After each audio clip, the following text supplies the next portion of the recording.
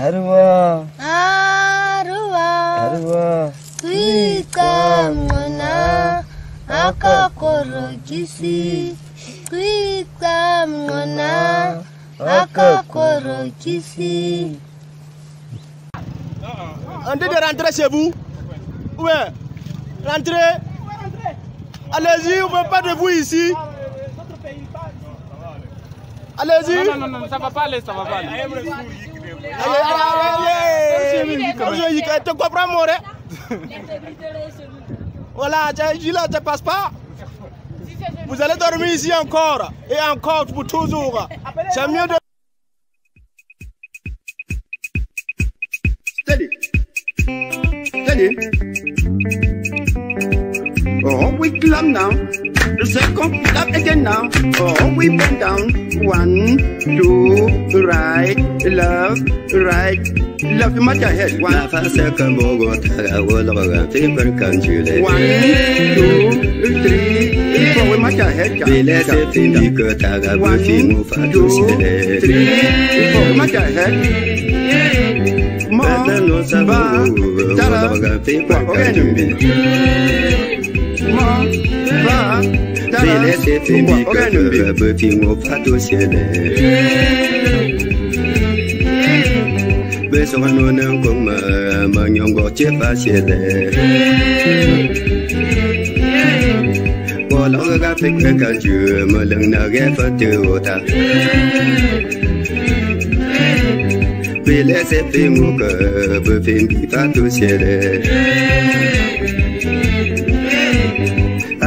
que va tu siete Me the pipe que chule Informa que head Guapa se cambió Taga un botón de pipe que head Ma Ma Ta va se cambió Guapa logra pipe que chule Ma Ma Tara Guapa que chule Abano que va tu siete Guapa pipe que chule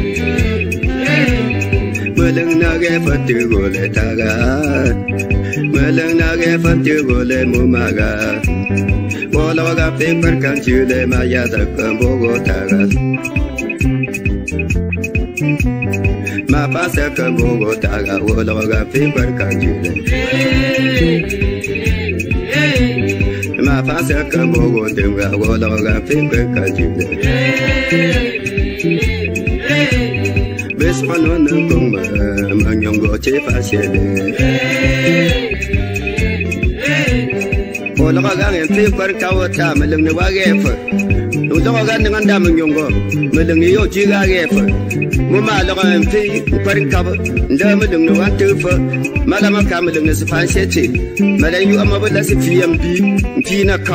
n fiidin ku kama da waji ba bi wo fa tun she o tun lɔkɔ kan tun fi kɔri kama mi lini waa ɛɛfa tigi wo taaga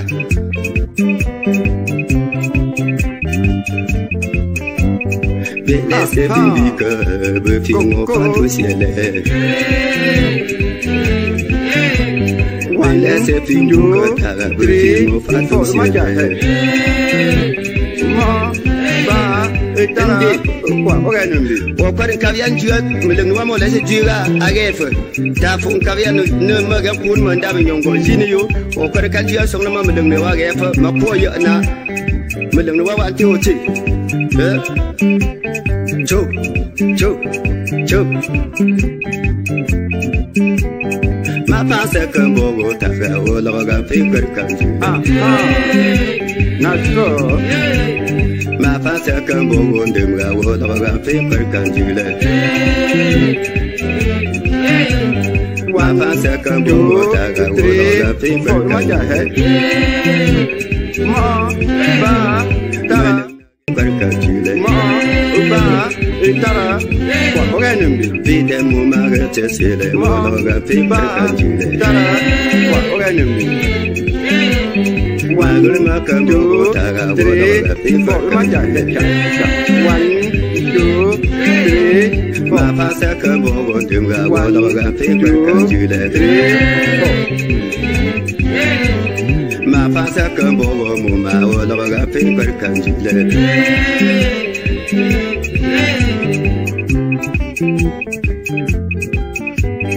Bitte bitte mu mama yala wombo Bola ga farkamo gun wanda ya kwarka ya an jiya soma mulin nuwa molen jiya wa a ce ba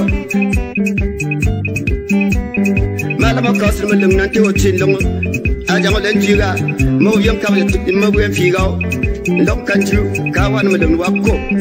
Hey hey hey hey.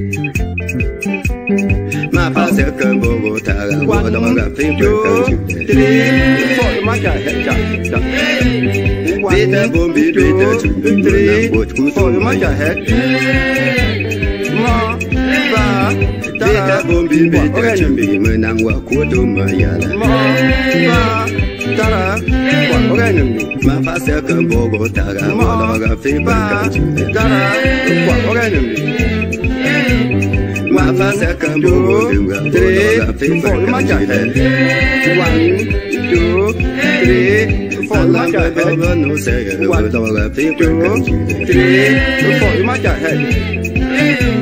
one eleven two three four lima chặt mo ba ta la wa oga nungu mangula lo kana mu imbang nang kawle mo ba ta ogenum ndete ben debi mama ga bosi yo jambe ban diga lokota bota lama mti bar ka in kan tiyo ma bolok ka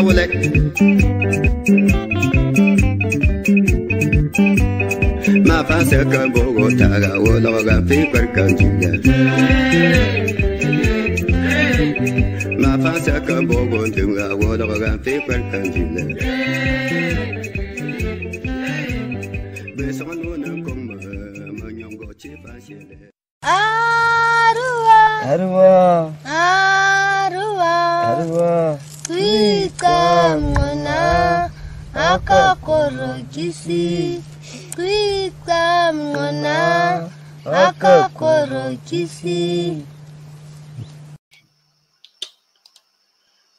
Bonsoir à tous. Ah. Donc, bonsoir, merci d'être là. Nous allons ce soir continuer à apprendre. Euh, et donc euh, à lire, euh, poursuivre la lecture de cet ouvrage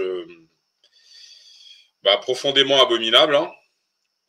Je crois qu'il n'y a pas d'autre qu'il a pas d'autre mot pour expliquer pour expliquer ce que nous avons euh, bah, vécu à travers ce livre.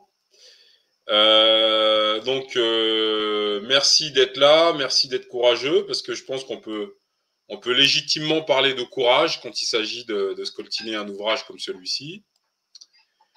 Qu'est-ce qu'on peut dire? Si nous devions faire un petit résumé. Donc, le titre de l'ouvrage, c'est L'éducation des nègres aux, États-Unis. C'est là, c'est marqué là. hein, c'est pas, c'est marqué là. Éducation des nègres aux États-Unis. Ça a été rédigé par une franco-américaine qui s'appelle Kate Brousseau. Voilà. C'est un livre qui est très intéressant parce que bah, parce qu'il nous apprend, pardon, un, paquet de trucs. Et, euh, et en fait, c'est un bouquin qui, qui en réalité n'a pas été écrit pour euh, raconter aux Africains euh, la vie des Noirs aux États-Unis, auquel cas, évidemment, ils auraient beaucoup, beaucoup, beaucoup, beaucoup, beaucoup, beaucoup, beaucoup menti. Voilà.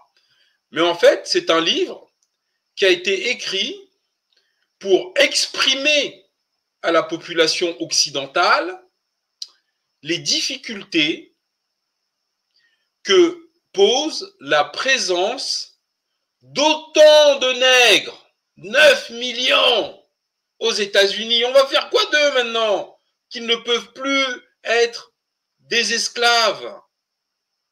Comment on va les éduquer, ces gens-là? Voilà. Donc c'est de ça que ça parle. Donc si vous voulez, c'était pas du tout un livre qui était écrit pour qu'un siècle plus tard, euh, un voleur de poules comme moi, et puis vous tous, nous soyons là en train de les lire, euh, de regarder un peu ce qu'elle raconte. Donc en réalité, donc c'est un parler vrai, c'est un parler cru. En fait, on est en train d'apprendre comment ont vécu nos ancêtres aux États-Unis, euh, mais en prenant, si vous voulez, un chemin. On ne parle pas là Ce n'est pas un livre qui est écrit par euh, ce que euh, on appelle historien occidental. Et Kalala Omutunde dit d'eux qu'ils font de la mythomanie mémorielle. Voilà. Là, c'est pas de la mythomanie mémorielle, c'est un document de travail. Voilà. Et Kate Rousseau, elle met 431 pages à expliquer à ses homologues blancs bah, la problématique nègre aux États-Unis. Et, là, ça, là, devient intéressant parce qu'il n'était pas du tout prévu qu'une bande de voleurs de poules que nous sommes, nous disions tiens tiens, euh, qu'est-ce qu'elle raconte la petite dame? Et ben là, quand on regarde ce qu'elle raconte, euh, on se rend vraiment compte là pour le coup de, de ce qu'ont vécu nos ancêtres, les conditions, etc., etc.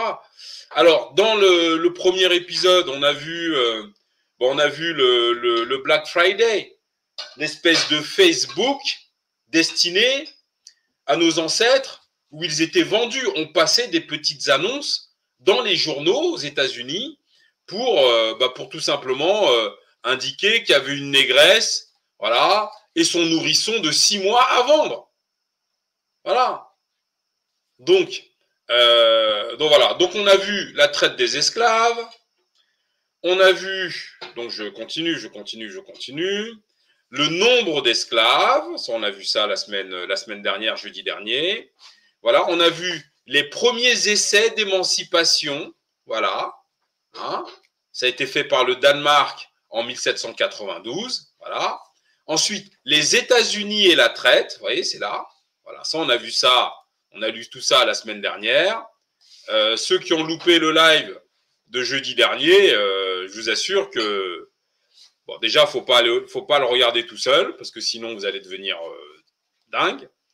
Mais en tout cas, faut, faut le voir hein, parce que voilà, là, là, là, on a souffert.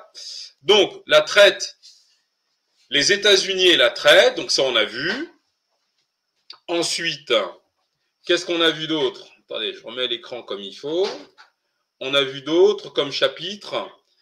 On a vu le nord et le sud face à l'esclavage. Voilà. Euh, ensuite, nous avons vu quoi d'autre? Alors, le nord et le sud face à l'esclavage, c'était juste incroyable. Euh, bon, je, je, vous passe tout ça parce que franchement, je ne me sens pas le courage euh, de, de, vous relire tout ça hein, parce que c'était tellement difficile. Euh, voilà, donc euh, le nord et le sud face à l'esclavage.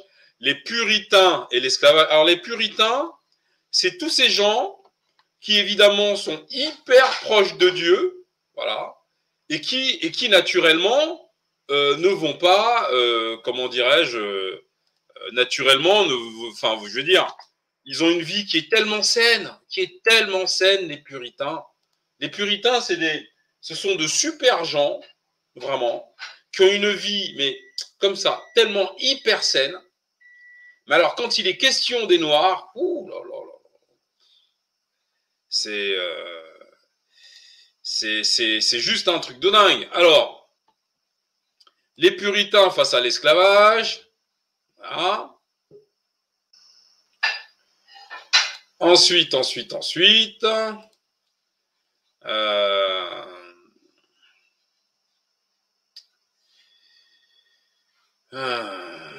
on continue. On est toujours avec les puritains face à l'esclavage.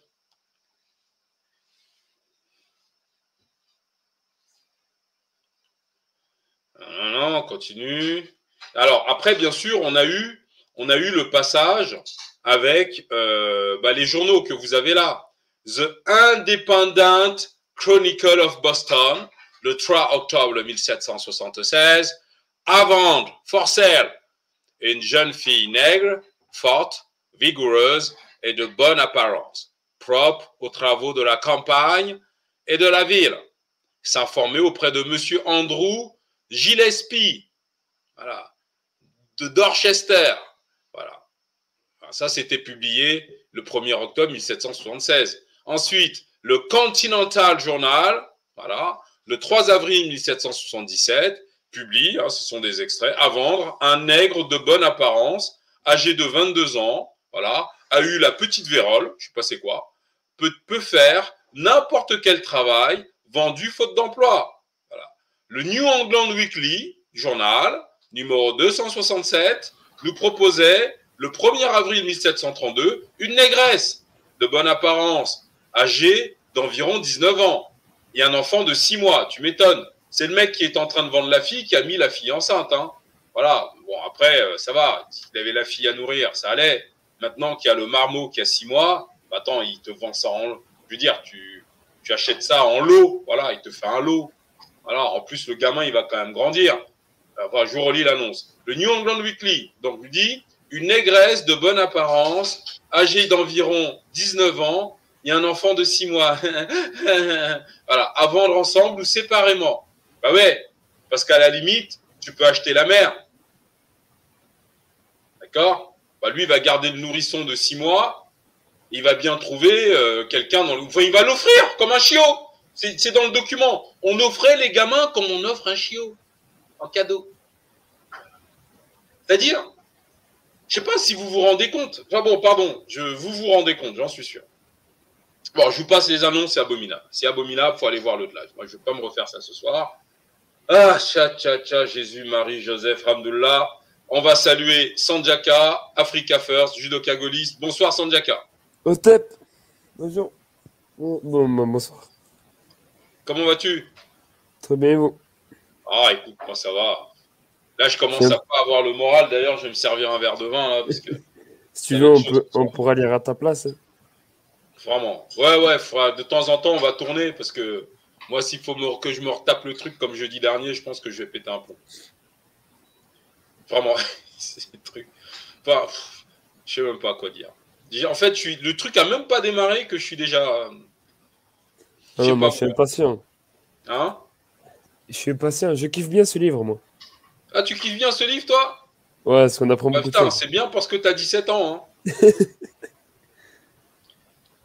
oh là là là. Africa First. Bonsoir Fétiche, bonsoir tout le monde. C'est comment, mon frère? Ah, ça va très bien. Ouais, t'étais là jeudi dernier, je crois. Ouais, j'étais là. Euh, non, non, j'étais pas là. Ah, t'es pas là. Mais t'as vu l'autre live de jeudi dernier? Ouais, j'ai- j'avais vu en rediff euh, tout ça. là. Alors? Ouais, c'est c'est compliqué. hein. Enfin, on, on les connaît maintenant. hein. Ouais, non, là, mon frère, honnêtement, euh, moi, je, les, je pensais les connaître.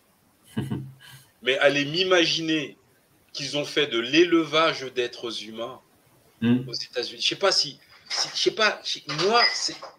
c'est- C'est vraiment. Je, je pense que c'est pas qu'aux États-Unis, mais quand cette dame nous explique que les États américains, faute d'approvisionnement en esclaves tout frais venant du continent africain, faisaient de l'élevage d'esclaves.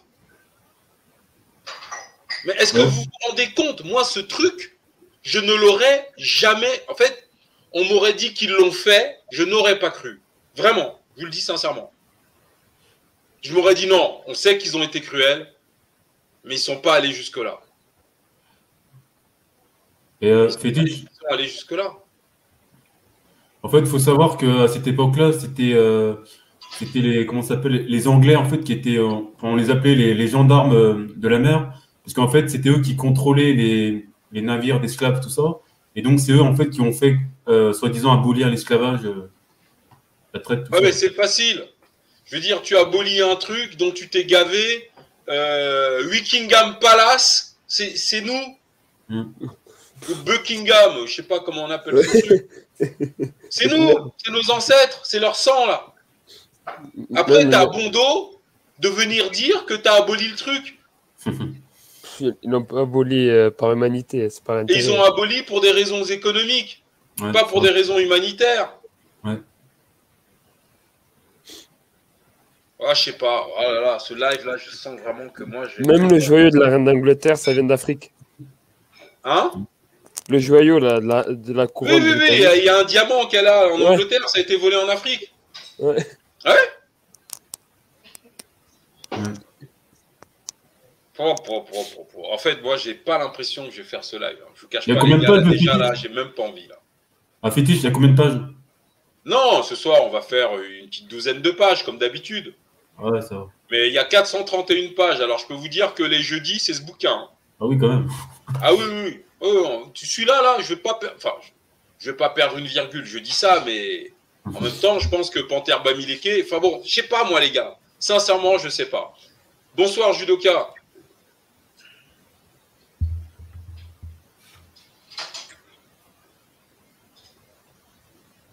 On t'entend pas, J'ai un Judoka. problème de micro. Attendez, je vais me servir un verre de vin. moi. Suis craqué là, putain.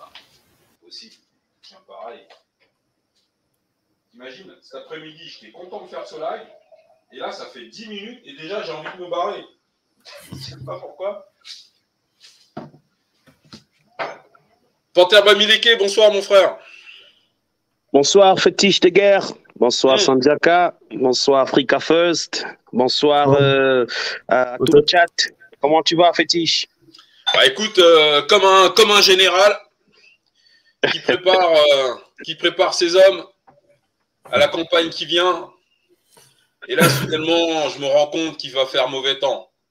Oh bon, là là. à la guerre comme à la guerre, mon frère. Il va Ouais, faire ouais, ouais. temps Il, parce qu'on va se taper encore ce bouquin. ouais, ouais, ouais. Il faut commencer un peu doucement avec le vin, quoi. Sinon, euh, tu seras paumé avant qu'on arrive euh, à la fin du live, t'inquiète, le matériel. Hein? Ça fait 47 ans que je me coltine le matos, donc euh, je sais comment ça fonctionne, ça. D'accord, d'accord, d'accord. Ah ben, Fétiche, euh, j'étais en train de voir le live, euh, revoir le live de la semaine passée. Ouais Et euh, sans te mentir, mon frère, c'est terrible, c'est terrible. Euh, euh, non, sincèrement, c'est terrible. Ce qui était, comment se fait-il que ils peuvent même avoir le courage d'écrire des choses pareilles? Ça montre à quel point ces gens euh, n'ont pas d'âme. Ils n'ont pas, ils n'ont pas. Moi, je, je- parfois, je ne les vois pas comme des êtres humains. Moi, je les vois comme euh, euh, des gens qui sont excités par euh, euh, la mort, des gens qui sont excités par des génocides, des gens qui sont excités par euh, euh, la domination, les tueries, les viols, tout ce qu'on a vu dans, à la lumière des lives passés. C'est comme si c'est ça qui leur fait vivre, en fait. Tu vois?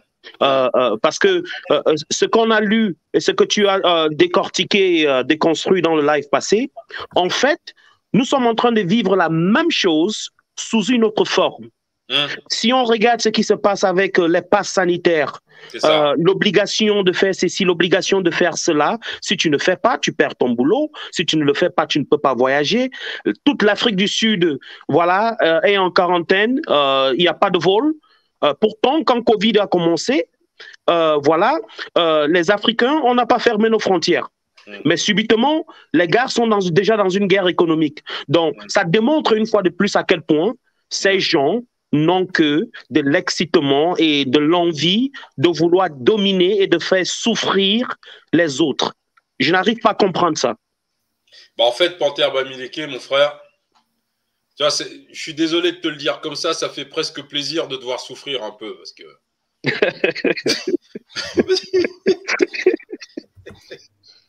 je te jure, eh, mais tu sais que le frère Vanxi, il est venu ici. euh, il est venu ici euh, su- sur un live qu'on a fait le, le lendemain, hein, je crois que c'est un vendredi. Cette histoire d'élevage d'êtres humains, Banksy, il est venu là, vraiment, il était dans un état de dingue. Ce live que vous avez à l'écran, voilà, vous avez la vignette du premier épisode qu'on a fait jeudi dernier. Banksy, il est venu ici nous expliquer qu'il a vu ça en replay. Bah, le frère était traumatisé. L'élevage d'êtres humains. Je ne sais pas si vous vous rendez compte ce que ça veut dire. Ah ben, fétiche, ils sont même allés jusqu'à pratiquer l'élevage des leurs. Euh, dans l'État de New York, c'est documenté. Ils ont élevé des bébés euh, qu'ils ont distribués sur toute l'étendue des États-Unis. Euh, ils ont offert ces bébés aux familles volontaires qui voulaient accepter des bébés, des familles, euh, euh, voilà, euh, comment on dit, adoptives. Voilà. Donc, ils ont pratiqué ça sur eux-mêmes. Mais euh, la différence, c'est que euh, avec nous, euh, voilà, on, on- on nous vendait et voilà comme des marchandises. Par contre, ils, ils ont pratiqué ça sur eux-mêmes. Ça montre, ça montre l'état d'esprit psychopathe, Oh, mégalomane que ces gens. Mon frère, je sais pas si c'est l'histoire là, c'est la magie ou c'est Kama. Vraiment, moi je sais plus. hein. Moi, honnêtement, sincèrement, je sais pas quoi vous dire. Je n'ai plus de mots. Donc ce soir, on va lire notre truc. On va continuer à apprendre. Parce que nous, nous devons être courageux. On a une bien meilleure posture que nos parents qui ont vécu tout ça. Donc on a le devoir de savoir. Parce qu'on a le devoir de mémoire. Il va falloir qu'on explique tout ça à nos enfants aussi. Eh oui. Ah, Bala, mon frère, tu es là? Oui, euh, bonsoir Fétiche. Bonsoir, Bala. Sandiaka, bonsoir. Africa First, Panther, Panther Bayeleki, bonsoir. Bonsoir, Bala. Bonsoir Zidoka, Harris 69. Bonsoir, Bala. Vous Bonsoir. m'entendez, vous faites là maintenant? Ouais, on t'entend, ouais. Ouais, Ah, bonsoir. Bon, bon, bon, bon, Bala, dis-nous que tu as souffert aussi, comme ça, ça va nous faire du bien, tu vois. Je suis, je suis comme Sandiaka, hein, moi je suis ça. Non, ça va. Non, ça va. Donc ce soir, c'est mais- celui-là. Là, je, je- je porte toute la douleur de nos, de, de nos ancêtres. hein. Ça Mm. va. Je suis Euh, encore écoute. vivant, ça va. Ce qui est bien, fétiche, dans ce, dans, dans- dans ce bouquin, je trouve, et dans, et dans euh, le troisième cycle d'africanité que nous sommes en train de faire, euh, c'est que euh, ne nous laissons pas euh, bercer par la narration des Tamous sur l'esclavage, ainsi de suite. On essaye de voir un petit peu en profondeur les pratiques. et, et moi, franchement, j'ai découvert dans ton live, dans notre live, que les Tamous étaient allés jusqu'au blasphème euh, d'élever des êtres humains. Ouais.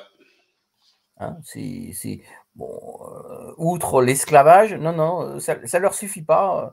euh, ils sont capables d'aller élever des êtres humains comme on élève des chiots ou, ou, ou- ou des bœufs. hein. Ouais. Moi, je sais pas. Ça, en dit long. euh, je comprends qu'ils ne racontent pas leur histoire euh, au, au sens leur vraie histoire, fétiche. hein. C'est clair. C'est- inaudible. Ou c'est inaudible, ou alors ça pose vraiment question sur la nature profonde de ton groupe hu- humain euh, qu'on peut représenter par les, par les Tamous, les Occidentaux, les Blancs, les Mundélés. euh, vous les appellerez comme vous, comme vous voulez, mais en tout cas, ce sont des diables. C'est clair. Alors, ma sœur Harry, 69, je crois que la sœur était là, elle a souffert avec nous. Ah oui, malheureusement, ouais, j'étais là. Peut-être. Non, peut-être, Peut-être, Harry. Bonsoir, Harry. Bonsoir, euh, Panther. Où gagne au Bourguet? Ah, Melaneta, Melaneta, Oula Movogi. Ah, bah, Hélène, bah, pas? Aïe, aïe, la maman, aïe, là. Mais, mais dis donc, non, en fait, moi, je me suis, je me suis, je, je me suis mis dans la peau du papa qui a préféré se suicider parce qu'il se rend, il se rendait bien compte qu'au bout d'un moment, il était, il, il- il- on les considérait comme du bétail. Il se dit, mais, tu sais, la partie où on dit plus ils sont vieux, quand, quand ils- on préférait avoir des jeunes, là. Faut, Ouais, ouais, ouais, mourir. ouais. Oh là là, j'avais oublié ça, toi aussi. Le papa qui préférait se suicider pour ne pas vieillir parce qu'il s- il, il s'est rendu compte que une fois qu'il allait vieillir, on, on, on allait l'envoyer à l'abattoir, en fait. C'était, c'est, moi, c'est la partie qui m'a piqué, ça. Je me suis mise dans la peau, j'ai imaginé un papa, le papa à cet, à son âge avancé où il se dit, toute ma vie, j'ai travaillé dans la plantation. Une fois que je serai malade, on, on m'envoie à la, à la, c'est, c'est, c'est, Non, c'était même pire que ça. c'est, c'est, c'est On infernal, faisait quoi. travailler Et jusqu'à mort suit. ancêtres de sorte que ce travail les conduise à mourir. Voilà. Autant, autant que. Voilà. Donc, ce qui Et fait que ceux se qui étaient dans la plantation, sachant qu'ils devaient, qu'ils étaient, qu'ils allaient, qu'on allait les faire travailler jusqu'à la mort, eh bien, ils se laissaient mourir. Voilà, c'est ça. Ils ne laissé prenaient mourir. plus soin d'eux, en fait. Ouais, c'est ça. C'est la, c'est la partie, en fait, qui m'a, qui m'a, qui m'a choqué. Et au bout d'un moment, bah, en fait, j'ai décroché parce que c'était trop. Attends, t'es parti J'ai vu comment tu faisais pas personne de monde ici. J'ai dit, attends. Il y avait tout le monde qui disait, oh là là, mais c'est- Attends, la maman là avait fui au. Je me suis dit, non, mais c'est pas possible, ces gens-là, on n'est pas prêts, on- c'est pas possible, c'est pas possible. Donc tu avais fui le live Mais à la fin, je me c'est- c'est- tu te mets- en, fait, en fait, tu te mets dans la chair de ce papa qui a dû se laisser te dire, de toute façon, tu meurs, tu meurs, et puis tu es tellement dépité dans son état. En tu imagines son état, son état d'âme, en fait. C'est- attends, attends, attends, ma soeur, tu avais fui le live? Je suis partie, je suis partie. Vrai, vrai, j'ai, vrai, il a dit que c'était trop. Après, on dit que le levage, là, là, vers la fin, là, il a dit c'est bon, je me, je sais bon. Donc tu as coupé la partie de l'élevage d'êtres humains. Oui, si, j'ai suivi ça aussi. J'ai, suivi la partie là aussi. Je suis arrivée jusque là aussi. Oui, oh là là. Mais en fait, c'est, Non, attends. Même là, là, ça me fait trembler. Regarde, j'ai sorti mon verre de vin. C'est histoire de, tu vois, histoire de tromper le, la douleur. et là, là, t'as les, les frères, les sœurs de Martinique qui disent, en fait, on est des, on est ici de l'élevage, hein, de l'élevage de masse. C'est, c'est, Non, c'est dur. c'est, c'est, c'est choquant, en fait, ça, ça, on en perd, on, on en perd son langage, on en perd les mots, quoi. Ah, clairement. Je peux te dire que le lendemain, quand je suis allé au boulot, tu sais, tu es dans le RER là. Moi, je l'ai regardé, les gars. C'est comme si c'était des animaux, pas des êtres humains. Attends, pour, pour la petite anecdote, on a fait ça, après on allait faire le live sur, euh, sur les, sur le, hum, comment on appelle ça? Sur leur élection, là. Ah oui, oui, oui, c'était pour se détendre. Voilà, voilà. Le lendemain, moi, je, vais, je, je suis invitée quelque part, je tombe sur un tamoul qui me dit qu'oh là là, Zemmour, c'est la catégorie. Ah, mais Zemmour, c'est lui que moi, je peux voter. Bah oui, moi, c'est ils m'ont fait, me disent, ah, là-bas. J'ai dit, ah, mais pas. Bah oui. Autant, autant les accompagner à la mort, quoi. Hein? Et c'est là, que- en fait, et c'est là que je me rends compte qu'en fait, je suis, en fait, je suis devenue raciste, mais à un niveau. Non, parce que, Ces gens, leur tête de l'air, c'est pas possible, c'est plus possible. mais il faut qu'on commence à, à se préférer nous. Je suis désolé. Mais c'est ça, en fait, en, en fait, en fait, j'ai l'impression qu'il y a déjà le fait que te- on se préfère nous, mais en plus, ces gens-là, en fait, quand on les voit, c'est, c'est, en fait, moi, aujourd'hui, en fait, aujourd'hui, quand je les vois, ils m'énervent. En fait, je les regarde plus de la même manière. J'ai, quand on est un près de moi qui ouvre sa bouche, en fait, l'impression que tout ce qui, tout ce qui va verbier, c'est, c'est, c'est, c'est, un fait, en fait. Je vais, je vais te dire ce qui, ce qui se passe en moi. Je vais vous dire la vérité. En dehors des Français que je connais, vraiment que je connais, euh, que je connais euh, bien, quoi.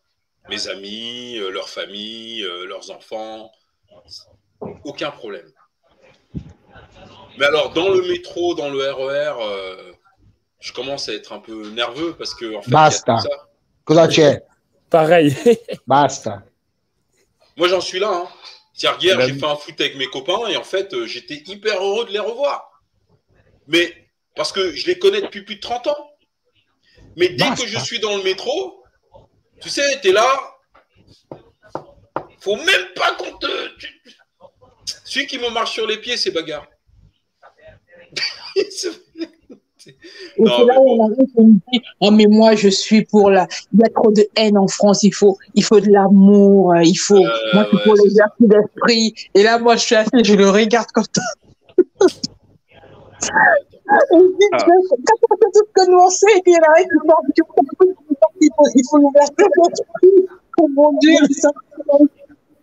Et là, je me je dis, et c'est lui qui parle, qui nous parle des vertus d'esprit. Mais tu- Fétiche, Ah, je suis désolé. Ouais. t'étais en mode vénère euh, dans le train Pas en mode vénère, mais si tu veux, le truc, c'est qu'aujourd'hui, Basta. après ce live, il y a, il y a eu quand même euh, le lendemain. Basta. ça te chauffe, en fait.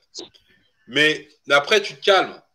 Mais t'es- de toute façon, tu n'es plus le même homme. hein. Je suis désolé. Avant et après, tu n'es plus pareil. hein. Moi, le coup de l'élevage, ça m'a, ça m'a, ça m'a fini total. Euh, fétiche? Ouais. Euh, parlant euh, de préférence des siens, euh, ben, j'ai dû mettre quelques locaux à leur place quand j'étais en, en mission en Afrique. Mhm. Et, et là, j'ai pas caché, hein. J'ai pas caché euh, mes émotions en ce moment-là parce que, euh, euh, ben voilà, on, finit avec la phase de, de passeport et on se dirige à la sortie. Et subitement, il y a deux, deux locaux euh, qui, qui, euh, qui traversent le rond.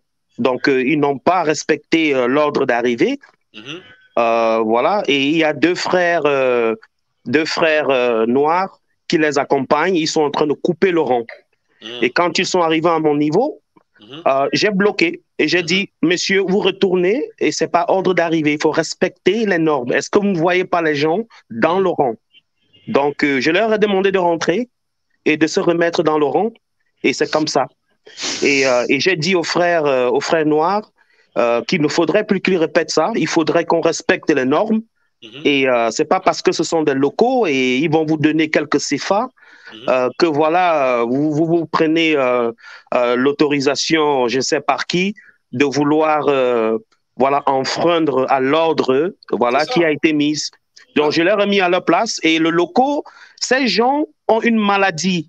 Ils n'aiment pas qu'on leur dise non, ils n'aiment pas qu'on les mette à l'ordre. Tu vois un peu? Ah, Voilà.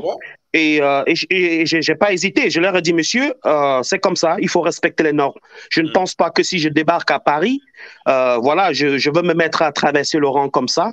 Mm. Donc, c'est pas parce que vous croyez que vous êtes en Afrique que voilà, vous allez faire ce que vous voulez. Et en passant, il Mm. faut savoir que vous êtes sur le sol africain et euh, il, faut vous, sa- il faut savoir vous tenir.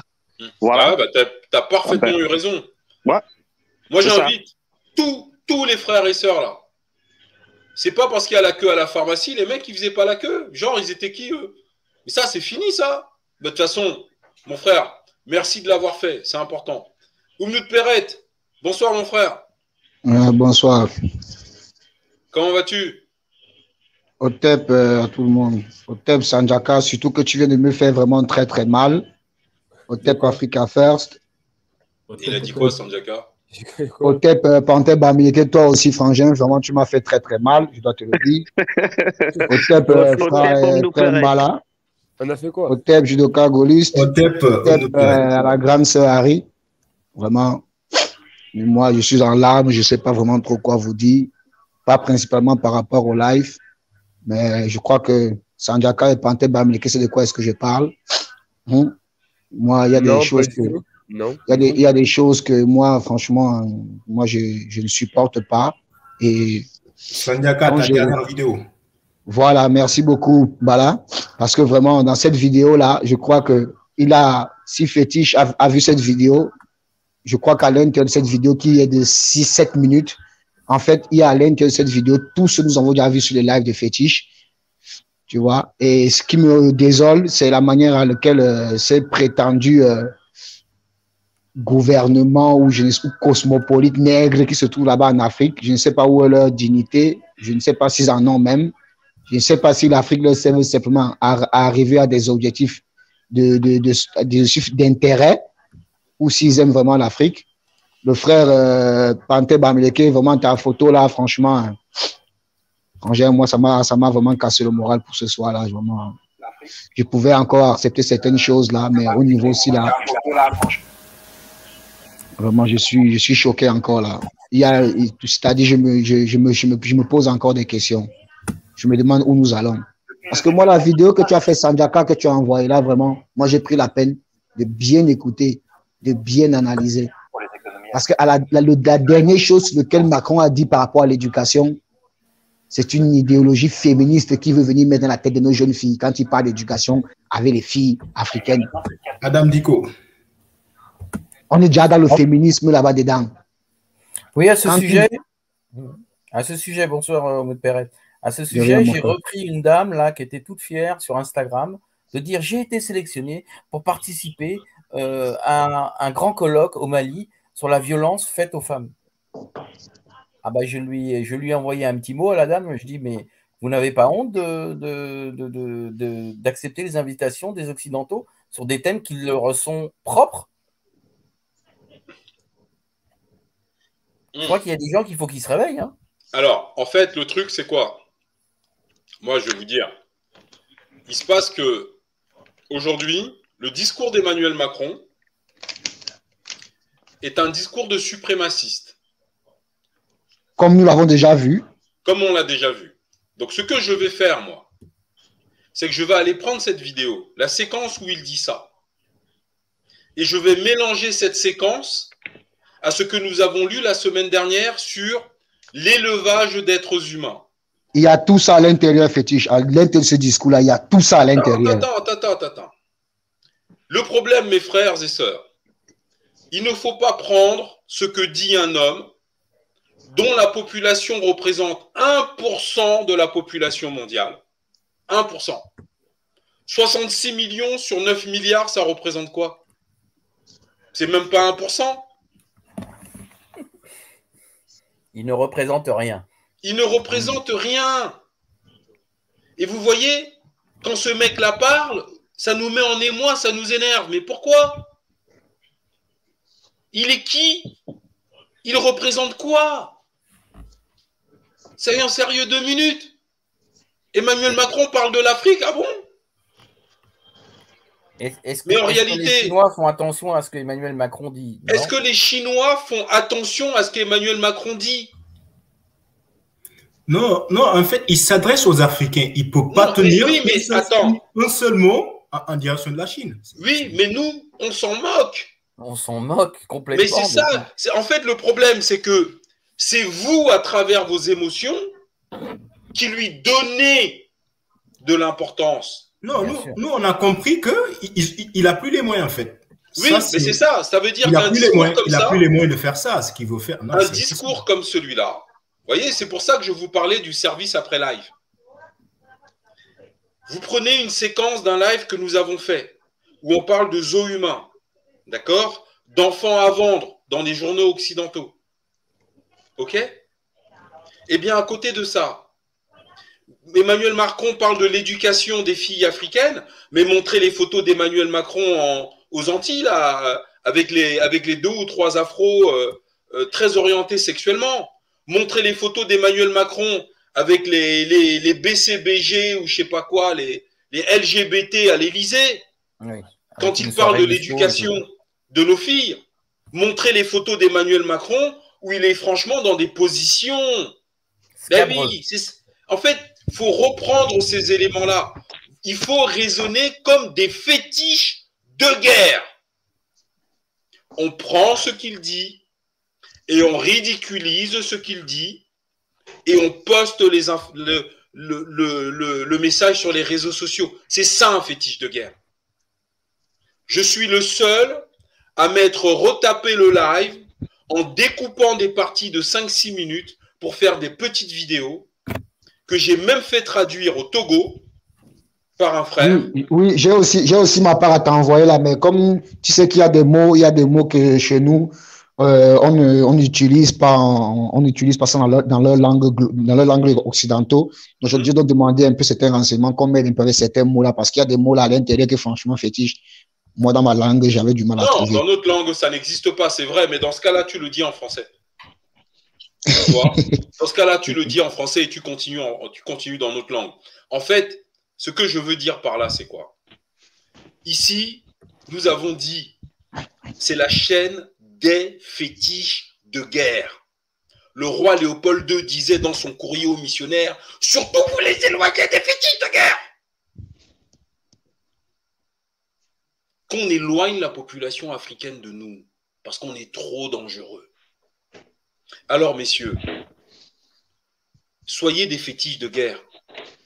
Et je trouve même que sur notre groupe Telegram, là, ça poste beaucoup. Il y a des posts, Amina Fofana, je suis d'accord. Béanzin est proscrit, total. Tant qu'on n'aura pas fait de live sur lui, je ne veux pas en entendre parler sur notre groupe. Ensuite, vous devez tous vous y mettre. On parle nos langues. On lit un livre où on nous explique qu'on fait de l'élevage d'êtres humains. Où À nous a commencé à traduire. Qui d'autre a traduit? À propos, j'ai aussi ma, j'ai, j'ai aussi ma maman, j'ai aussi ma maman que, que je lui ai, je lui ai envoyé. Je lui ai dit que avec tous mes, mes copains là, ceux qui sont Bassa, Betty, Boulou et Tone, Mhm. Mafia, je leur dis, partagez leur ça, qu'ils traduisent ça, ils me l'envoient. Exact. Même, Je- même oui, juste l'audio, je fais le montage. Oui, oui, je, je lui ai dit, même si, oui, oui, c'est de l'audio, c'est de l'audio. Je lui ai, je lui ai dit ça. Elle, elle, même elle a écouté ça, elle m'a dit que ça, c'est terrible, ça. Elle m'a Bah dit oui. que, mais d'où? Elle m'a dit, mais vous, d'où vous prenez ça? J'ai dit que, maman, vous avez le téléphone en main. Pourquoi vous allez toujours chercher les Facebook à publier des choses? Allez vous instruire. Allez comprendre ce qui se passe. Ah, elle a dû devenir dingue. Mais moi, j'ai envoyé Oui, le livre. Mon petit neveu Joseph. Hein? Joseph, il a 16 ans. Il est toujours premier de sa classe. Quand il est deuxième, là, ça va pas du tout à la maison. C'est la crise. Je lui ai envoyé le livre. Je lui ai demandé de partager à tous ses camarades et à ses professeurs au Cameroun. Joseph a 16 ans. Mes nièces, là, pareil, tout le monde a reçu. Le livre, là, j'ai envoyé au moins à 60 personnes. C'est ça, être un fétiche de guerre. C'est faire l'actualité. Donc, Oumnoud Perrette, mon frère, je te félicite. Non, moi, je l'ai, je l'ai, je l'ai fait. Je l'ai, si tu, je peux, je peux me t'envoyer même un extrait, mais le problème, c'est que, bon, comme il y a beaucoup de mots là, que c'est difficile pour nous de, Non, tu notre langue là. Les mots qu'on ne peut pas traduire, faut mettre en français. Dis, Parce que c'est ça notre travail.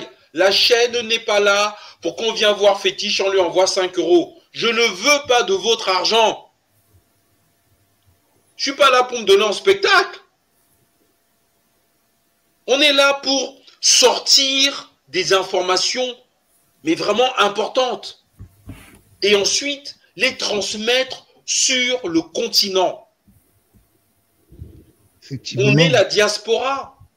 Effectivement, fétiche. Effectivement. Il faudrait que les gens commencent à vraiment, à Mais mettre oui. vraiment le, le, le- à mettre vraiment, devenir des activistes actifs. Pas juste là, des gars qui viennent là voir les trucs et disent Yeah, vraiment, les gens là. À taper sur le locodem. Non, c'est vrai, hein, moi je suis sérieux. Sinon, euh, la chaîne n'a aucun sens. On est, moi, je suis n'a pas là aucun dans les sens. 6 heures de live euh, trois fois par semaine.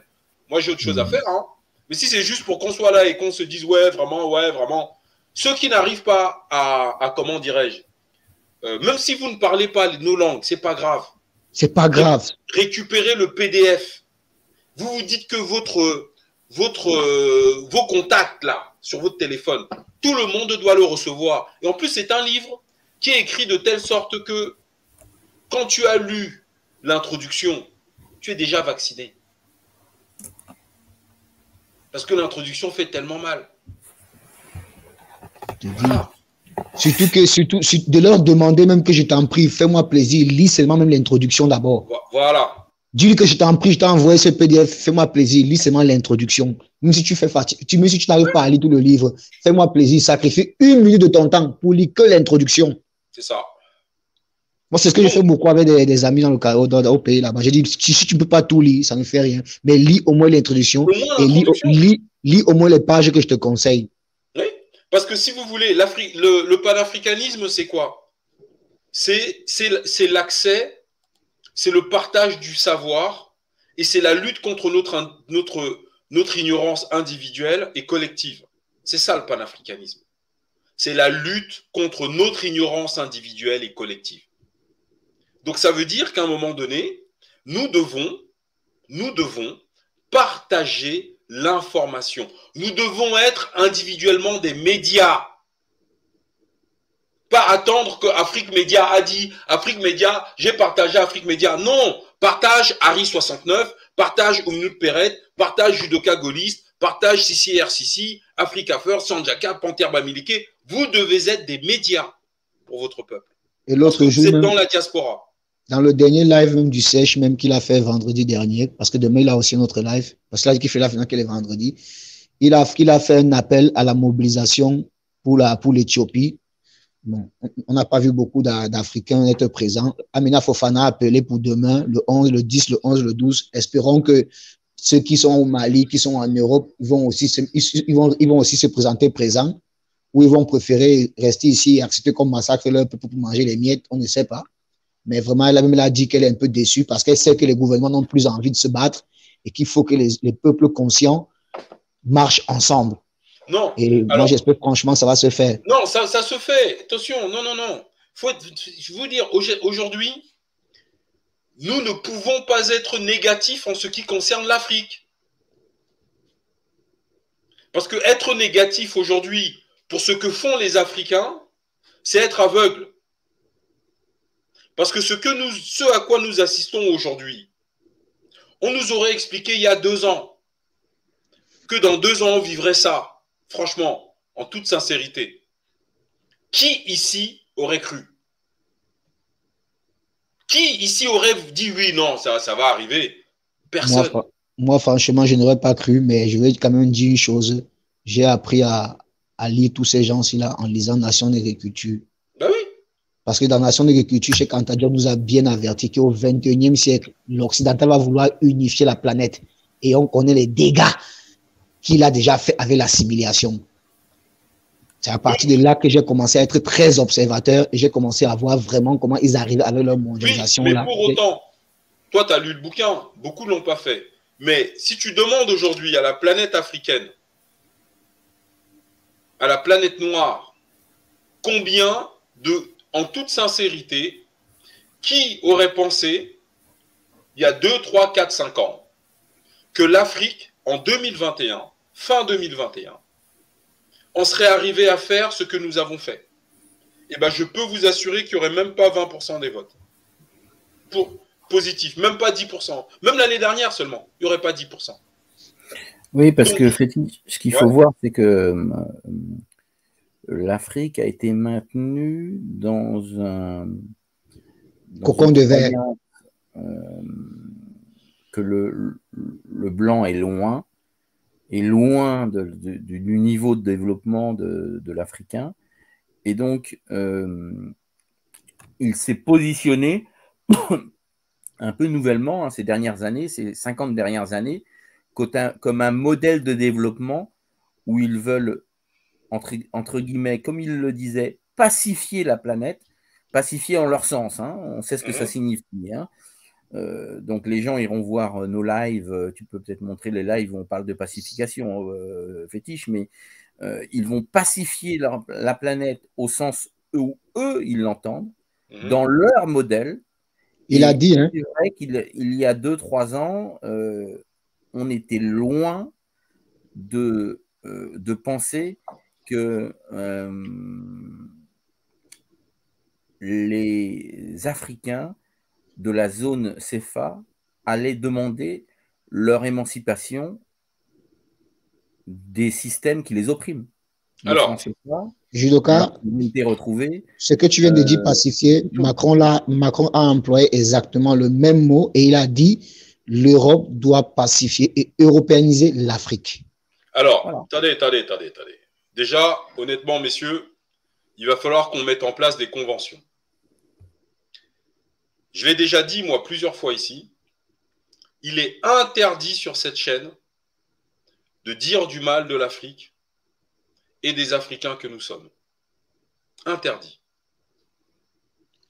Il est interdit sur cette chaîne d'avoir des, des, analyses négatives concernant l'Afrique. Parce que nous sommes en guerre.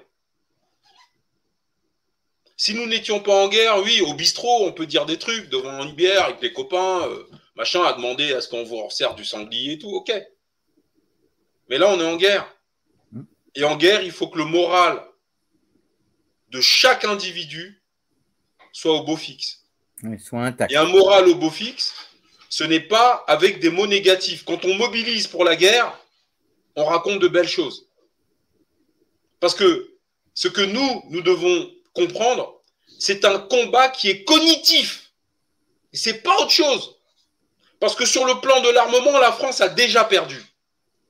La présence russe fait que c'est fini. Maintenant, ce qui reste aux Africains de faire, c'est de croire en eux. Et c'est plié. Donc ce que Emmanuel raconte peut baver, on s'en tape. Parce qu'il n'est rien. Il est le président d'un tout petit, petit, petit, petit, petit, petit pays surendetté. Il est le président d'un État parasite. Donc, en fait, ce que peut dire un homme de cette nature-là, et qui représente que ça, ça ne nous intéresse pas. Donc aujourd'hui, nous, nous devons avoir un discours de chaleur, de réconfort, positif, militant, conquérant. Et bien pour ça, on doit être positif. Le seul truc qui doit être négatif, c'est ce qu'on va lire, parce qu'il faut quand même qu'on comprenne ce qui s'est passé avant. Vous validez ou pas, les gars, les sœurs là? Ouais. C'est clair. On vient, on vient prendre la- on vient prendre notre part de dose comme les anciens. Ben oui, on prend notre part. on prend notre part de dose comme les anciens. Donc alors, on va continuer, puis on va démarrer ce live. Donc ici, cause du développement de l'esclavage dans le Sud. Bon, ça, sincèrement, on a vu ça la semaine dernière. Moi, je ne suis pas prêt à y retourner. hein. Je sais pas vous, mais en tout cas, ceux qui ont envie de, de comment dirais-je, bah, de souffrir une deuxième fois, bah, de toute façon, le live, il est sur la chaîne. hein. Ensuite, ouais, C'était quelle page euh, l'introduction? Comment? L'introduction, c'était quelle page? L'introduction, c'est la page, euh, je sais plus laquelle. Si- L'introduction du livre, tu veux dire? Ouais. Bah, je sais pas, tu défiles le truc, euh, tu passes tous les trucs Google et puis tu arrives à la première page et tu as l'introduction qui suit. Ensuite, ici, là, donc là, ici, attendez, bougez pas. Ça, c'est la page 11. La page 11. Voilà, la page 11, je, vous- je ne vais pas la lire parce que c'est ici qu'il est question d'élevage. D'accord? Donc ça, je ne vais pas lire ça. La famille nègre, on l'a vu. Voilà. Conditions civiles de l'esclavage, on l'a vu aussi.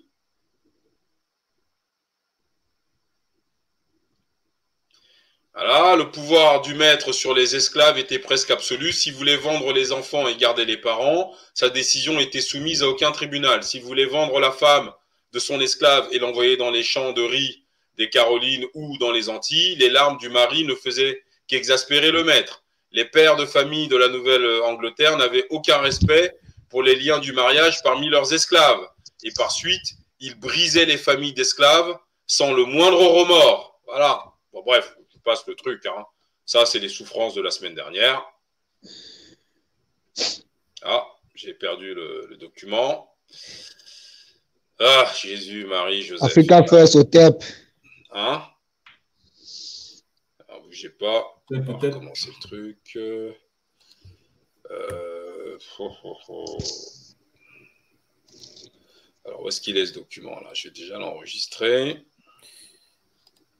Oui, Fétiche, pour illustrer un petit peu euh, ton, document historique, là, euh, tu as vu, je vous ai envoyé un petit document euh, qui faisait part de l'étonnement, mais moi, ça ne m'a pas du tout surpris, que dans les nouvelles technologies, les tamous qui sont un petit peu à la manette pour certains d'entre eux, dans certains domaines comme l'intelligence artificielle par exemple,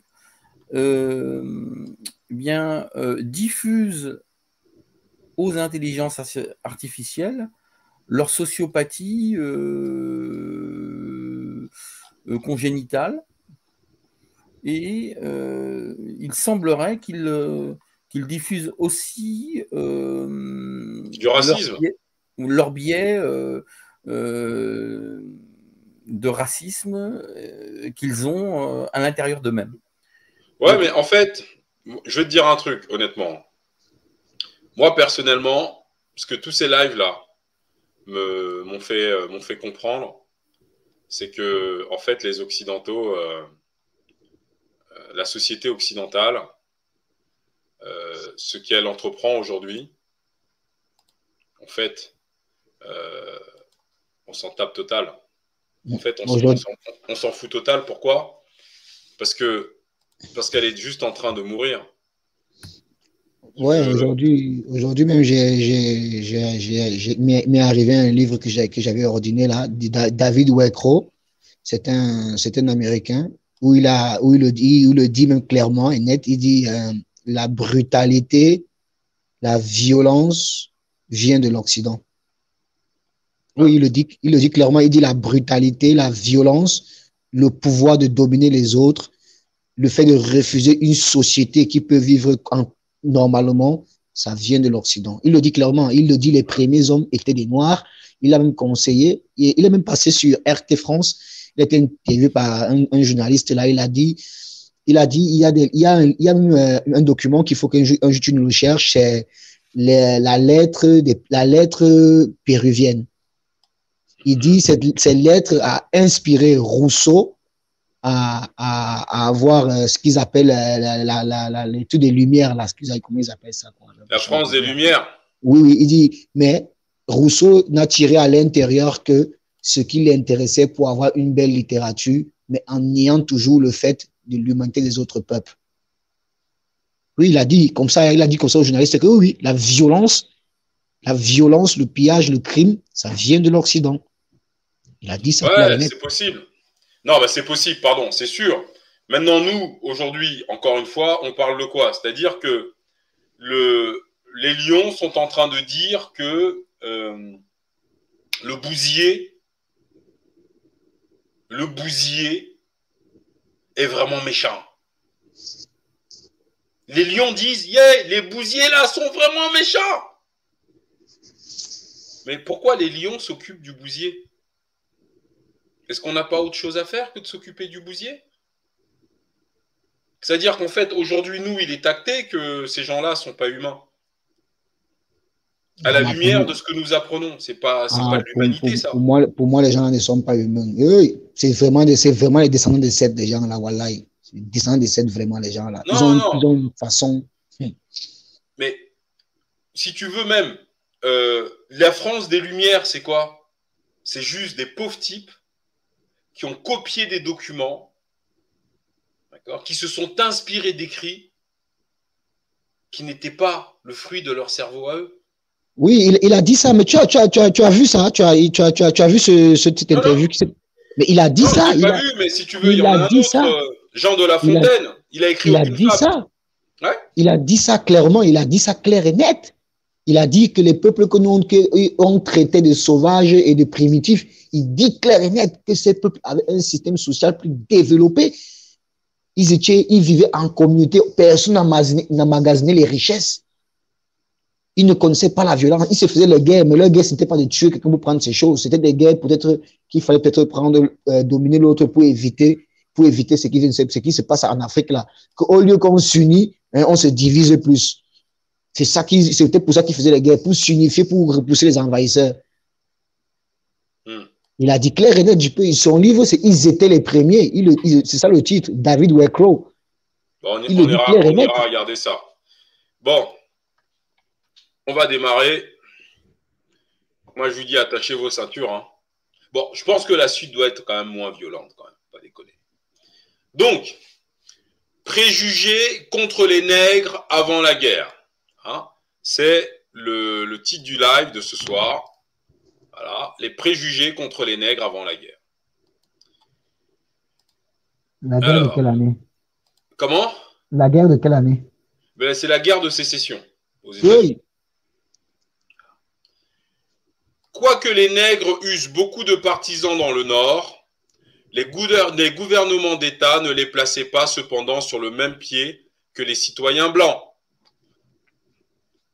Les droits étaient fortement restreints, non seulement à cause d'un préjugé de race instinctif et de la ferme croyance à l'irrémédiable infériorité morale et intellectuelle de la race de couleur mais aussi indirectement à cause de la loi de l'esclave fugitif.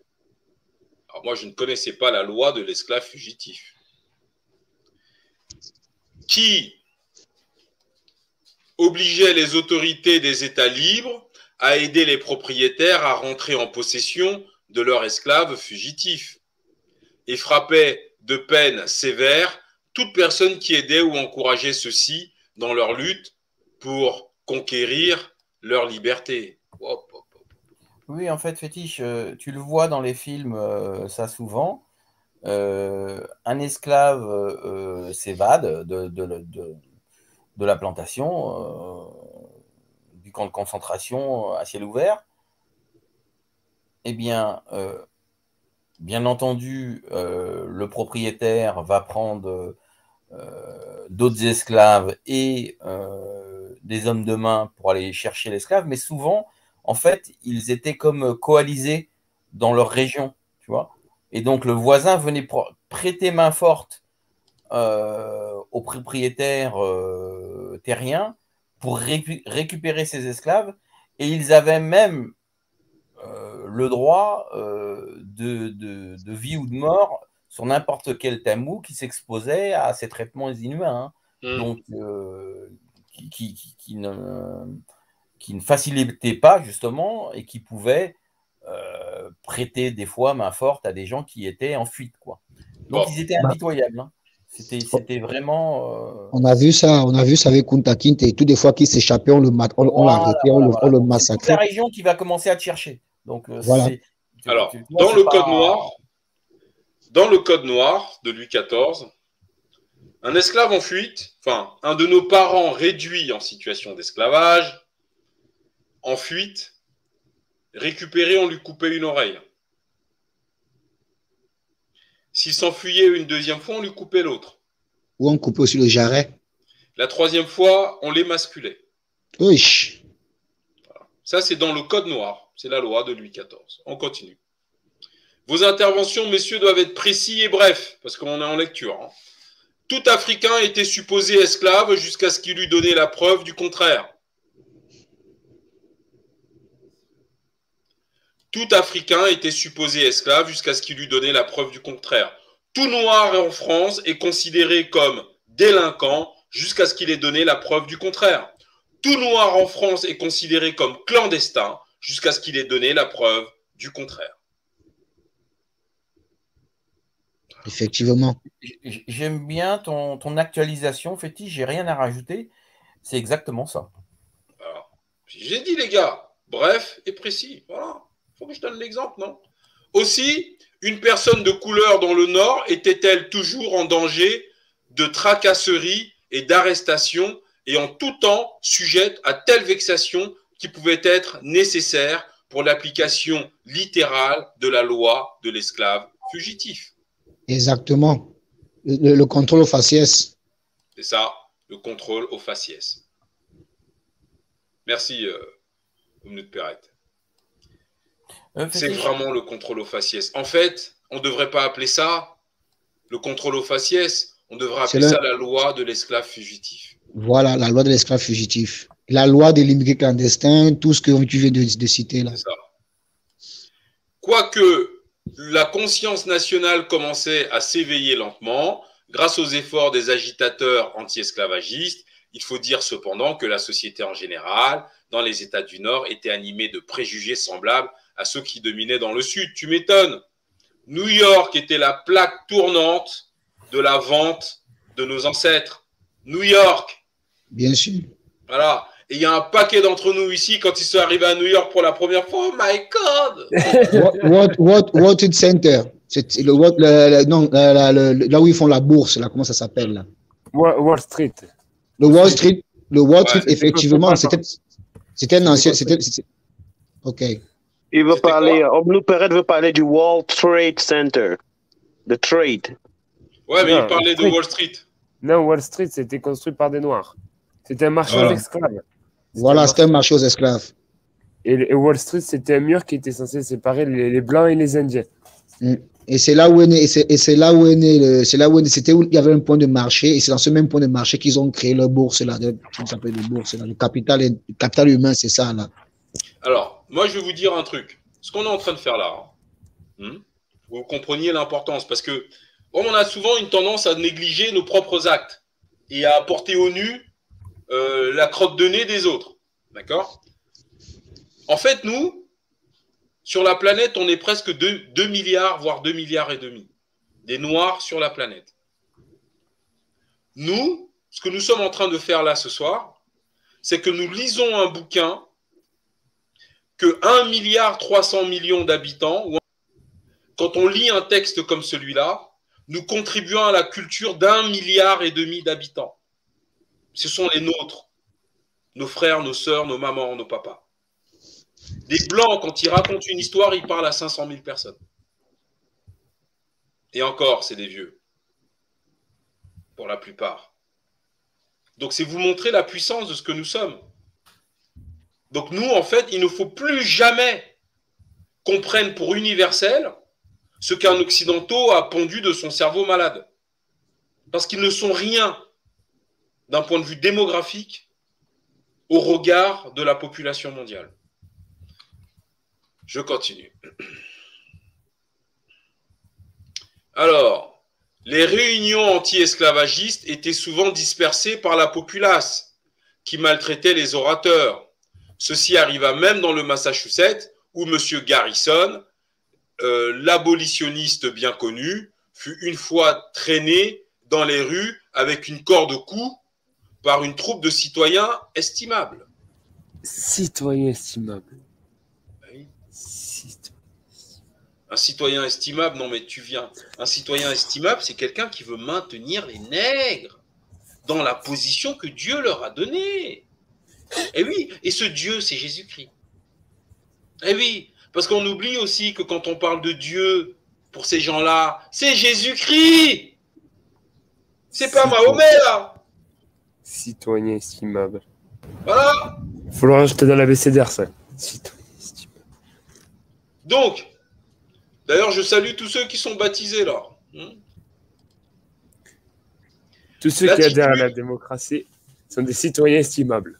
Voilà. L'attitude prise par les gens du Nord était plutôt extraordinaire. Ils croyaient que le nègre avait le droit d'être son propre maître. Cependant, ils étaient plus intransigeants dans leur aversion pour tout contact avec les gens de couleur que les gens du Sud. Cependant, ils étaient plus intransigeants dans leur aversion. Une aversion, c'est... Ah C'est même pas un dégoût, c'est plus qu'un dégoût. Vous savez ce que veut dire le mot aversion? C'est. Vous imaginez le truc qui vous ferait gerber tout de suite. Bah, c'est ça une aversion. Oh, oh, on y va.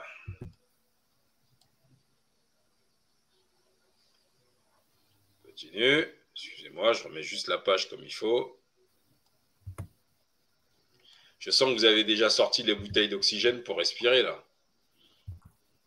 On continue. Alors, donc, qui était devenu familier avec le nègre par suite de leur rapport séculaire et qui n'avait à son égard que des sentiments de bienveillance? Alors, attendez, je regarde qui c'est qui dit ça. Alors que les gens du Sud qui étaient devenus familiers avec le nègre. Alors, faut comprendre une chose. Pourquoi les gens du Sud sont devenus familiers avec les Noirs?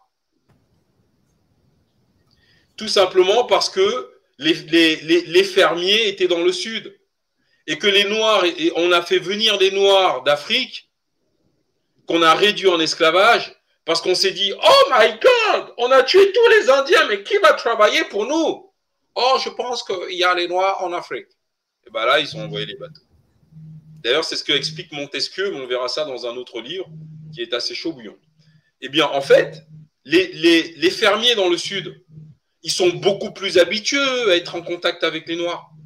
Ils ne font pas, eux, ils passent leur vie entière avec des Noirs. Par contre, un commerçant du Nord, les, gens au Nord, c'était ceux qui finançaient les navires négriers qui allaient en Afrique braconner nos ancêtres. Mais eux, en fait, un esclave, ils en avaient rien à, rien à cirer. C'était de la marchandise. C'était coté à Wall Street.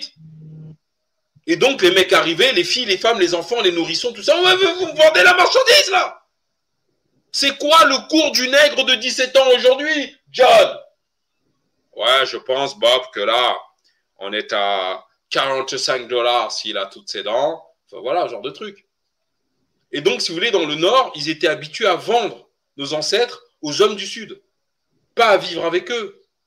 Et là, soudainement, ils se retrouvent avec des nègres qu'on dit affranchis. C'est pas possible, mais je l'ai vendu celui-là il y a trois ans.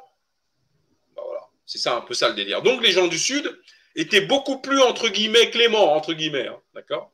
Parce qu'ils avaient plus l'habitude de vivre, voilà, qui étaient devenus familiers avec le nègre par suite de leur rapport séculaire et qui n'avaient à son égard que des sentiments de bienveillance, intéressés tant qu'il restait à la place qui lui était assignée dans le système de l'esclavage. Voilà. Ah oui. D'ailleurs, Panthère Bamileke, ce livre, tu dois l'avoir en anglais. Eh bien, tu vois, ça serait bien sympa que tu fasses un live pour les frères aux États-Unis avec ce bouquin. Ouais, je suis d'accord, fétiche. Je suis d'accord. Ouais. Donc, alors, il y a le frère, la sœur de l'eau Coco 351 qui nous dit Je sors du premier épisode et là, c'est l'Empire contre-attaque. Ouais, pas bien compris ce que tu as voulu dire, ma sœur. Alors, la position sociale du nègre est bien expliquée par l'éminent orateur et auteur nègre Frédéric Douglas dans une lettre écrite à M. Garrison pendant qu'il voyageait dans les îles britanniques, dans la partie méridionale des États-Unis. J'étais un esclave auquel on pensait et dont on parlait comme d'un article de propriété.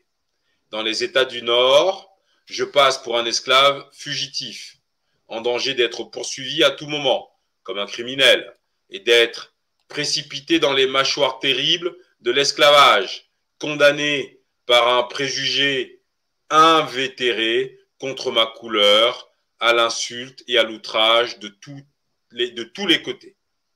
Le Massachusetts mis à part, privé des privilèges et discourtoisie ordinaire dans l'usage des moyens de transport les plus humbles, mis à la porte des cabines des bateaux à vapeur, arrêté à l'entrée des hôtels respectables, caricaturé, méprisé, injurié, bafoué et maltraité par n'importe quel individu, quelque noir que ce soit sa couleur, pourvu qu'il ait la peau blanche. La guerre de sécession était inévitable.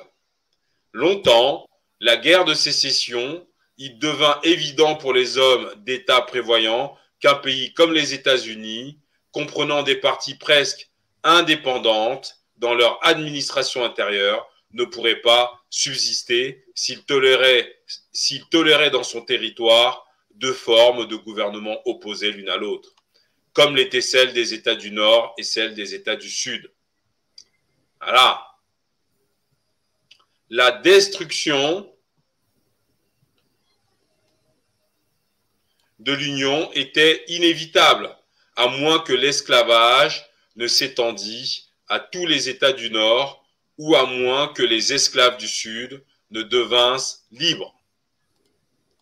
Tout en paraissant fermement établi dans les États du Sud, l'esclavage cependant n'était considéré par un grand nombre de propriétaires d'esclaves eux-mêmes que comme un mal nécessaire. Eh oui. Voilà. L'esclavage était un mal nécessaire. Bah ouais. Je veux dire, quand t'as mal à la dent, faut bien qu'on te l'arrache. Ça va te faire mal quand on va te l'arracher, mais ce mal est nécessaire pour les Blancs. Réduire nos ancêtres en esclavage, violer nos mamans, nos sœurs,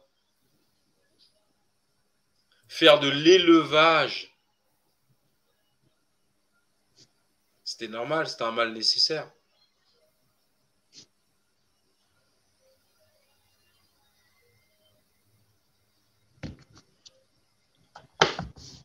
Hmm. Je ne sais pas si quelqu'un veut dire un mot là, parce que. Continue. Hein Continue. Ah là là là là. Je te jure. En outre, il était à peine raisonnable de supposer que les États-Unis, qui se prétendaient le refuge de tous les opprimés d'Europe, devinssent la seule nation esclavagiste du monde civilisé. Un tel paradoxe ne pouvait pas subsister longtemps. Alors, vous voyez, quand des Noirs disent qu'ils sont civilisés, est-ce que vous mesurez l'insulte qu'ils se font à eux-mêmes? Oui, parce que dans un monde civilisé, euh, on va dire euh,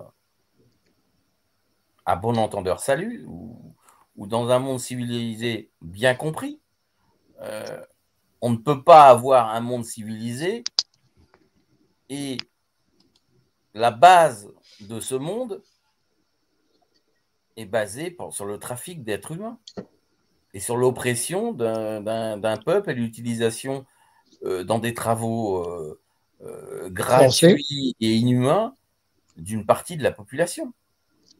Alors, c'est là où je, où, je, où je décris sa phrase. euh, on peut la décrypter, hein, sa phrase. Elle, elle était, tu peux peut-être la relire, euh, Fétiche, la dernière phrase, là, en outre. En outre, il était à peine raisonnable de supposer que les États-Unis, qui se prétendaient le refuge de tous les opprimés d'Europe, ne devinssent la seule nation esclavagiste du monde civilisé.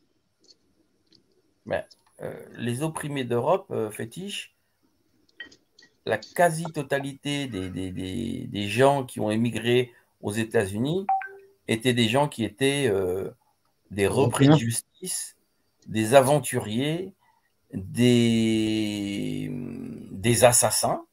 Euh, et c'est pour ça qu'aux États-Unis, on a une population qui n'a jamais été mise en prison, qui s'est reproduit et où on voit euh, une, une violence endémique parce qu'on a affaire une, à des gens qui ne parlent qu'avec les armes ou des couteaux. hein. Oui, oui, oui. Tu as oublié avec le, avec le Dieu, God bless America. Ouais, God, euh, God. God, God bless America. Comment, comment ça, euh, God? Un God? Un vrai God? Ah, ça, On va le dire en français, hein, c'est c'est le God qui, C'est le God qui Michel. blesse l'Amérique. Blesse America, ouais. On va le dire en français, c'est plus, c'est plus cons- compréhensible. Mais vous voyez, donc, euh, euh, ça, c'est c'est important parce que cette dame, elle est franco-américaine quand même. Elle est franco-américaine. Donc, ça vous donne un petit peu euh, leur état mental. On a affaire à des cerveaux malades. Ça. Hein? Comment peut-on dire qu'on est une civilisation, un monde civilisé, quand vous avez dans toutes les campagnes euh, des États-Unis des gens qui sont mis en esclavage dans des camps de concentration à ciel ouvert Les gens euh, avaient une, espérance de vie dans, les, dans, dans, ces, euh, dans ces plantations c'était une horreur. hein. D'abord, civilisation, d'abord, ça vient de leur propre idéologie pour pouvoir se devenir supérieur. Moi, j'ai demandé à ma mère aujourd'hui, là, supérieure, là, ma mère m'a cherché ça fatiguée, elle m'a dit qu'elle va chercher, elle va me dire. Donc, je ne sais pas toi te répondre. Ouais, moi, je, je- vous savez, honnêtement, entre nous, là, déjà, je suis fatigué. Là. Féti- je te trouve euh, marqué. euh, ouais, Bah ouais. j'ai Avec, tous les coups de couteau a bien. pris là, Moi, ça fait un an, j'ai pas loupé un live, moi. Avec tous les Bah, coups moi, j'ai loupé un live euh, la semaine dernière, ça faisait quand même un, un moment, mais je suis allé à Paris et j'ai eu un espoir là-dedans parce que je, je suis allé dans le métro Gare Saint-Lazare. Ça faisait 35 ans que je n'avais pas vu, pris le métro. Ben, je voyais que des. Allez, on va dire. euh, tous les jeunes, c'était que des noirs. Là, tu es même, tu as- tu as- moi, si moi je te dis que moi j'ai vendu ma voiture, ma voiture je me, je me suis marré parce que je dis, mais, mais euh, Gare Saint-Lazare, je suis allé, il y avait euh, allez, euh, 60% des gens d'origine africaine, des Africains. En fait, le truc, c'est quoi? Bon, enfin, je sais même pas quoi dire. On continue. On continue. Donc j'étais bien, en fait, finalement. Faisons-nous tel- mal, pardon. Un tel paradoxe pouvait pas subsister longtemps. Le problème le plus grave, cependant, qui se présenta dans le mouvement anti-esclavagiste était de savoir ce qu'on pourrait faire dans la suite des nègres émancipés. Dans le nord aussi, bien que dans le, sud, le nègre n'était pas persona grata. Quel serait le résultat quand toute la race serait libérée? Eh oui, vous voyez, on se posait déjà la question avant. Quel serait le résultat si toute la race était libérée? C'est ce qu'Emmanuel Macron est en train de se dire là. Quel serait le résultat? Voilà, si toute l'Afrique de l'Ouest était libérée. on deviendrait quoi? Ah, très pauvre. bah, C'est pas Emmanuel Macron qui va aller prier Jésus-Christ pour un avenir meilleur. On est d'accord Ah, sûrement pas. Il sait que c'était un violeur, Jésus-Christ. Bien. Beaucoup espéraient que la colonisation pourrait résoudre la difficulté. Mais le plan qui avait pour but de déborder une population de près de 5 millions d'âmes, le plan, pardon, mais le plan qui avait pour but de déporter une population de près de 5 millions d'âmes était tout à fait chimérique. C'est-à-dire, euh, c'est juste pas possible. Les nègres étaient ici, ici, ils devaient rester. Ah, donc, fétiche, là, tu es en train de nous dire que dans leur esprit malade, dans leur cerveau malade, pour reprendre les bonnes expressions euh, utilisées euh, euh, en France, dans leur cerveau malade, ils ont quand même pensé à une déportation dans l'autre sens. C'est ça. Mais il faut savoir pourquoi est-ce qu'il pourquoi est-ce qu'il décide de les faire rester. En fait, on Alors. sait pourquoi. On ne pouvait pas songer à une émancipation graduelle, puisque le Sud vivait dans une peur constante de l'insurrection et du massacre. Et oui, Et, et petit aparté, c'est- et, et c'est pour cela qu'il y a des armes aux États-Unis. voilà, vous comprenez pourquoi? Les armes ont proliféré aux États-Unis Pourquoi est-ce qu'aujourd'hui, un blanc armé a le droit de te, de te prévenir trois ou quatre fois qu'il va tirer, il va tirer, il va tirer? Bah, Parce que la, la, la fin de l'esclavage a créé chez les blancs des États-Unis une peur, panique telle que les mecs se sont armés jusqu'aux dents. Le fétiche, tu peux parler de psychose. Hein Oui, même de psychose. Ah oui, D'ailleurs, Fétiche, ouais. celui qui a inventé euh, le- le- l'arme, hein, c'est Samuel Colt, justement, à cette époque-là. Bah voilà. Ouais, ouais, tu m'étonnes, euh, Bernie, Anne Robert. Le live de ce soir, il est même pas difficile, j'en peux déjà plus, ça fait 1h27. Moi, je vais pas tenir 6 heures, je vous préviens. Attends, t'es fou, toi. Tu Moi, n'as ce pas, une bouquin bouteille- me rend ouf. tu n'as pas une bouteille de rouge à côté de toi. Si, si, mais là, je, je vais arrêter parce que je vais pas devenir alcoolo parce que je fais des lives aussi, oh. Non, ce n'est pas que c'est devenu alcool, c'est pour baisser un peu la température et la tension. Non, quoi. non, je sais pas. je- Tu sais, c'est ce genre de température, tu peux pas les baisser, mon frère. Fétiche, ce qui est quand même, ce qui est quand même important, euh, elle nous apprend quand même quelque chose, cette dame là dans son, dans, dans son vomi, hein. c'est que ils avaient, je, je retiens, je retiens les mots, hein. Ils, ils- ils n'ont pas songé que l'éman- l'émancipation des Noirs serait graduelle, c'est-à-dire serait étalée dans le temps. Ils se sont dit que ça arriverait très vite. D'accord Donc, ça veut dire qu'ils avaient bien confiance, conscience qu'ils avaient mis des êtres humains en esclavage. Donc, déjà, En effet, oui, ils ont été bien Attends. conscients. Mais plus que ça, plus que ça, les mecs, ils violaient nos mamans pour faire des enfants. Tu penses pas qu'il, tu penses qu'il allait violer le chien aussi pour faire des chiots? Mais fétiche, fétiche. J'étais, j'étais un jour in- invité à, comme je fais dans le, dans le contrôle des, des vaches là, je suis allé chez une famille de, de riches. Euh, la, la fille de- du monsieur était mariée à un, un- un orchestre, celui qui fait un, un directeur d'orchestre musical. Hein En fait, ils ont, ils ont voulu amener un peu leur débat de, de, de supérieur et d'infériorité. C'est- Je laisse ma, ma copine m'a, appuyé le pied, mais c'était, plus fort que moi, il fallait que je réponde. Il, seulement dit que dommage que les- on, on a, on a, on a, vu- vous, avez, vous avez violé les femmes singes. je l'ai dit comme ça, hein, que dommage, dommage que vous avez violé les femmes qui étaient des singes. le silence qui est dans la salle. hein. Il dit, vous avez violé les singes, putain. Que vous pouvez violer les chiens. Il dit qu'il y avait un silence dans la salle.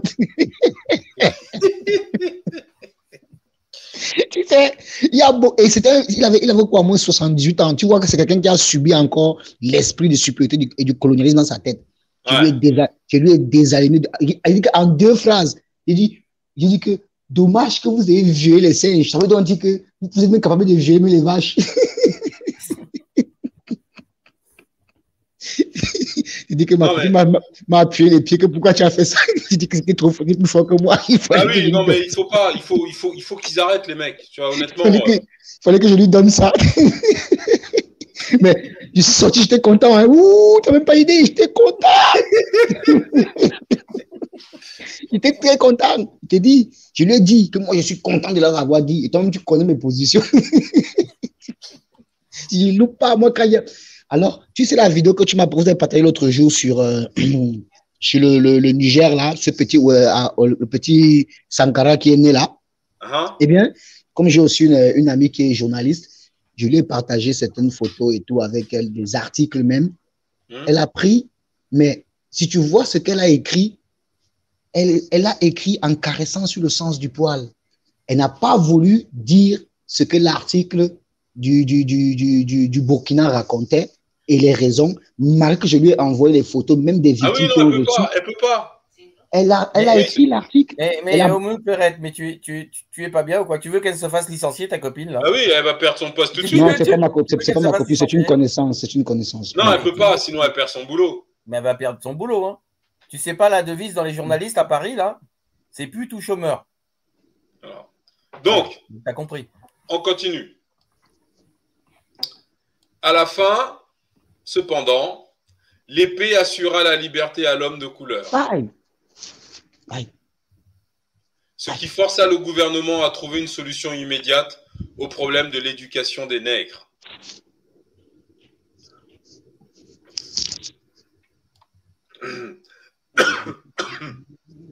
J'ai pas compris. L'épée assurait la liberté de l'homme de couleur?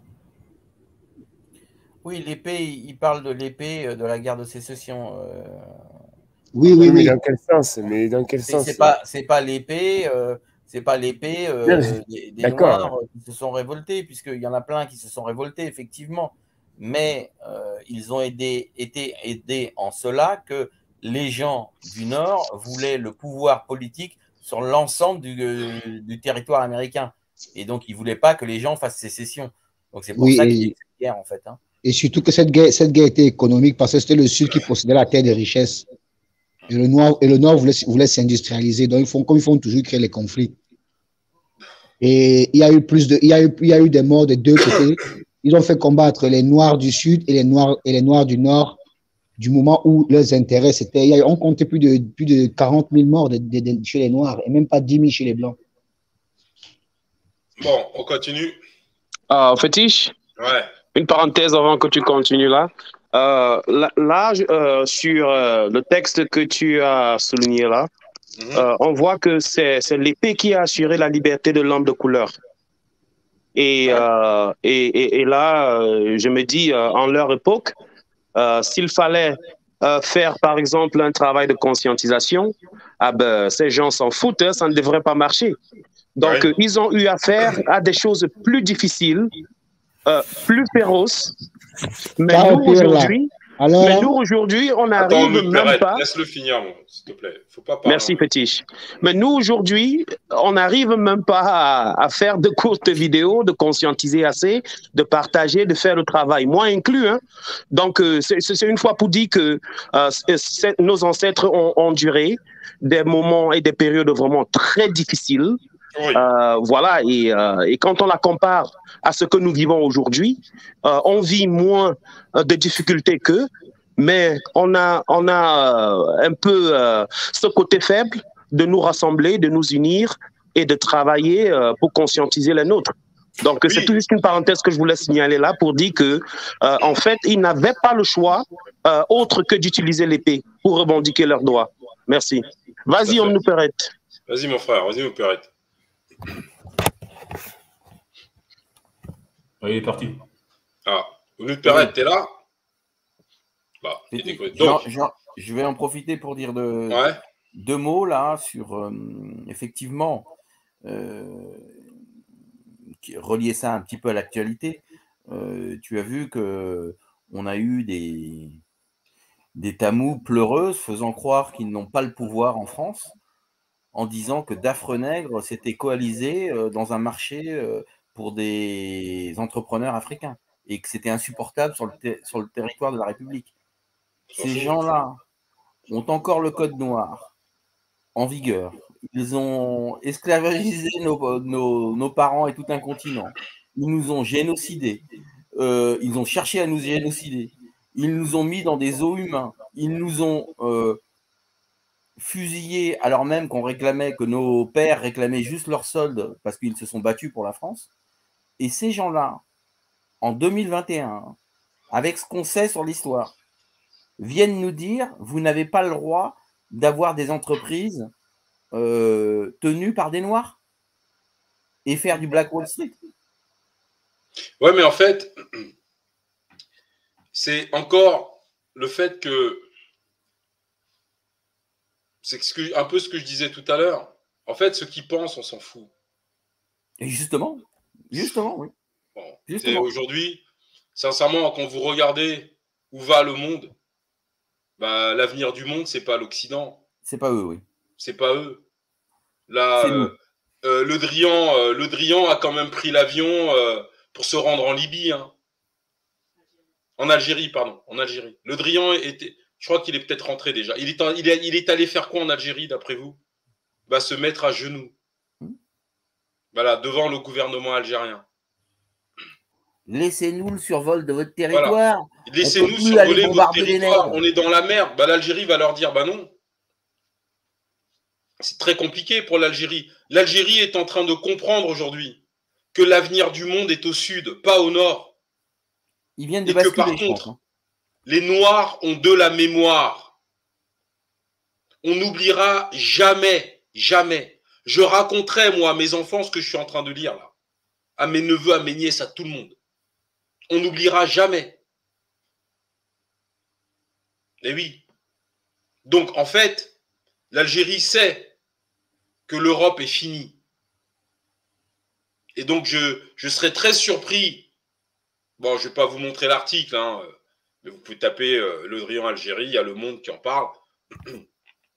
Moi, je serais très surpris que l'Algérie retourne sa veste, parce que vous- beaucoup d'entre vous sont jeunes, mais dans les années 90, il faut voir les tueries, les meurtres, ce que l'Algérie a dû affronter. Et c'était Oh, les Occidentaux qui étaient à la manœuvre. C'était affreux. hein. C'était affreux, abominable. les gens dans les, dans, les, dans des villages, ils tuaient les enfants. Dans les villages, on tuait, on égorgeait, on éventrait des femmes enceintes. L'Algérie a vécu ça pendant plus de dix ans. Et c'était les Occidentaux pour mettre la main sur les richesses de l'Algérie. Ah oui. Eh oui. Et aujourd'hui, le Drian, il va. Mais putain, franchement, eh, les mecs, ils ont un culot. Moi, je suis vraiment. Bon, bref. On continue. On va revenir à Quête Brousseau. Ah, je sais même pas. Attendez, parce que là, il va falloir que. On continue. Voilà donc le gouvernement face à face avec près de 5 millions d'Africains ayant un héritage de barbarie primitive corrompu par des siècles de servitude. Voilà. Voilà. Voilà donc le gouvernement américain face à face avec près de 5 millions d'Africains ayant un héritage de barbarie primitive orchestrée par nous les Blancs. Ça, elle va pas l'écrire. Corrompus par des siècles de servitude. Ils ont corrompu, en tout cas essayé de corrompre notre humanité par des siècles de servitude. Waouh, cette phrase, elle est hyper forte.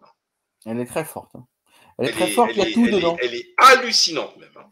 Il y a tout, il y a tout la- le résumé de leur pensée. Incroyable.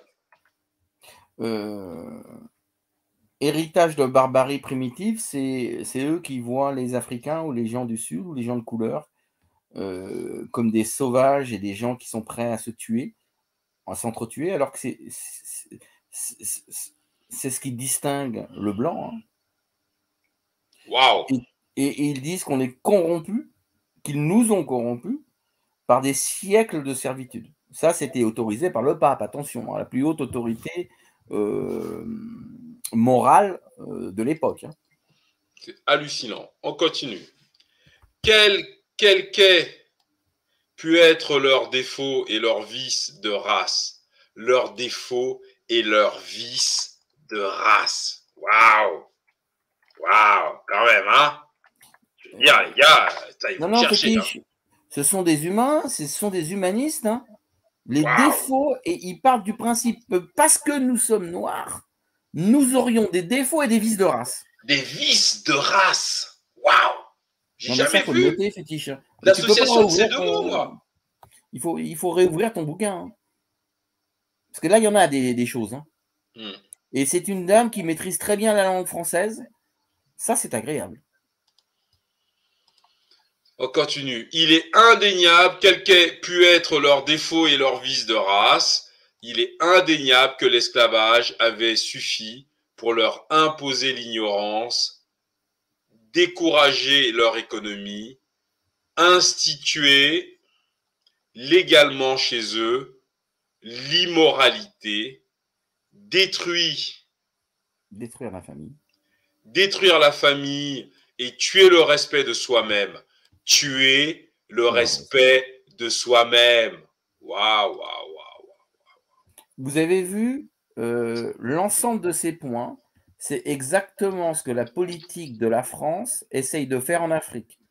Tuer le respect de soi-même, détruire les familles africaines, euh, euh, envoyer légalement chez eux l'immoralité, euh, mais tout est.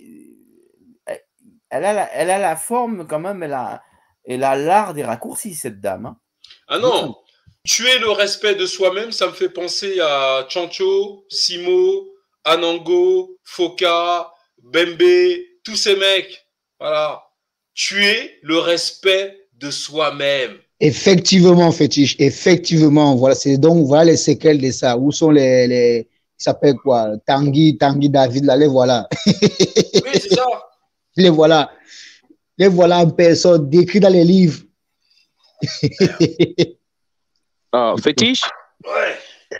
Est-ce que euh, il ne serait pas déjà peut-être temps euh, de faire comprendre euh, euh, voilà ses frères euh, malheureusement euh, qui travaillent au détriment euh, des peuples noirs euh, pour les intérêts de la France et, et de l'Occident, de leur faire comprendre que voilà, il faudrait qu'ils comprennent que euh, ils sont ils sont africains et il faudrait qu'ils qu'ils euh, qu'ils gardent en mémoire euh, où ils se trouvent, par exemple comme euh, Dico euh, et tous ceux qui sont basés sur le continent. Il faudrait qu'on les envoie un message très fort pour leur dire pour leur dire et leur faire comprendre que ils sont sur le continent et ils devraient, euh, il est temps qu'ils travaillent pour le bien de leur peuple et non pour les intérêts de la France.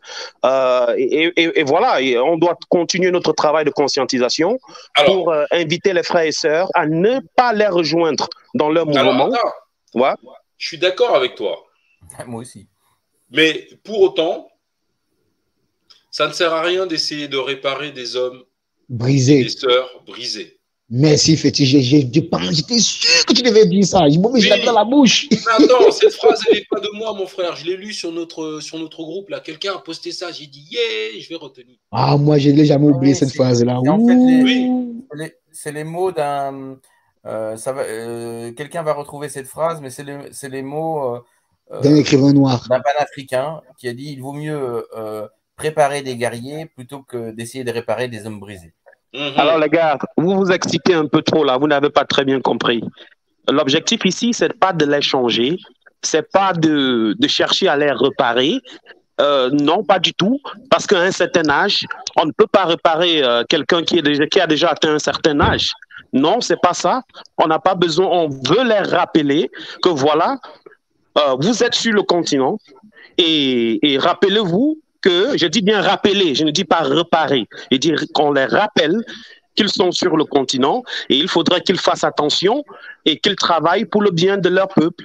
Donc je ne demande pas que euh, on demande à un chancho ou à une certaine dico, Bah euh, voilà, de, je, de- te- je- je comprends ce que tu veux dire, mon frère, mais je vais te le dire en bon bamileke. Hmm? Tu as ton champ. Sur le champ, il y a, il y a la plante de maïs mûre qui a produit un épi de maïs pourri. Et à ses pieds, tu as un jeune plant qui vient de pousser là, qui, qui a 10 cm.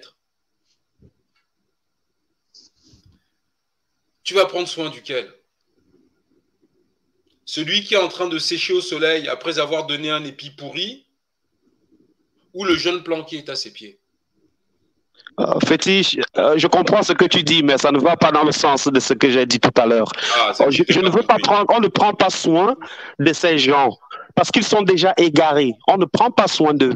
Ils sont déjà égarés. Mais on leur rappelle et on évite que la jeune plante, le jeune maïs qui est en train de pousser, ne se rapproche pas, euh, voilà, du, du maïs contaminé, afin d'être elle-même contaminée.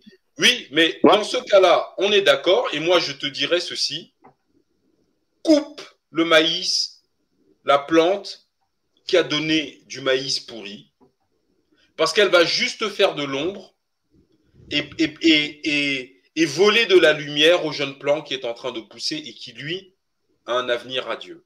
Effectivement. Couper les bêtises. Voilà, Ça dans ce sens, je suis d'accord avec toi. On On doit la de couper. l'énergie Voilà, avec un truc dont on n'a même pas mangé un grain de maïs sain. exactement. Tu vois? Donc, pour moi, je pense, et j'ai lu ce que tu as posté sur le chat, je ne suis, moi, je serais toi, je ne ferai pas de live sur la mélanine. C'est une bonne, mais c'est une mauvaise idée. Tu peux faire un live sur la mélanine à des gens comme nous. Parce que là, on est en recherche d'africanité à fond. On va t'écouter là-dessus. Par contre, si tu es en mode fétiche de guerre, il ne faut pas faire un live sur la mélanine. C'est pas ça qui va réveiller les frères, mon, mon frère. Non, C'est non, que non, non. Aujourd'hui, il vaut mieux aux États-Unis où tu es. Les Noirs américains doivent rejoindre la cause africaine pour leur propre survie. Et c'est Effectivement. ça que toi, tu dois là-bas faire comprendre aux Noirs américains. Ce livre, il est très important. Pourquoi?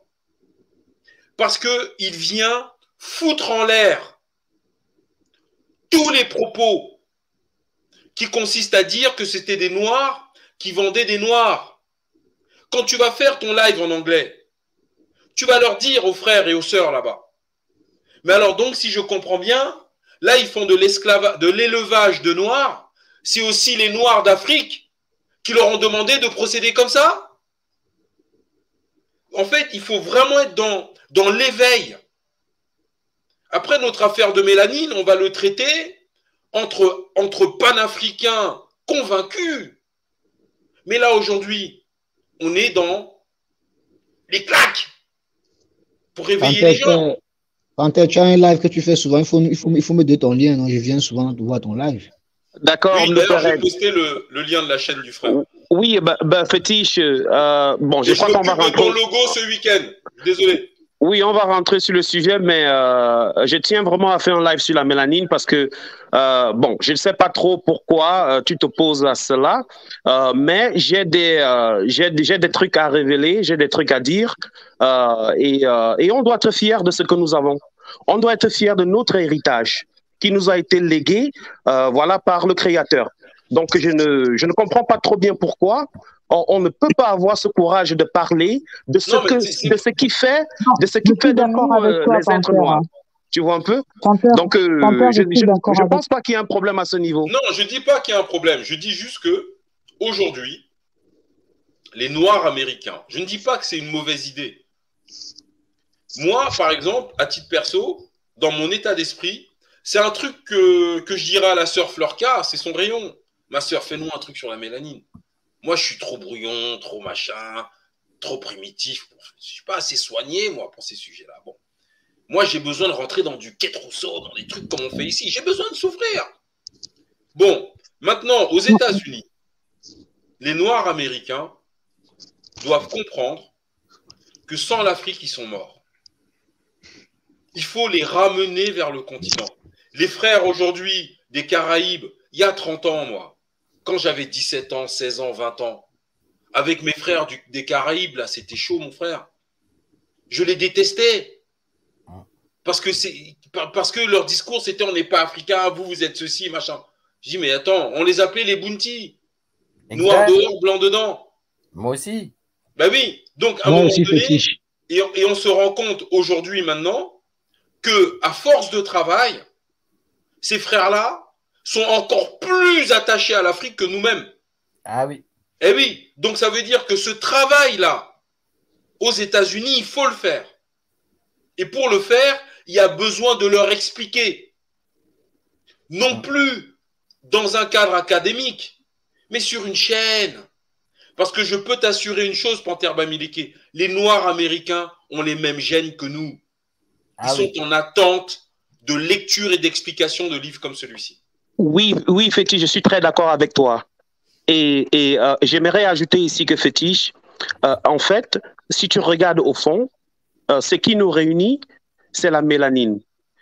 Nous vivons les mêmes situations, nous vivons les mêmes conditions, et c'est à cause de la mélanine. Et c'est autour de la mélanine que nous devons nous rassembler. Parce que je vais te dire, Fétiche, il y a beaucoup de mouvements aux États-Unis. Il y a ce qu'on appelle les EDOS, les FDA. Euh, les FDA, euh, ils, ne s'identifient pas comme euh, africains. Pourtant, ils sont mélanisés. Et ce courant est en train de prendre force euh, aux États-Unis. Et, et- et la seule chose que je vois en commun avec ces gens, quand je débat avec eux dans des lives, c'est que nous sommes mélanisés. Voilà ce qu'on a en commun. Ils se voient comme des aborigènes noirs euh, euh, du continent américain. Euh, ils sont originaires du continent américain. Ils ne s'identifient pas du tout comme africains. Mais quand on parle de mélanine, de couleur, voilà, on, se, on peut, on peut s'entendre. On peut ce communiquer. Dans ce sens-là, je comprends. De toute façon, je te laisse la question américaine, mon frère. Moi, je, tu les connais. D'accord, fétiche. On avance dans Non, le live. je suis- Merci. je je. Euh, Panthère, moi, je suis d'accord avec toi. hein. Là-dessus, euh, c'est vrai que la mélanine, euh, c'est un gros sujet. Hein. C'est quelque chose. C'est toujours une bouteille jetée à la mer, en fait. Faut, faut pas. euh, faut. C'est Mais pas un sujet. Ça, ça, ça peut avoir l'air banal, mais euh, c'est c'est quelque chose qui Non, je c'est quelque chose qui banal, c'est gangrène, en fait. hein. Enfin, non, mais je veux dire, c'est- en fait, si tu veux, si tu veux, euh, fétiche, c'est un sujet qui, c'est un cancer, en fait. Mm. C'est un cancer dans la communauté qui parfois n'est pas forcément détecté Mm. tout de suite. Mais c'est un cancer qui ronge, que ce soit, peu importe du côté du monde où on se trouve, en fait. Mm. Et c'est, il y a ceux, il y a ceux, et, et souvent, ça peut être des sujets que, qui créent le déclic, en fait, chez certaines personnes. Des sujets qui créent le déclic. C'est comme, c'est comme l'histoire du cheveu. Il y en a forcément, c'est pas des panafricains convaincus, mais juste par ce déclic qui était juste capillaire, ils sont retrouvés là-dedans. Donc, c'est souvent des sujets qui créent les déclics chez les Ouais, gens. c'est des sujets annexes qui permettent de ramener au vrai combat, quoi. C'est ça, exactement. C'est des sujets annexes qui permettent de, de ramener au vrai combat et de faire et, et- et d'ouvrir les yeux à certains, de, de, de ramener certains à se poser des questions en fait. Mhm. Parce que beaucoup, comme ce que comme ce que Panther vient de dire, c'est pour, pour beaucoup qui ne se reconnaissent pas du tout comme africains, qui vont te dire qu'ils sont aborigènes des États-Unis, bah les gars en, sach- en sachant qu'ils ont été ils, ont été euh, élevés comme du poulet en cage, bah ils vont se poser des questions. Non, c'est Ou sûr. alors en leur disant que vous trouvez pas, vous voulez peut-être si vous voulez bosser comme les frères en fait, comme tu as dit, les frères des Antilles dans le passé, ils ont ce même état d'esprit là. Sauf que les frères des, des, des îles, avec le temps, avec du martèlement, avec euh, tout ce qui était décapage, avec tout ce qui était défrisage, ils ont compris, ils se sont posé les vraies questions. Mm. Donc ceux-là ont besoin de ce même travail là en fait. Aux. États-Unis, comme en Afrique, comme sur le continent, comme ailleurs, il y a un gros tr- travail à faire sur ce problème de mélanine, de light skin, de brown skin, de dark skin, Mhm. d'origine, de, tu vois, c'est, c'est, c'est un gros, c'est un gros paquet. Je pense que Non, tu as raison, aura tu as jamais raison. assez de live de trop là-dessus. Parce qu'il y en a toujours tu as raison. Euh, en fait, le, je comprends mieux. Moi, je suis un peu brutal. Vous savez, à la base, je suis un voleur de poules, moi. Non, non, fétiche. euh, non, fétiche, c'est, c'est, c'est- c'est un truc sur, le- sur, laquelle, sur laquelle j'ai pris du temps euh, pour réfléchir. Et, euh, beaucoup, et, et, et, euh, beaucoup d'indices m'ont ramené à la mélanine, tu vois. Euh, et, et si tu regardes dans notre société aujourd'hui, euh, les gens ne s'aiment plus. Les gens C'est la n'aiment plus la, couleur de leur peau. Les gens préfèrent, euh, oh, je veux que euh, je veux être clair de peau. Les gens se décapent. Euh, voilà, les gens euh, donnent la priorité à ceux qui sont clairs de peau. J'étais au Cap Vert. Euh, J'étais dans plusieurs, j'ai fait plusieurs pays fétiches, euh, plusieurs euh, îles aussi, Mhm. où euh, tu vas voir euh, où on donne la priorité euh, aux gens métissés ou bien qui sont clairs de peau et ceux qui sont plus noirs, euh, voilà, sont à la base. et, euh, et même dans les films, à Hollywood, tu, tu, c'est la même tendance, quoi. Donc, euh, c'est, c'est comme si on est dans, dans, un process, dans un process de replacement, euh, de replacement des, des hommes euh, euh, de- mélanisés, vraiment noirs. Et, euh, et je me dis que ça pose problème. Ça pose problème là. Et il est temps qu'on revendique et qu'on se positionne, euh, voilà, euh, au niveau où nos ancêtres ont toujours voulu euh, que nous En soyons. plus, c'est vrai que beaucoup de femmes, beaucoup de sœurs ont parlé de ça, mais que ce que ce soit un homme qui prenne aussi l'initiative de parler de ça, c'est aussi, un, ça aussi, son, ça son, son importance, en fait. Alors, je valide totalement. euh, donc, je retire ce que j'ai dit. Vous avez raison. On poursuit la temps, lecture. j'ai un conseil à demander avant que ça ne m'échappe. Mhm. Parce que moi, ici, j'ai essayé de ma manière, parce que dans mon secteur, ici, il y a beaucoup plus d'anglophones, des, des Nigérians, des Ghanéens, des Gambiens, des Ghanéens. J'avais trois livres.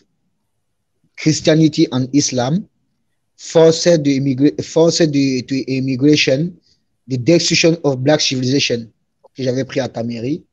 Je voulais prendre de la peine pour aller un peu partager cette lecture avec des frères euh, de la partie anglophone dans un parc pas loin de chez moi ici. Ah, je te dis, en une semaine, je me suis découragé fétiche. Ils m'ont jamais écouté. J'ai pris la peine pour lire. Ils m'ont jamais écouté. La plupart, c'était des, la plupart, c'était des dealers. Ils Alors, en dealent fait- parce que, je te dis, j'ai m'a découragé, franchement. Alors, Il y a en un moyen que, il pas adopter un autre moyen. Je vais te répondre. Hum. Si tu veux, c'est très compliqué parce que toi, tu es un peu un littéraire. C'est-à-dire, lire pour toi, c'est normal. Mais il faut que tu saches, et tu le sais, je pense que pour 90% des gens de la planète et pour à peu près 99,9% des Noirs, lire, c'est chiant. Écouter même un mec lire, c'est. Voilà. À la tu aurais mis une sœur, vraiment, machin, un truc là avec la jupe. Bon, les gars seraient restés là plutôt là, regarder que d'écouter ce qu'elle allait dire. Donc, ça veut dire qu'en fait, quand tu veux retenir l'attention des, gens sur les, les sujets qui nous préoccupent, il faut que tu fasses comme Panthère. Panthère, il se dit bon, je suis aux États-Unis, les mecs ici, l'Afrique, c'est pas leur délire. Par contre, la mélanine, c'est un point d'entrée. Ils vont venir. En fait, toi, c'est pareil, c'est-à-dire que là-bas, tu vas te dire tiens, par exemple, tu vas par exemple les, leur dire est-ce que vous saviez, je suis une bêtise, hein, que le calendrier est né en Afrique. Les mecs vont dire attends, le calendrier, attends, t'es fou quoi, en Afrique, comment ça en Afrique? Voilà, là, tu, les surprends, tu attires leur attention. Et c'est par une succession. Moi, c'est ce qu'au c'est comme ça qu'il y a 5 ans, quand m'a envoyé un WhatsApp là, avec une vidéo de Mutunde, je ne sais plus de quoi ça parlait. Et en fait, bon, tu lances le WhatsApp parce que tu as dit OK, je vais regarder, tu vois. Mais tu le regardes parce que tu as écrit en réponse OK, je vais regarder. Mais je suis loin de m'imaginer que je vais prendre une tarte comme je vais prendre. Et au Mutunde, en fait, c'est de tarte en tarte qu'à un moment donné, tu dis Attends, mais attends, mais euh, c'est quoi le délire là? Et en fait, c'est parce que tu prends des claques que tu rentres dans le truc, que tu commences à t'intéresser. Mais tu peux pas venir expliquer que voir un frère dans un parc qui va tenir une lecture, oui, d'une histoire, de machin, les mecs vont pas rester parce que tu es obligé, en fait, d'envoyer des électrochocs, tu sais, pour que, pour que le cœur, il recommence à battre. Et ben, il faut que ton texte soit, tu vois, Fétiche, fétiche. Hum. Je les ai devant eux, j'ai pris le téléphone. Il y avait un parmi eux qui avait ces gros baffles là, les gros baffles qui sont se promener pour écouter la musique, qui vont avec les Bluetooth là. ouais. Je lui ai pris, j'ai connecté mon téléphone, à, mon Bluetooth de mon téléphone à son baffle. J'ai mis une vidéo de Mobile Makassi où l'invité parlait en anglais. Fétiche, ils n'ont même, c'est-à-dire qu'ils sont complètement, je ne veux même pas finir. Je ne sais même pas quoi te c'est que dire. le- Ils n'ont format- même pas envie d'écouter. Oui, mais c'est que dans ce cas, tu te dis que ton format était pas bon. Faut trouver un autre format, mon frère.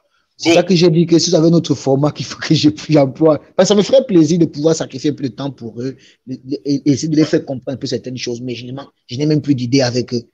Parce Mon frère, les gars, les, les gars qui sont vers chez toi, là, Oui. c'est des perdues. Hein. Des, c'est, des- des causes perdues, entre guillemets. C'est pas, c'est pas, c'est pas, ils sont pas encore à l'heure, en fait. C'est pas leur ils, passent tout- ils passent toute leur journée là. Ils sont je la, connais, la- c'est- la des, des- Nigérians, là. Des gars qui se cherchent encore.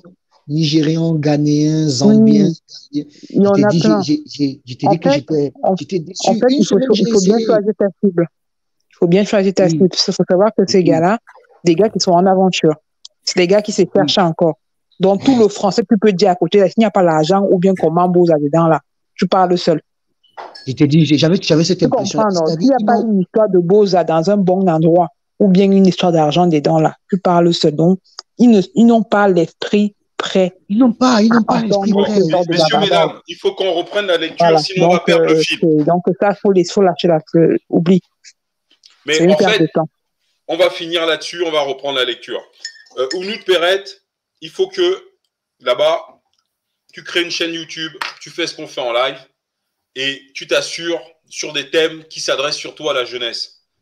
Parce que les papas là, machin, c'est pas la peine. Surtout si ça, tu vois, ça prend pas. Bon, on continue. Hein. Au moment, oui, parce que si on fait des, si on fait des, arrêts trop trop longs, on perd le fil en fait de la lecture. C'est pour ça que je vous ramène vers le truc. Au moment où le nègre devenait un homme libre, il était absolument indispensable que l'on fît quelque chose pour le relever. Le relever, sous-entendu, on l'a mis plus bas que terre. Et on ne le relève pas parce qu'on l'aime. On, on le relève pour les raisons qu'elle a évoquées au début de ce livre. Les nègres ne peuvent plus être la lèpre de la société. Vous vous souvenez de ce mot? Enfin, le relever afin qu'il qu'il pût être un facteur dans le progrès de la nation et non un fardeau et une menace pour la société. Comme solution de ce problème, il ne semblait y avoir qu'un moyen, l'éducation universelle pour le nègre et une éducation de nature à le préparer pour sa place nouvellement trouvée dans le groupe social. Beaucoup d'essais ont été faits, beaucoup ont échoué. On peut attribuer ces échecs d'un côté à des notions mal conçues du tempérament et de l'intelligence du nègre, et de l'autre à des vues radicalement opposées à la place qui lui appartient dans la société. Ça va être, ça va être bien marrant de voir la place qui nous appartient dans la société des Blancs. En fait, fé- fétiche, en fait, avant que tu ne, tu ne montes, Ouais. non, je voulais que tu redescendes encore un peu. Tu descends encore. Il y a quelque chose là qu'on n'a pas, bi- on n'a pas, on n'a pas bien souligné pour certains. La, la lecture que tu viens de, viens- de finir là, la, les dernières lignes là. Ah ah. Oui, Tu veux que je euh, revienne? Oui, oui, je voudrais que tu reviennes dessus. La Ok. dernière ligne que tu viens de, fin- tu viens de finir là. Ah. Ok, ok, ok, ok. Euh, L'éducation, non, afin qu'il puisse, il faut qu'il, alors, indispensable, l'on fit quelque chose pour le relever, afin qu'il puisse, qu'il puisse être un facteur dans le progrès de la nation. Est-ce que nous avons bien compris ceci? Dans le progrès de la nation. C'est ça. Donc, En nous, fait, c'est pas dans le progrès des hommes noirs. voilà, c'est dans le progrès va de la maintenant nation. nous utiliser, Voilà, voilà, pour le progrès de la nation blanche. voilà. Et c'est pas fini, hein. Et non un fardeau, et non un fardeau et une menace dans la société. C'est ce que nous voyons que pour Zemmour la nous- société blanche. Un fardeau. Alors, je relis, merci de me ramener vers la phrase, parce que il était absolument indispensable que l'on fît quelque chose pour le relever, afin qu'il pût être un facteur dans le progrès de la nation blanche, et non un fardeau pour les blancs et une menace pour la société blanche. En fait, on continue à utiliser le noir, mais d'une autre manière. Et, vous savez, l'im- l'image qui me vient à la tête, là, du coup, c'est les mamans qu'on utilisait pour charcuter pour, euh, pour expérience scientifique. Ben, bien sûr, C'est, c'est, bien sûr. Voilà. Et c'est pas- et c'est pas fini, fétiche, c'est pas fini. Ah, pardon. C'est pas fini. Comme solution de ce problème, il ne semblait y avoir qu'un moyen. C'était pas forcément là. On a Il, fini ne- là. hein. il ne, il ne devait, il ne devait pas être un fardeau dans le progrès de la société et non une menace pour la société. C'est ce que nous voyons toujours aujourd'hui avec la France. Oui, c'est ça, tout à fait. Donc c'est pour ça que j'ai voulu que. L'indépendance, la souveraineté des États africains est une menace pour la société blanche. Eh oui, parce qu'il n'y a plus d'Afrique, il n'y a plus d'Europe. C'est fini. Il n'y a plus d'Europe, il n'y a plus d'États-Unis. Voilà. C'est de ça dont Voilà. il est question. Et c'est c'est la même et c'est la même chose que nous, nous notons nous notons avec les avec les partis politiques ils sont toujours en train de dire que c'est le noir qui fait ceci, il est un fardeau pour la société, il est un délinquant, on s'occupe de son RSA, et toutes ces choses-là. Voilà effectivement ce qu'ils ce qu'ils essaient de nous, de, nous, de nous laisser entrevoir dans ces lignes-là. Ah, fétiche? Ouais. Ah, J'aimerais, euh, par rapport euh, voilà, à l'extrait qu'on vient de revoir là, je crois que euh, c'est un peu important. Et j'aimerais un peu ramener le contexte à ce que nous vivons aujourd'hui. En fait, la solution, comme solution, sur ce qui se passe un peu du côté des États-Unis, ce qu'on est en train d'observer et ce qui se passe sur le terrain, en fait, vous le savez très bien et c'est documenté, euh, les Noirs sont beaucoup plus euh, euh, propices aux pénitenciers, aux, injus- aux injustices sociales, à la révolte, si, si bien qu'ils posent dans certains États, ils posent un problème. Ils sont comme un fardeau pour la société américaine. Et en fait, ce qui est en train de se passer ici, c'est qu'ils ont cette politique de replacement ou d'immigration à travers l'immigration. Euh, C'est-à-dire qu'ils ils font venir, euh, euh, ils accordent des visas aux, Africains euh, parce qu'ils sont un peu, euh, on nous juge d'être un peu plus, euh, de- un peu plus calme, un peu plus posé.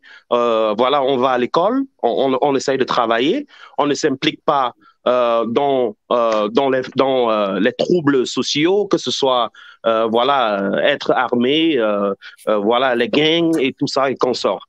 Donc ils sont en train en fait comme solution, ils ont utilisé l'immigration. En cette époque, à l'époque où voilà dans le contexte de la phrase qu'on a lue, voilà c'était l'éducation. Mais aujourd'hui ils ont cette politique de replacement à travers l'immigration. Je crois que c'est la même chose, un peu, euh, un peu en Occident, mais beaucoup plus euh, aux États-Unis. Cette politique de replacement euh, qui est en train de s'opérer. quoi. Merci. Ouais, mais c'est ça.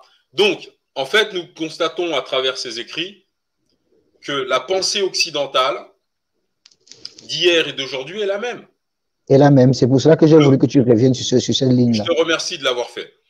Le. Je sais pas quoi vous dire. Moi, je sais même plus quoi vous dire. Non, en fait, tu n'as rien à dire, tu es confronté à la réalité. C'est- Tu voulais qu'on rajoute là-dessus. Je veux dire, il n'y a pas plus clair. Alors, je viens de poster le lien du livre. On est 114 personnes sur ce live. Vous devez tous l'envoyer au minimum à 10 personnes et leur demander de lire au moins l'introduction du livre. Juste l'introduction. Comme moi, parfois, parfois, je fais de la pédagogie avec ma mère quand je l'aide pour l'aider à mieux comprendre. Faites aussi ça avec les autres, c'est très important. Parce qu'ils n'ont pas encore, ils n'ont pas encore la même perception parce que d'autres n'arrivent pas encore à bien saisir les, les mots. Donc, on doit aussi les aider à bien saisir, à les À aider dans la lecture. Mais déjà que est ciblé de préférence les jeunes, troisième, seconde, terminale, université, les Mm, mm, mm. enseignants, tout, tout ça. Moi, j'ai envoyé au Mali. Voilà, Amidou, il est enseignant, je lui ai envoyé. Au Cameroun, j'ai envoyé partout. J'ai vidé mon truc de contact. Tout le monde l'a reçu, ce livre. Avec le message qui est de leur demander de lire au moins, au moins l'introduction. Juste l'introduction. C'est pareil, même, c'est ce que j'ai fait. hein.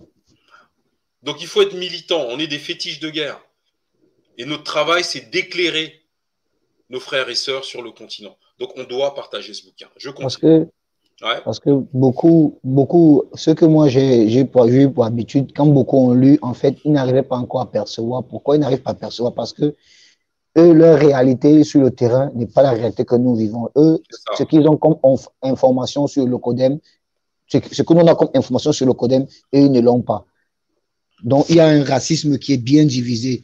Il y a le racisme systémique ici que nous subissons et il y a le racialisme purement racial qu'eux, ils subissent. Et c'est à travers ces écrits qu'ils arrivent à cerner bien les choses. Mais pour ça, c'est nous qui devons les adapter à la lecture qu'il faut pour comprendre ces gens. C'est ça. On continue. Comme solution de ce problème, il me semblait avoir, il me semblait y avoir qu'un moyen. L'éducation universelle pour le nègre et une éducation de nature à préparer pour sa place nouvellement trouvée dans le groupe social. Et ça aussi, c'est très important, cette ligne-là. Pourquoi cette ligne est très importante? Ça, ça, ça, ça refait exactement au type de cosmopolite que nous avons maintenant. cette ligne-là, cette histoire de l'éducation-là, parce que leur éducation est tellement banale que nous, notre, nous les jeunes, n'arrivent même plus à distinguer quelle est la vraie réalité. Parce que notre éducation n'est pas, même pas de notre philosophie, notre conception littéraire. Cette ligne que, nous, que tu viens de lire là. Comme solution de ce problème, il ne semblait y avoir qu'un moyen, l'éducation universelle. C'est quoi l'éducation universelle en Afrique que le, le Codé ne veut même pas lever la main dessus? On sait qu'il ne veut pas lever la main sur l'éducation. Il parle toujours de notre éducation, mais ils ne veulent pas nous laisser nous-mêmes bâtir les fondaments de notre éducation. Maintenant, si on dit, on dit oh, en Afrique qu'il faut changer l'éducation, vous allez voir les, les problèmes politiques qui vont sortir là-dedans, parce qu'ils ne vont pas l'accepter, parce qu'ils ont toujours cet esprit en tête que ce sont eux qui doivent éduquer les Noirs. Oui, mais ça, ça encore une fois, encore une fois, ça, ça va changer. Oui, oui, oui, bien sûr. Voilà, parce que tout ça n'est qu'une question de souveraineté. C'est tout. C'est pas autre chose, c'est de la souveraineté. Je continue. Beaucoup d'essais ont été faits, beaucoup ont échoué. On peut attribuer ces échecs d'un côté à des nations mal, à des notions mal conçues du tempérament et de l'intelligence du nègre, et de l'autre à des vues radicalement opposées à la place qui lui appartient dans la société. Voilà, à la place qui lui appartient. La place qui lui appartient dans la société, en réalité, c'est sa position d'esclave aujourd'hui. La position servile. demain, à jamais et pour l'éternité. Et pour l'éternité, à la position servile. C'est ça. Euh, oui, euh, pour ramener ça à aujourd'hui, fétiche, on, on- on peut dire aisément, et on en a euh, des exemples tous les jours dans les sociétés euh, locodernes dans lesquelles nous vivons, euh, je peux te dire que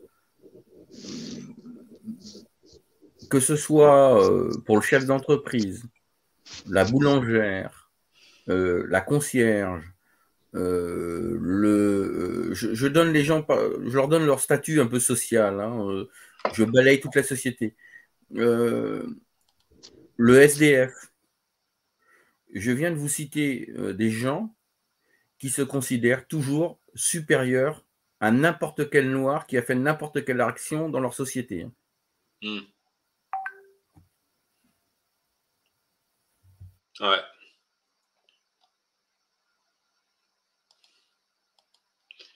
Bon, on continue. Et je peux vous même vous raconter une anecdote. hein. Euh, nous avons euh, dans nos maisons euh, des, des employés de maison qui sont des blancs. Mon père est noir et âgé. Eh bien, ces blancs refusent de lui nettoyer ses toilettes. Ah bon? Et pourquoi? Parce qu'ils sont supérieurs.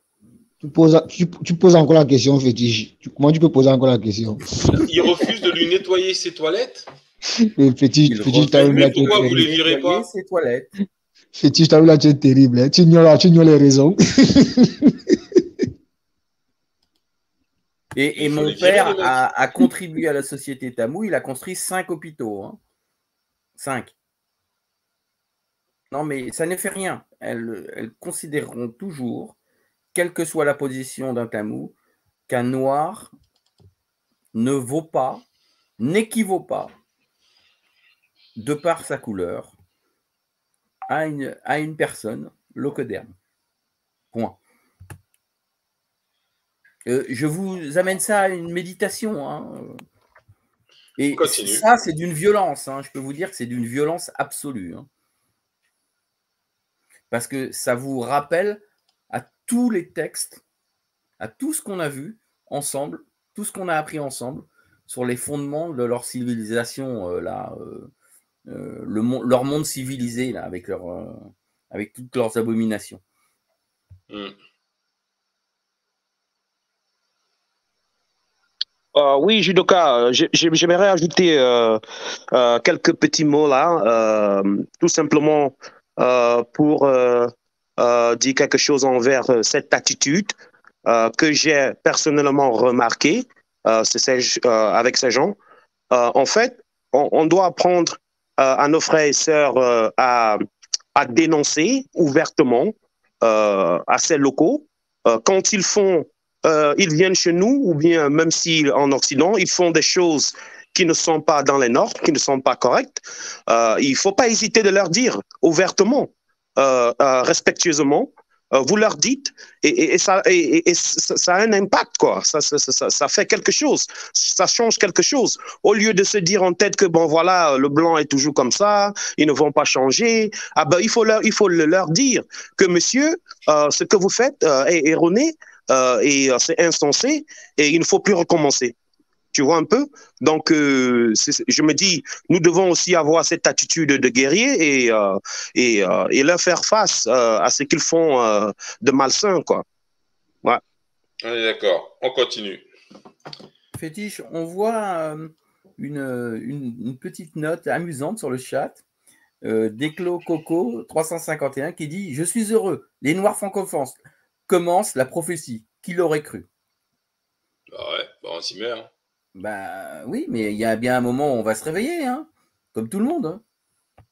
Alors, donc, on continue. Tant que l'esclavage existait aux États-Unis, on ne pouvait rien organiser, ou du moins, on ne pouvait que faire très peu de choses, euh, dans le but de donner aux nègres le bénéfice de l'instruction. Ceux qui étaient les mieux disposés envers les Noirs étaient arrêtés par la conviction qu'ils avaient de leur irrémédiable infériorité intellectuelle, et ceux qui étaient partisans de l'esclavage comprenaient parfaitement que l'existence de cette institution dépendait de l'ignorance de ceux que l'on tenait en servitude. Oh là là là là.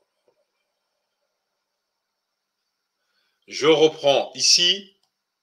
Ici, c'est le monde d'aujourd'hui, hein, ce qu'on est en train de dire.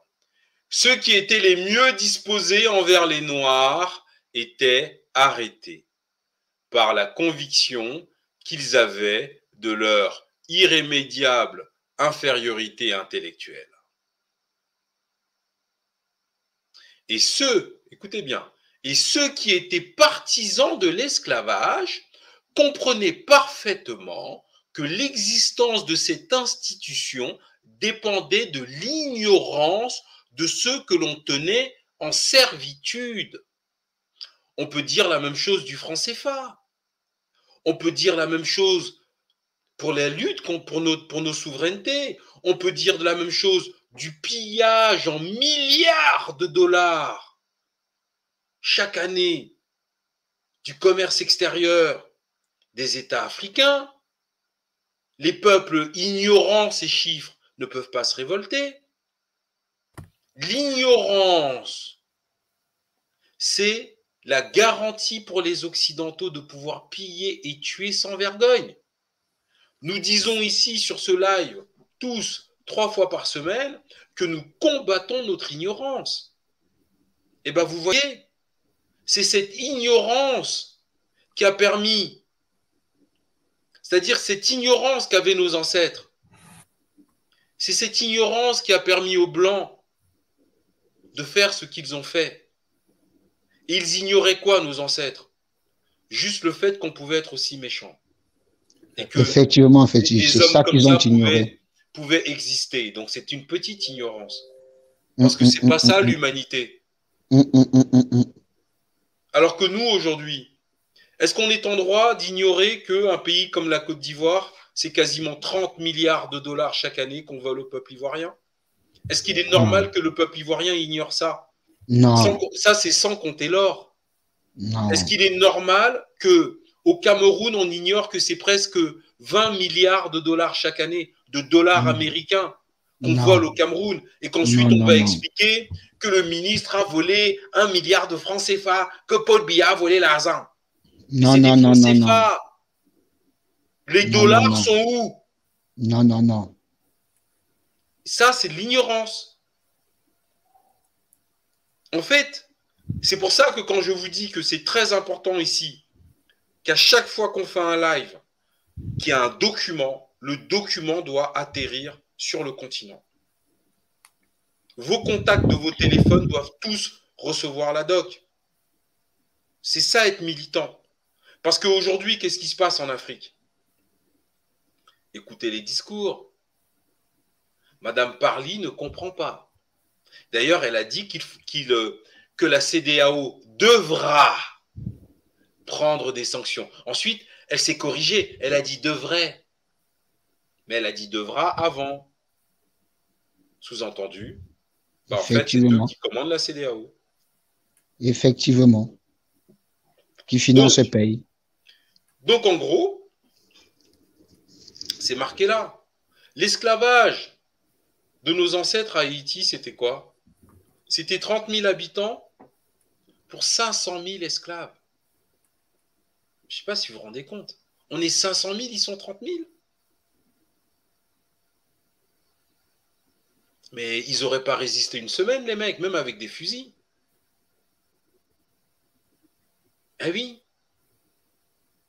Et le temps que la France apprenne ce qui s'est passé, mais c'est fini. Mais nos parents à l'époque, ils étaient choqués. Ils ne pouvaient même pas, dans le pire de leur cauchemar, imaginer qu'il y ait une humanité pareille. Et c'est ça qui leur a coûté tout ça. Mais nous, aujourd'hui, est-ce que nous pouvons nous permettre de ne pas lire ce genre de livre? De ne pas prendre conscience de ce que, comment appelle une Perrette, la profondeur malsaine de ces gens Je vais reprendre la lecture. À la lumière de ce que je viens de dire, et à la lumière de ce que nous avons appris sur cette chaîne, à la lumière de ce que nous enseigne ce livre, quand je vais rentrer en Afrique, s'il y a un blanc dans mon périmètre, je ne serai pas. Bienvenue au club fétiche. C'est-à-dire, si on m'explique qu'il y a un blanc qui prend un café là-bas à 10 km, je dis attends, il est où? Tu m'as Il dit va te est rendre compte, hein, il va me rendre compte, ça. Tu m'as dit qu'il est où? Ah oui, parce qu'il va falloir que j'aille le voir pour lui demander ce qu'il fait chez nous. C'est clair, petit. Je vais Je lui suis rappeler parfaitement d'accord Ah, avec toi. moi, je suis d'accord là-dessus. Hein. Je suis 100%. dans cet état d'esprit là, 100%. Le blanc, Il faudrait qu'on envoie un message à ces gens-là. Il est temps. Ouais. Ah non, moi je prends la voiture, je vais là-bas demander au gars, tu es qui, tu fais quoi ici? C'est aussi clair que ça. Regardez ce qu'on lit.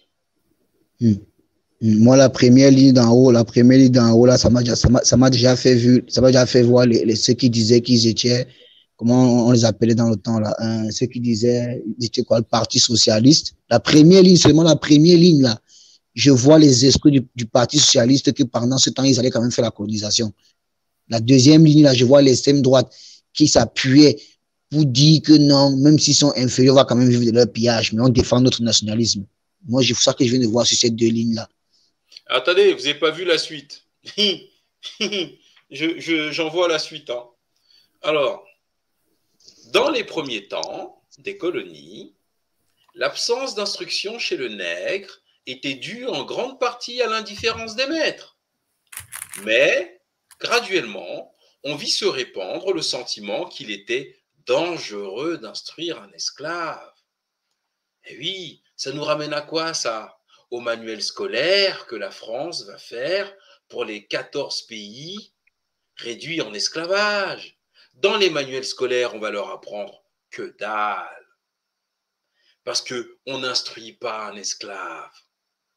L'instruction chez un esclave, c'est dangereux. Et oui, d'ailleurs, il rajoute, et les divers États établir les uns après les autres, des lois rendant l'ignorance obligatoire. fétiche, fétiche, par rapport, par- fétiche par rapport à cette petite, petite phrase que tu viens de finir là. Il était dangereux d'instruire un esclave et les divers États établir les uns après les autres des lois rendant l'ignorance obligatoire. Obligatoire.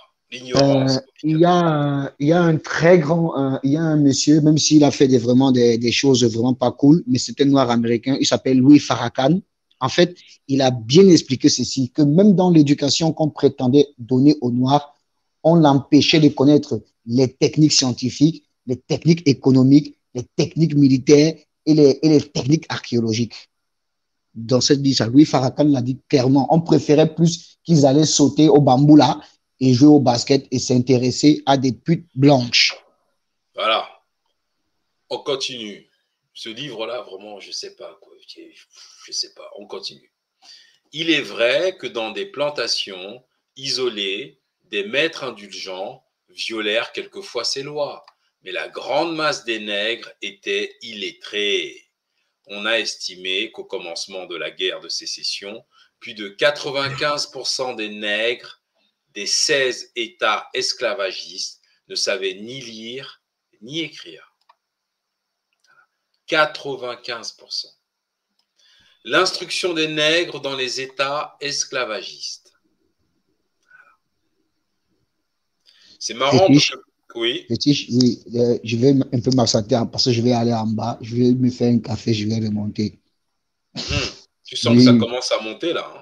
Oui, il faut que je pas d'abord avoir fait un café de remonter d'abord. Parce qu'il faut que j'ai les nez, il faut que j'ai les nez qui se relaxent. à tout de suite. Fétiche, Ouais. j'ai l'impression que le live, il va pas durer longtemps. Là. Pourquoi? Ah, je sais pas, euh, ça commence mal. Bah écoute, euh, tu sais, un livre comme ça, mon frère, moi je me suis préparé psychologiquement depuis le réveil ce matin. Oui, mais je trouve, moi je trouve franchement euh, ce livre plein d'à propos. Il, euh, il a le, le, le verbe euh, direct, des expressions saillantes, et la dame là, elle passe pas par quatre chemins, quoi. Elle dit les choses telles qu'elle les sent, telles qu'elle les voit, et telles qu'elle re- le ressent en 1904. C'est ça, euh, fétiche hein? 1904, c'est ça. Ah, D'accord. Donc, d'une façon générale, l'enseignement des nègres était interdit dans les différents États. Nous croyons utile d'insister sur ce point par la citation des lois mêmes, afin de montrer jusqu'à quel degré s'élevait l'antipathie des Blancs pour les Noirs. Dès 1740, la Caroline du Sud, alors qu'elle n'était encore que colonie anglaise, établit la loi suivante. Vu que le fait d'avoir des esclaves auxquels on enseigne à écrire, ou le fait de permettre qu'ils soient employés à des écritures, peut avoir des conséquences regrettables, qu'il soit résolu que toute personne qui à l'avenir enseignera à écrire à des esclaves, ou leur fera enseigner à écrire, ou en emploiera des esclaves à faire des écritures de quelque nature que ce soit, sera passible d'une amende de 100 livres. Euh, fétiche, Ouais. euh, j'aimerais euh, un peu euh, voilà, euh, dire quelques mots par rapport euh, à l'éduca- l'éducation ici, parce que comme à la lumière de, de plusieurs voilà, analyses que nous avons faites dans le passé, euh, il lui fallu que ces gens, en fait, euh, nous intègrent dans leur système euh, linguistique, dans leur système économique, dans leur système politique, afin de mieux nous contrôler. Parce que si tu vas en Afrique et tu prends un, un papa Bamileke qui ne parle ni français ni anglais, euh, tu ne peux rien, il n'y a pas de communication avec lui, tu ne peux rien faire avec lui parce qu'il n'est pas dans ton paradigme, il n'est pas dans ton système linguistique. Donc, euh, en fait, ils nous ont dépravés euh, de nos mœurs, ils nous ont dépravés de nos cultures pour nous intégrer dans les leurs afin de mieux nous contrôler. En fait, c'est ce que je suis en train de voir dans cette lecture ici.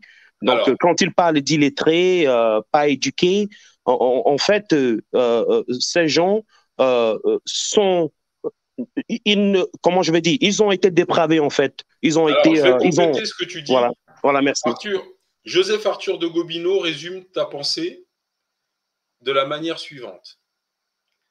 Soit par la paix, soit par la guerre, il faut forcer l'autre à rentrer dans votre cercle d'existence. Voilà. Ils ont obligé nos ancêtres à rentrer dans leur cercle d'existence et de la pire des manières possibles. Voilà. Donc ça rejoint ce que tu dis.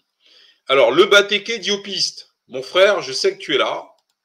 Alors, je t'envoie le lien pour que j'aimerais quand même t'entendre euh, sur, ce, sur cet ouvrage, un petit commentaire rapide.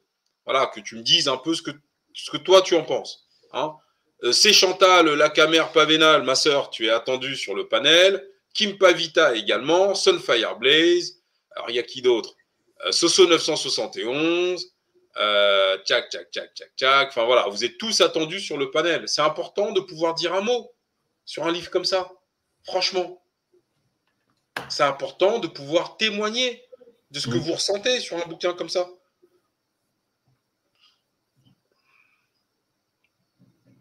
Et en plus, ça, c'est un livre qui est gratuit, que vous pouvez télécharger. J'ai mis le lien tout à l'heure. Vous avez le lien de ce livre dans la description du live. Voilà. OK Donc, on continue. En 1800, une autre loi ordonne si des réunions d'esclaves, de nègres libres, de mulâtres ou de métis, composées exclusivement de personnes de cette catégorie, ou en partie de personnes de cette catégorie, et en partie de personnes blanches, s'assemblent pour recevoir une instruction intellectuelle dans un endroit secret ou fermé, ou dont les clôtures et les portes soient barrées, verrouillées ou fermées à clé, de manière à empêcher d'entrer ou de sortir librement, que ces réunions soient déclarées illégales et que les magistrats soient par la présente requis de forcer les portes. Si l'on oppose aucune résistance et de disperser ces esclaves nègres libres. Les officiers qui disposeront qui disperseront ces réunions illégales pourront infliger à ces esclaves nègres libres tel châtiment corporel ne dépassant pas 20 coups de fouet, qu'ils pourront juger nécessaires pour les détourner de ces réunions illégales à l'avenir. Un autre article de cette loi décide, on va voir ce que ça décide, qu'il soit interdit à des esclaves, nègres libres, mulâtres ou métis, même en compagnie de personnes blanches, de se réunir et de se rassembler dans le but de recevoir une instruction intellectuelle ou religieuse, ou de participer à des exercices religieux ayant avant le lever ou après le coucher du soleil. Ah ben, fétiche, on retrouve encore ici, euh, euh, dans le contexte d'aujourd'hui, l'interdiction aux Noirs euh, en France de se rassembler, d'organiser des communautés et de vivre en communauté, et même de danser, de danser traditionnellement dans les mariages, quoi. c'est terrible, quoi. Il est interdit de danser dans les mairies, quoi.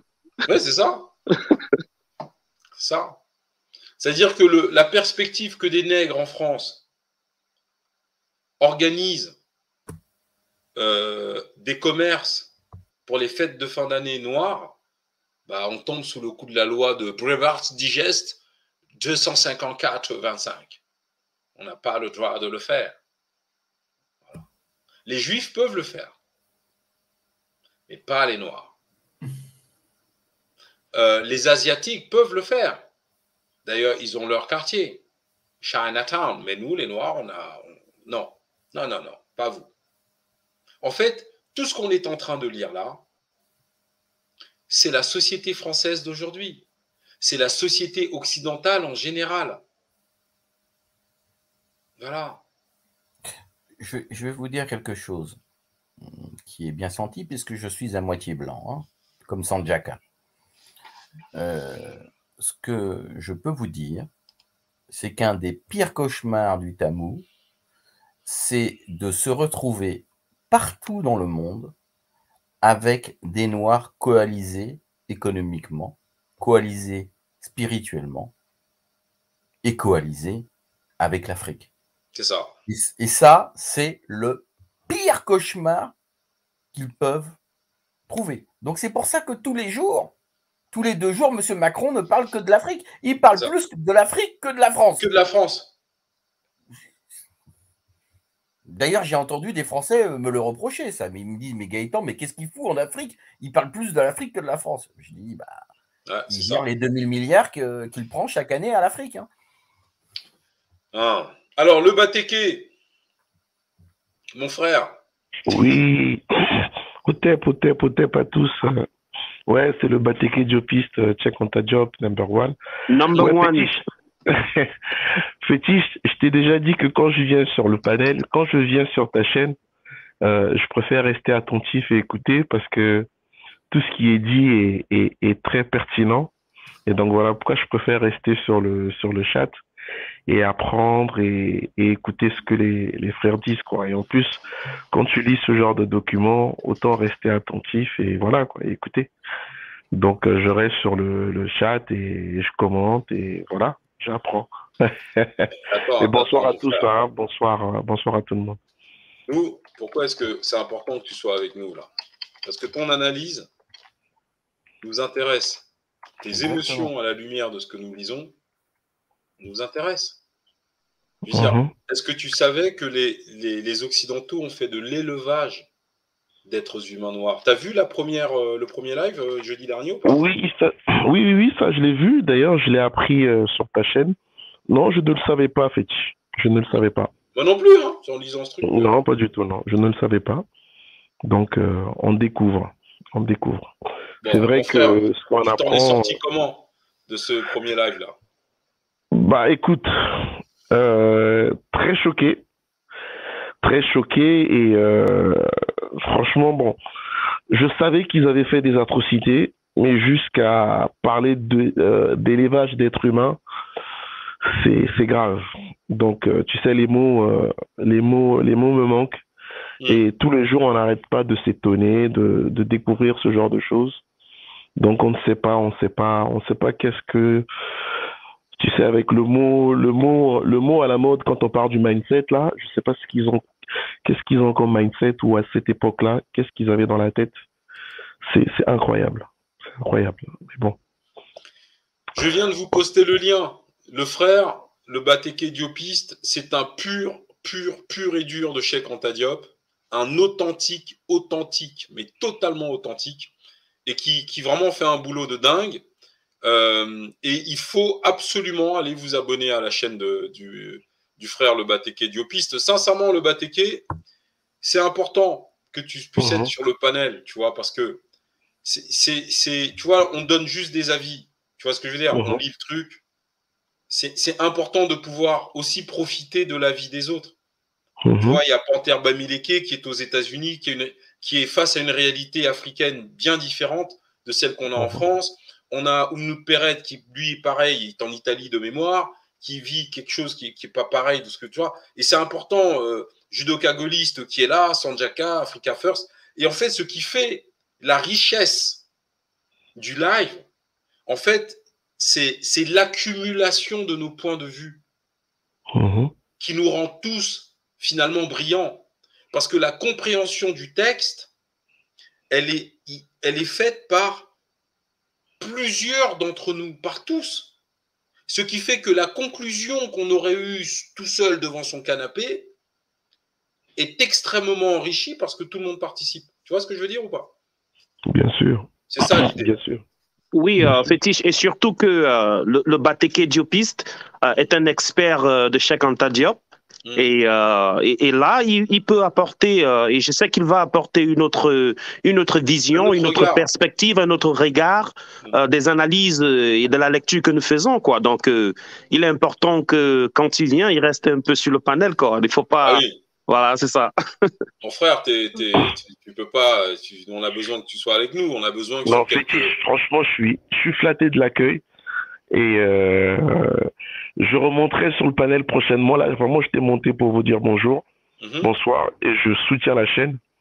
Et vraiment, merci, merci Fétiche pour ton accueil. Mais je vais rester un petit peu cinq minutes, mais après, je vais rester dans le chat.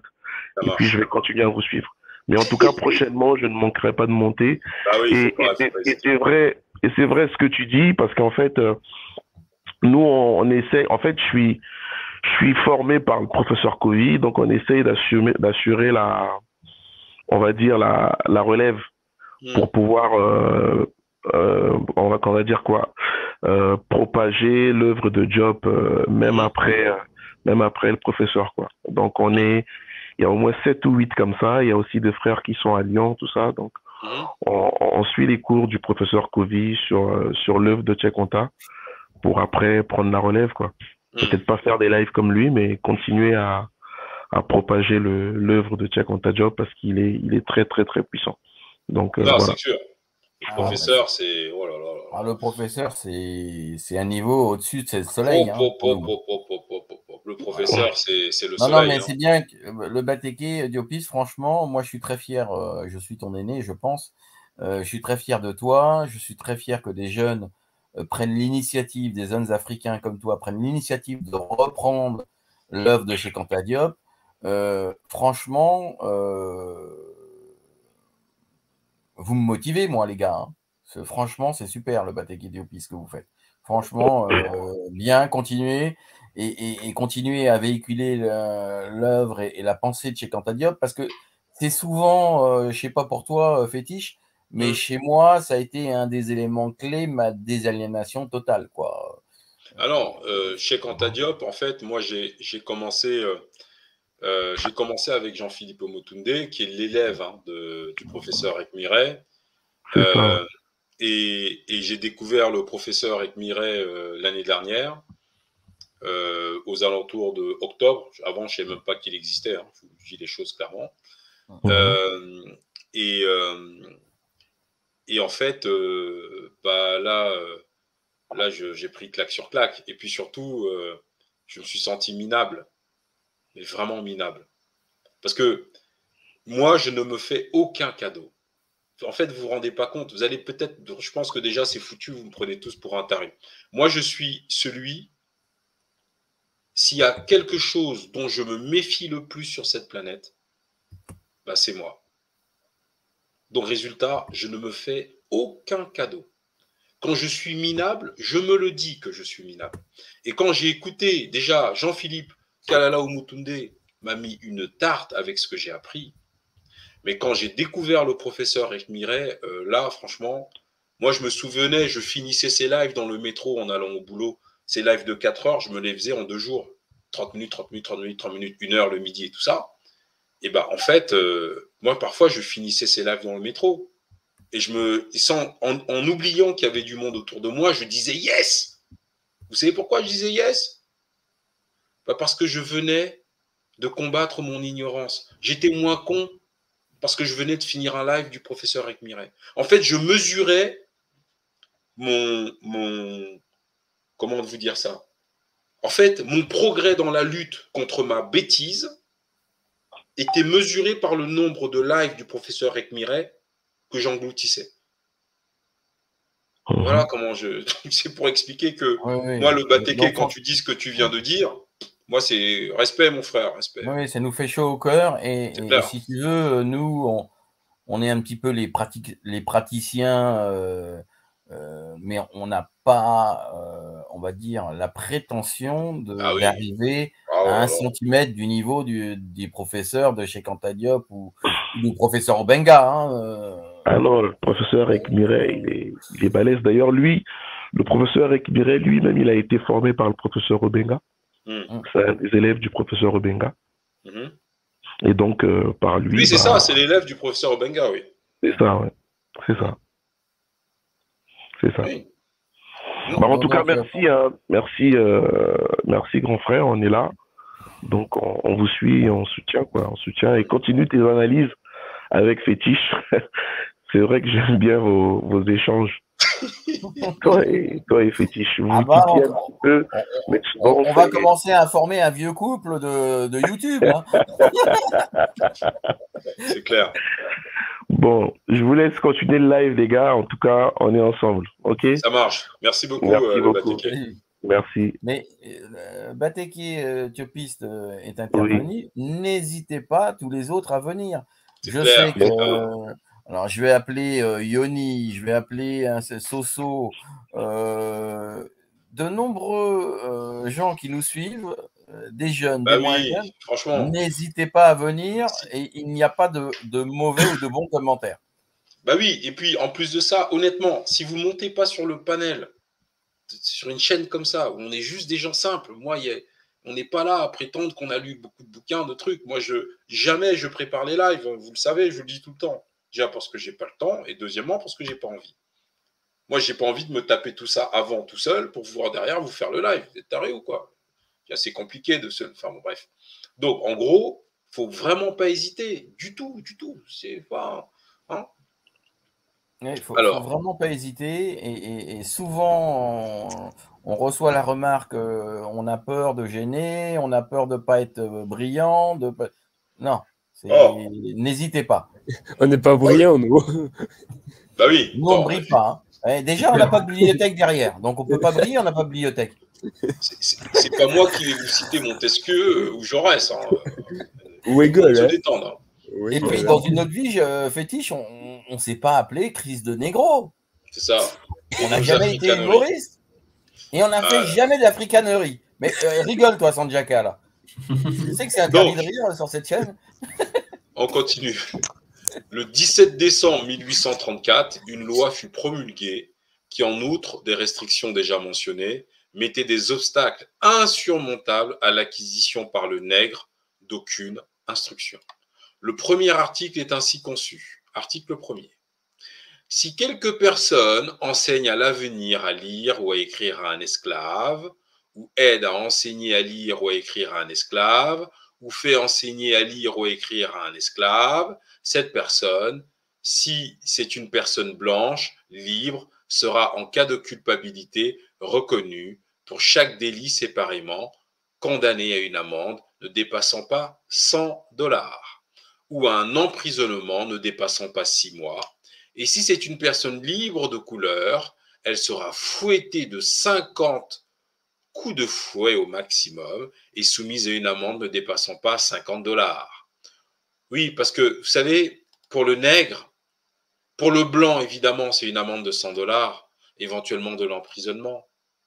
Mais pour faire comprendre au nègre qui n'a pas de cerveau, vous voyez, qui- ça ne passe pas là-dedans chez le nègre, ben on fait quoi? Nothing. Nothing.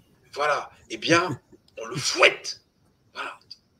Parce que lui, ça percute pas dedans. Donc,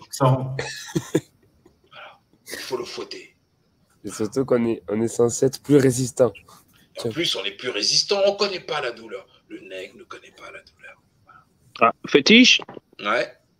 euh, jusqu'aujourd'hui, euh, je suis un peu euh, parfois surpris de voir euh, des Noirs américains euh, qui ne savent pas lire et qui ne savent pas écrire. hein. Euh, il, y en a beaucoup, beaucoup de rappeurs ici. Ils sont populaires, tu les vois à la télé, mais ils ne savent pas lire, ils ne savent pas écrire. Tout simplement parce que je crois que ce que tu viens de lire fait partie des séquelles et de ce qu'ils ont vécu dans le passé. Si bien que certains disent que aller au collège ou à l'école pour eux euh, n'est pas nécessaire, c'est pas important, ça ne va rien les apporter. Et ensuite, euh, à la lumière de ce que tu viens de lire, il est difficile de voir un loco participer à la libération ou à l'émancipation euh, des Noirs, que ce soit des locaux occidentaux ou américains. pratiquement, c'est très rare. Ça n'existe presque même pas. Et je crois que ça fait partie de ce que tu viens de lire là tout à l'heure. Donc euh, voilà, ils, ils, euh, ils apprennent au, au leur, voilà, qu'il ne faut pas participer à la libération, à l'émancipation des Noirs, et ils le savent. Et, euh, et en fait, c'est ça quoi, c'est ça que tu viens de lire en fait. Exact. Alors, on a le frère Dada Nouté. Bonsoir, Dada. C'est la sœur. Ah, c'est la sœur. Bonsoir, ma sœur. Au tête. Bon, alors, cette lecture-là, qu'est-ce que ça te. Qu'est-ce que ça suscite en toi? Ouh, c'est très très dur. On t'entend un peu loin, hein. t'es t'es pas assez proche du micro. Ah. Tu disais? C'est ouais, c'est difficile, hein, très très dur. Mm. tu as, su- tu as suivi le live de jeudi dernier? Ouais. Oh là Je là, vais pas ouais. digérer ma sauce gombo. Hein? J'avais pas digéré ma sauce gombo. Ah oui, c'est vrai, la sauce gombo, c'était toi, ma soeur. Oui, mais c'est marrant, toi. Tu te lances dans la dégustation de gombo dans des lives de fétiche. Mais Dans les lives de fétiche, mais il faut manger avant. hein. Faut Ma sœur, c'était euh, mais- c'était la sauce gombo avec euh, du couscous maïs ou bien du foufou? Euh, enfin, chez moi, c'est la pâte. Chez moi, c'est Oh, la voilà la pâte, ok. Ah, tu es du. Togo? Oui. Ah, ok, le fourniré. Ah. Au fond, au fond, du sobedo. Donne-lui Ok, vas-y, ma soeur, vas-y, vas-y. Bon, ma Non, soeur, qu'est-ce que tout ça t'inspire? Euh, honnêtement, je ne sais pas quoi dire. C'est plein, j'ai plein, plein de choses. euh, je sais pas, j'ai, euh, je suis saturée.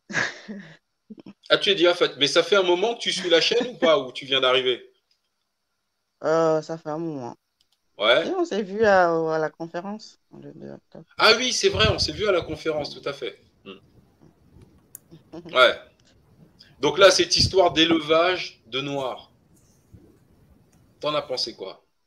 Euh, ouf. Je sais pas quoi dire, honnêtement. Seulement, je me... aujourd'hui, je, je me disais, mais euh, ces gens étaient quand même nourris euh, par des, des esclaves. Enfin, les ouais, on peut dire des esclaves, comme ils les appellent. Ils étaient au sein de, de ces femmes, de, des femmes noires quand même. Et ensuite, euh, Attends, on t'entend un peu de loin. Tu Ah. disais? Enlevé. Allô? Ouais, là c'est mieux. C'est mieux là? Oui, oui, Ouais. oh là là, c'est Ouais, mieux. ouais, c'est bon. Non, je disais, toute la journée, j'ai euh, j'ai réfléchi à tout ça. Je me dis, mais euh, ces gens qui parlent euh, de cette manière de, enfin, la façon dont ils traitent les, euh, les Noirs, euh, ce sont les mêmes, ces mêmes Noirs qui, euh, qui les nourrissent, qui, euh, je sais pas, je sais pas quoi. Ouais, qui Et travaillent, euh, en fait, qui travaillent pour eux, qui les nourrit, qui font des travaux domestiques. Voilà. ah oui, euh, Ouais. je sais pas. Ils sont au, au sein de, de ces femmes, de, des femmes noires qui les nourrissent quand même, qui leur donnent leur sang. Et c'est ça que je, j'ai j'ai du mal à, je sais pas comment. Tu en as Ouais. parlé autour de toi de ce livre ou pas? Euh, pas, non, pas vraiment. Il faut. bon, tout à l'heure, j'ai discuté avec un cousin en Belgique. Je lui ai envoyé, je sais pas s'il est, il est connecté ou pas. Mhm. Mais euh, faut l'envoyer chez nous. Ce genre de livre, ce genre de livre-là, ouais. il faut que vous, Je nous l'ai pas encore nous, téléchargé. Je, Hein? Je l'ai pas encore téléchargé. Oui, il faut le faire tout de suite. Ça, tu vois, ma sœur, c'est le genre de truc. hein.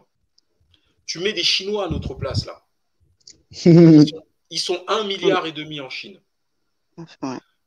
Tous les, c'est-à-dire, ça va même passer aux 20 heures. C'est-à-dire que la diaspora chinoise va télécharger et envoyer tout de suite. Tout de suite. Et nous, Ils dans la lire, hein. diaspora, nous, dans la diaspora, nous devons avoir ce genre de réflexe. Tout ce qui est de caractère agressif pour notre peuple, qu'il soit historique ou présent, doit immédiatement descendre parce que nous devons éclairer les nôtres. Tu es togolaise. Si tu n'envoies pas ça au Togo, le neveu, la nièce, le tonton qui est enseignant, la tante qui était enseignante, la maman, le tonton qui est taximan, enfin, qui- en surtout dans les universités. Et oui, Ah oui. Et c'est ça le combat. hein. Ouais. Je sais pas ce que tu en penses.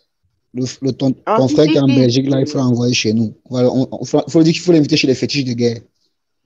si, si, je lui en ai parlé, je lui ai envoyé.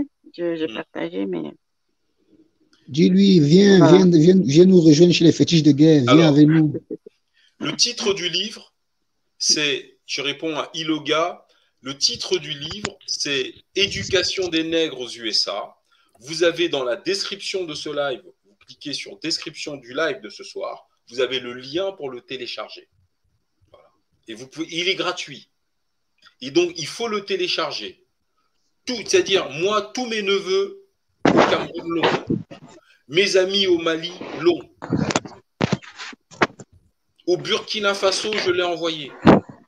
Et si nous, nous faisons tous la même chose que moi j'ai fait depuis la semaine dernière, sur nos groupes Telegram, euh, WhatsApp, j'ai partagé partout. Et vous vous rendez compte que si aujourd'hui on est 120 sur ce live, je ne sais pas quel est le micro, si chaque personne envoie à 10 personnes, c'est 1200 personnes sur le continent qui sont touchées. Si les 1200 personnes envoient chacun à 5 personnes, c'est 6000 personnes qui sont touchées. Et ainsi de suite. Vous voyez, c'est c'est comme ça le truc. Et, et nous, nous devons démarrer. Bon, Dada, tu veux rajouter quelque chose? Non, ça va. Je vais- Tu vas continuer à souffrir avec nous tranquillement. Euh, Pante Bamileke Il est encore là où il est parti Je suis là, je suis là, homme nous perrette. Oui, en fait, je, je t'appelais par rapport au poste que tu as fait là. Mon frère vient, de me- vient de me contacter là. Ouais. En fait, même toi, tu t'es seulement limité seulement aux deux là. Lui il me dit même que ça, que ça, que ça ne dure pas d'aujourd'hui. Oui, parce que euh, c'est ce que j'ai vu quand j'étais euh, de passage, quoi. Moi, je ne savais pas. Il m'a dit, il m'a- savais pas. il m'a il m'a expliqué les nationalités qui sont là-bas en train de faire ça. Il m'a dit qu'il y a les Espagnols, les Français, les Anglais, les Américains, Nous, on ne sait pas de quoi les, vous parlez. les, Al- les Allemands. Oui, euh, Fétiche, euh, il y a un post que j'ai fait dans le Telegram quand j'étais euh, de passage à l'aéroport euh, au Sénégal. Euh, j'ai vu des expatriés policiers espagnols en train de vérifier les passeports. Et, et j'ai demandé euh, aux deux policiers sénégalais qui étaient assis à leur côté que, mais en fait, qu'est-ce qui se passe là? Euh, euh, euh, Pourquoi c'est pas vous qui faites la vérification des passeports? Il m'a dit, euh, désolé mon frère, mais c'est une loi qui vient de l'État. L'État a signé des accords et des partenariats avec le, le gouvernement espagnol.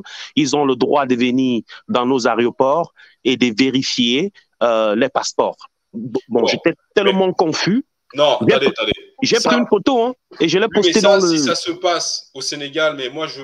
Bon, ça, c'est un truc, honnêtement, ça n'a pas de rapport avec le live de soir. C'est c'est compliqué.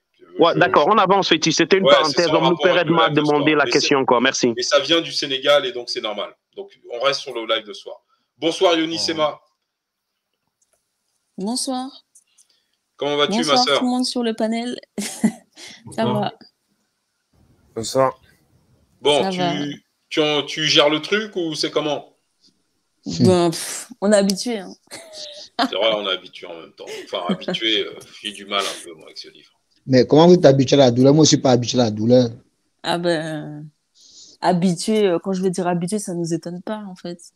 Hmm. Je, je me suis amusée à, à faire comme TK. J'ai noté quelques, quelques phrases ou mots-clés. Je me suis dit au cas où, Ouais. pour essayer de comprendre. En fait, on a un peu des causes de beaucoup de choses, tu vois, de ce qui se passe euh, nous concernant. Euh, tu vois, quand vous parliez de loi de l'esclavage fugitif, euh, bah, c'est bah, le contrôle faciès. De ce l'esclavage, tu as dit, pardon? Loi de l'esclave fugitif. Ouais, c'est ça. Donc c'est ce qu'on a maintenant, le contrôle faciès, comme vous disiez. Euh, euh, la justification qu'ils ont, l'esclavage est un mal nécessaire. c'est c'est ce qu'on retrouve maintenant encore. Là, ils parlent d'eux en disant l'héritage de barbarie primitive corrompue, à mon avis. Ensuite, l'antipathie des Blancs pour les Noirs. Donc là, ils essayent de- d'inverser. Là, ils parlent qu'il y a beaucoup de de- d'anti-blancs en ce moment. Donc on retrouve beaucoup de choses. Et j'ai remarqué une chose, c'est que hum, dans le livre, ils disent qu'il y a des nègres libres et des nègres esclaves. Donc là, déjà, ils commencent à faire les divisions, tu sais, entre nous. Tu C'est-à-dire sais, qu'il y en a qui sont esclaves. libre Et en a- Ouais. nègre esclave, tu sais à quoi ça m'a fait penser quand tu as dit cette phrase? À quoi? Ça m'a fait penser à nous, la diaspora, qui sont considérés par les Occidentaux comme des nègres libres, Mm. et qu'à ce titre, évidemment, on doit servir leur dessein à eux. Ensuite, il y a les nègres esclaves, c'est toutes nos familles en Afrique qui sont sous le coup du franc CFA, Ouais. qui ne, peuvent, n'aime pas ça. hein. qui ne peuvent strictement rien faire, des pays qui sont totalement enclavés.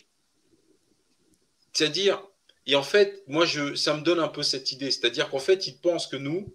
Alors évidemment, il y a des nègres libres. Donc là, je pense aux Simo, machin, au truc. Qui, qui Fétiche, sont moi, je n'aime pas ça. qui Hein? Moi, je n'aime pas ça. Quoi? N'aime pas quand tu entres dans ma tête, c'est ce que je veux dire. D'accord.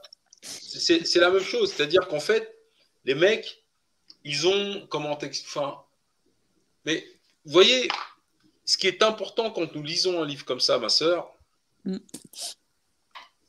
C'est que tu vois, on en arrive à ces conclusions-là. Et c'est exactement ce qu'ils ne souhaiteraient pas qu'on puisse, qu'on soit en mesure de faire.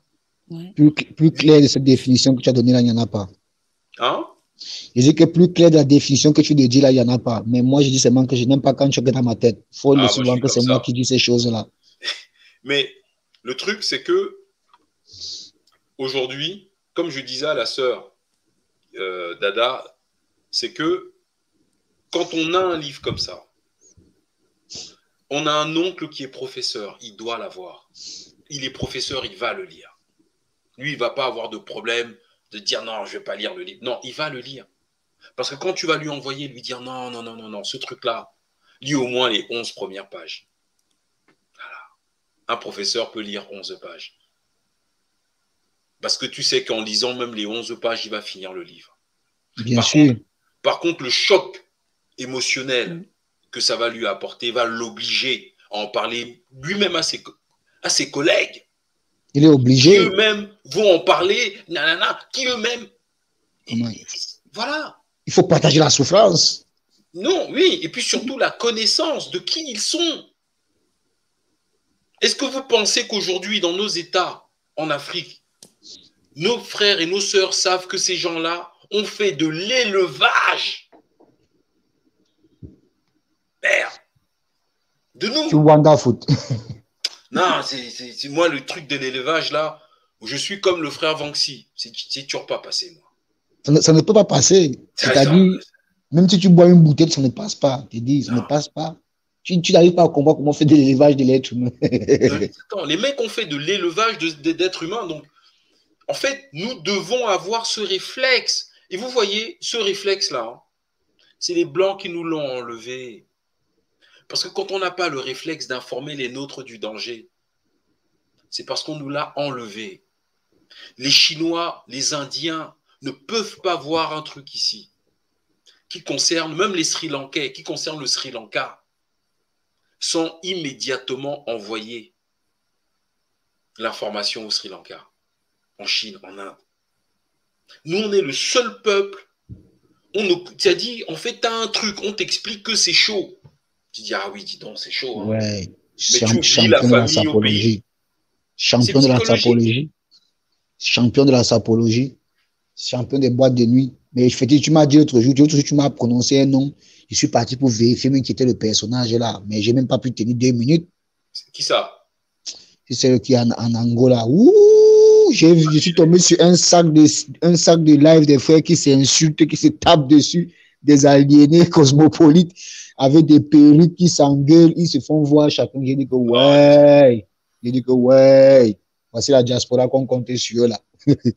Non, ça, c'est pas la diaspora. C'est pas la Il te dit que mon diaspora, il dit Euh, que, il te dit que mon frère, fétiche. D'ailleurs- D'ailleurs, au mot Perret, tu as vu. Je ne savais euh, pas qui c'était un fétiche. C'est quand tu as prononcé le nom là, j'ai dit, ça fait trois ou quatre fois que fétiche prononce. Il faut que j'aille chercher un peu pour savoir un peu qui est ce mec là. J'ai même pas tenu deux minutes. J'ai même Ah, pas tenu c'est- deux minutes. Moi, je n'ai jamais tenu une minute hein, sur ces trucs. C'est pour ça que je t'ai écrit le message que mes frangins, comment tu as fait pour te retrouver?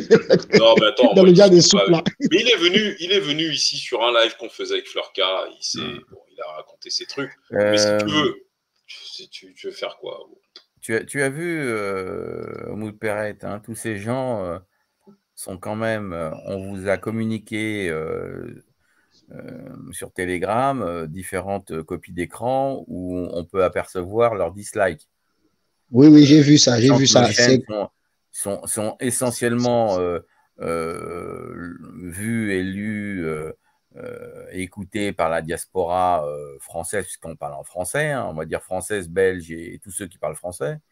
Euh, ben, je peux te dire que ils ont bien du courage à continuer en ayant des, des plus de 50% de, de, de personnes, ou même des fois 100% des personnes euh, qui sont pas d'accord avec eux. Quoi. Alors, pas d'accord du tout. on- Mais ils on- continuent. On continue, les, les frères et sœurs, là. Euh, bah là, si tu veux rajouter quelque chose rapidement, mon frère, vas-y. Non, non, allez, vas-y, vas-y, j'écoute. Alors, donc, on disait qu'il sera fouetté au choix du tribunal d'un nombre de coups de fouet ne dépassant pas 50. Le délateur aura droit à la moitié de l'amende et sera admis à témoigner. Si tu, si tu dénonces, ouais, j'ai vu, ils sont là, ils sont réunis, il y a des noirs et des blancs, ils apprennent à écrire. Ah, voilà, on t'a dit bravo, tu as droit à la moitié de l'amende qu'on va leur infliger on récompense le délateur. Oui, oui, oui, oui. C'est- Fétiche, c'est vrai. J'ai- J'ai j'ai- j'ai lu aussi un livre, un livre des esclavages aux États-Unis qui parlait de ça. On, on récompensait les traîtres. Voilà, le délateur est récompensé. C'est-à-dire qu'en gros, euh, bref, je continue. Il y, a des, il y a des gens qui ont fait de la fortune même sur ça. Voilà, Mais ça n'a pas changé. La délation s'encourageait ici. voilà, c'est encouragé. C'est, c'est- En fait, je sais pas. Moi, honnêtement, je vais aller rechercher du biceps là parce que ça commence à me chauffer. Et si quelques personnes libres de couleur ou quelques esclaves entretient, entretient une école ou toute autre maison où on l'enseigne aux esclaves ou aux personnes ou aux personnes, euh, je sais pas ce qui était écrit là, de couleur ou aux personnes noires, ou je sais pas. Bref. Oui, oui, Ou aux oui, oui. personnes- Libre, Hein libre, libre. Libre. ah oui, aux personnes libres de couleur à lire ou à écrire, cette personne libre de couleur à cet ou cet esclave sera passible de la même amende, du même emprisonnement et du même châtiment corporel que ceux qui sont imposés par cette loi aux personnes libres de couleur ou aux esclaves qui enseignent à écrire à des esclaves. Voilà. C'est-à-dire que si un noir avait la connaissance, il n'avait pas le droit de partager avec ses frères. Parce que Ah non, l'éveil, du peuple noir ne devait pas. La curiosité, l'écriture ne devait pas être permis. Et ça nous rappelle que dans les films même, de- des films d'esclavage, il y avait des noirs qui avaient des connaissances, mais qui étaient obligés de faire semblant de jouer à l'ignorant, de peur que son maître esclave le maltraitait ou se servait de son, de son intelligence. Hmm. Alors, je vais poster le lien Telegram de la chaîne. Chantal Le Campaversal dit qu'ici aussi en France, trop de gens ne savent pas lire. Ah oui, oui, oui, il y a énormément de personnes qui ne savent pas lire. hein. Sur, euh, en, ni lire ni écrire. hein. En France même? Oui, oui, en France même, monsieur. Oui, je, vo- je vois, moi, je voyais avant de nombreuses personnes dans les, euh, dans les supermarchés. euh, les gens étaient obligés de leur écrire leur chèque. hein, parce que De leur écrire sur leur chéquier, ils ne savaient pas écrire. Hey Et, et même encore aujourd'hui. Alors, deux secondes. Je poste le lien Telegram de la chaîne du, des fétiches de guerre. Vous avez une heure pour, vous, pour nous rejoindre sur le groupe. Précisément 58 minutes. D'accord? Au bout d'une heure, le lien il sera plus actif. D'accord? Je fais cela pour éviter les spams. Vous avez une heure pour nous rejoindre sur le groupe des fétiches de guerre pardon, sur Telegram. OK Voilà Je le comprends. lien vient d'être posté. Je comprends pourquoi ces gens boivent, ils boivent, ils boivent, ils boivent, ils boivent la tasse de la, la- la tasse de l'extrême droite tous les jours. Parce qu'ils sont, ils sont vraiment incultes. C'est ça. On continue. Education in South Carolina mentionne l'établissement d'une école nègre à Charleston en 1744 Hop, hop, hop, hop, hop. par le révérend Alexander Garden. Cette école n'a dû être utile qu'à des nègres libres, puisque la loi de 1740 refusait aux esclaves le bénéfice de l'instruction. L'établissement prospéra pendant une dizaine d'années, puis fut fermé. La Georgie, en 1770, édicta une loi semblable à celle qui était déjà en vigueur dans la Caroline du Sud. Le seul point différent fut que l'amende était fixée à 20 livres sterling. En 1829, il fut en outre déclaré que si quelques esclaves nègres ou personnes libres de couleur ou quelques personnes blanches enseignaient à un autre esclave nègre ou personne libre de couleur à lire ou à écrire. Libre de couleur veut dire métis, hein. Oui, c'est ça. lire ou à écrire des caractères écrits ou imprimés, la dite personne libre de couleur ou esclave sera punie d'une amende et du fouet, et d'une amende ou du fouet au choix du tribunal. Et si quelques personnes blanches commettent un pareil délit, cette personne sera punie d'une amende qui ne dépassera pas 500 dollars et d'un emprisonnement dans la prison commune à la discrétion du tribunal. Une amende de 100 dollars était aussi encourue par toute personne qui aurait employé un esclave ou un homme libre de toute ou un homme libre de couleur comme compositeur, typographe ou lui aurait donné dans une imprimerie tout autre emploi demandant une connaissance de la lecture ou de l'écriture. Malgré ces restrictions, qui avaient pour but de maintenir le nègre dans une ignorance totale, les lois étaient quelquefois violées en secret par des maîtres particuliers. De 1819 à 1929, une école libre pour les nègres fut maintenue. Euh, fétiche? Ouais. Euh, tout juste un commentaire rapide là. Euh, euh, il a été mentionné là en fait que euh, une peine était affligée à un blanc qui employait un noir. Et, et, et là, et il y a d'autres exemples qui ont été illustrés. Et là, on, on, on voit quelques vertus du racisme. Ça nous rappelle un peu ce qu'on a étudié sur le racisme, c'est-à-dire qu'il donne la préférence aux siens, voilà. Et euh, voilà, si bien que euh, même l'emploi euh, d'une autre personne euh, n'était pas euh, encouragé. Il fallait donner la priorité, voilà, euh, à un blanc au lieu d'un noir. Et si tu emploies un noir, on t'inflige une amende. Donc euh, c'est un peu l'état d'esprit qu'ils avaient. Et on l'a, on a, on a étudié ça dans les vertus du racisme. C'est toujours l'esprit là qu'ils ont. hein. C'est toujours cet esprit qu'ils ont. Tu ne dois pas donner le, le travail au noir quand le blanc chôme. Surtout si, le, si ils, ont la même, ils, ont la même, ils ont la même compétence technique. C'est ça. Alors, donc je remercie ceux qui nous ont rejoints. Donc, nous continuons. Alors, je rappelle ici que notre groupe Telegram, c'est un groupe non pas de gens qui sont là à attendre qu'on poste des trucs sur l'actualité. Je trouve qu'on commence à poster trop de choses sur le groupe Telegram en rapport avec l'actualité. Quand c'est Afrique Média, ça me va. Mais les autres trucs, personnellement, commencent à me chauffer. Moi, j'aimerais que vous-même, vous postiez des choses que vous avez produites. Ce sont les moutons qui suivent l'actualité. Les seigneurs de guerre comme nous faisons l'actualité. Nous devons faire l'actualité. En faisant ce live ce soir, ensemble, tous ensemble, on est 125 personnes sur le live, eh bien, on est 125 personnes à faire l'actualité. Et tous ceux qui sont à l'aise avec les outils informatiques, les éditeurs de logiciels, de trucs, vous pouvez retélécharger ces lives, découper les moments les plus importants, les plus cruciaux. On va les faire traduire dans nos langues africaines et les balancer sur le continent. En même temps que les livres et tout ce qu'on peut lire. Mais soyez militants, soyez actifs. C'est important. Je continue. Euh, F- euh, Fétiche? Ouais. Avant que tu ne continues, j'aimerais dire quelques mots par rapport euh, à ce que tu viens d'élaborer, qui est d'ailleurs très très important.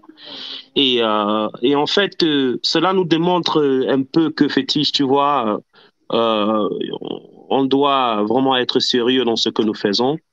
Et je pense qu'il est un peu temps qu'on essaye d'élaborer des mécanismes euh, et des stratégies pour, euh, pour essayer de pousser un peu euh, nos frères et sœurs dans le combat. C'est-à-dire que on, on va se créer des, des tâches, on va assigner des tâches et on va se donner euh, des dates auxquelles euh, ces tâches doivent être euh, complétées, remplies. Tu Alors, vois un peu? Il y a l'association qui arrive. Ça, ça sera dans le cadre de l'association qu'on va y matriculer. Moi, moi jusqu'à aujourd'hui, je n'ai pas, encore reçu mon- je n'ai pas encore reçu mon binôme sur Telegram. Je ne sais même pas comment l'affaire a, a même, a même fini. Non, non, ça va venir. C'est le frère, mais le frère était en déplacement ces trois dernières semaines. C'est Panther Bamileke. Alors, évidemment, aussi sur Telegram, on a créé des parrainages croisés. C'est quoi un parrainage croisé? C'est-à-dire que chaque frère ou sœur de la diaspora va parrainer un frère ou une sœur. Donc, c'est les hommes entre, entre hommes. c'est-à-dire un homme de la diaspora avec un homme sur le continent, une sœur de la diaspora avec une sœur sur le continent, de manière à ce qu'on puisse s'enrichir mutuellement, s'échanger des informations, etc. Et donc celui qui est chargé de mettre en place ces parrainages, c'est Panther Bamileke. Mais bon, en tout cas, il, il faudra lancer un salon vocal, Panther, et rappeler, remobiliser un peu tout le monde. Et puis parallèlement à ça, on est en train d'immatriculer une association qui aura Oui, un but, fétiche. je ne vais pas en parler ici, on en parlera sur Telegram, mais en tout cas, on veut qu'il se passe des choses. D'accord? Mais on veut des militants, pas des moutons, c'est important. Des gens qui comprennent que prendre un livre comme celui qu'on a là ce soir et l'envoyer, vous voyez, euh, il y a un frère euh, euh, ici, euh, j'oublie son, son nom, euh, qui euh, sur, euh, sur, euh, sur Facebook envoie tous les lives que nous faisons, toutes les vidéos de la chaîne Les Fétiches de Guerre, aux universités, aux groupes sur, sur, sur Facebook, etc. etc. C'est pas pour me faire de la publicité. Vous savez que j'en ai strictement rien à faire. Je demande pas d'argent, moi, ici. Je veux même pas de publicité sur les, les vidéos. C'est uniquement parce qu'on veut conscientiser. C'est ça l'objectif. On continue. Donc, la Virginie fit le 2 mars 1819 une loi conçue dans le même esprit. Cependant, beaucoup de nègres libres continuèrent à instruire leurs enfants jusqu'à l'insurrection de Nat Turner en 1831. Cette insurrection eut dans tous les États une vive répercussion sur l'instruction des Noirs qui, à partir de ce moment, fut très rigoureusement prohibée. En 1851, dans la Virginie, pour avoir contrevenu à une loi de ce genre, une femme blanche, Madame Margaret Douglas, fut enfermée dans la prison de Norfolk. En 1823, le Mississippi fit une loi déclarant illégale toute réunion d'esclaves, de nègres libres ou de mulâtres, de plus de cinq personnes. Cette même loi condamnait à la peine du fouet 39 coups au plus ceux qui enseigneraient aux nègres à lire ou à écrire, que ce fût de jour, que ce fût le jour ou la nuit.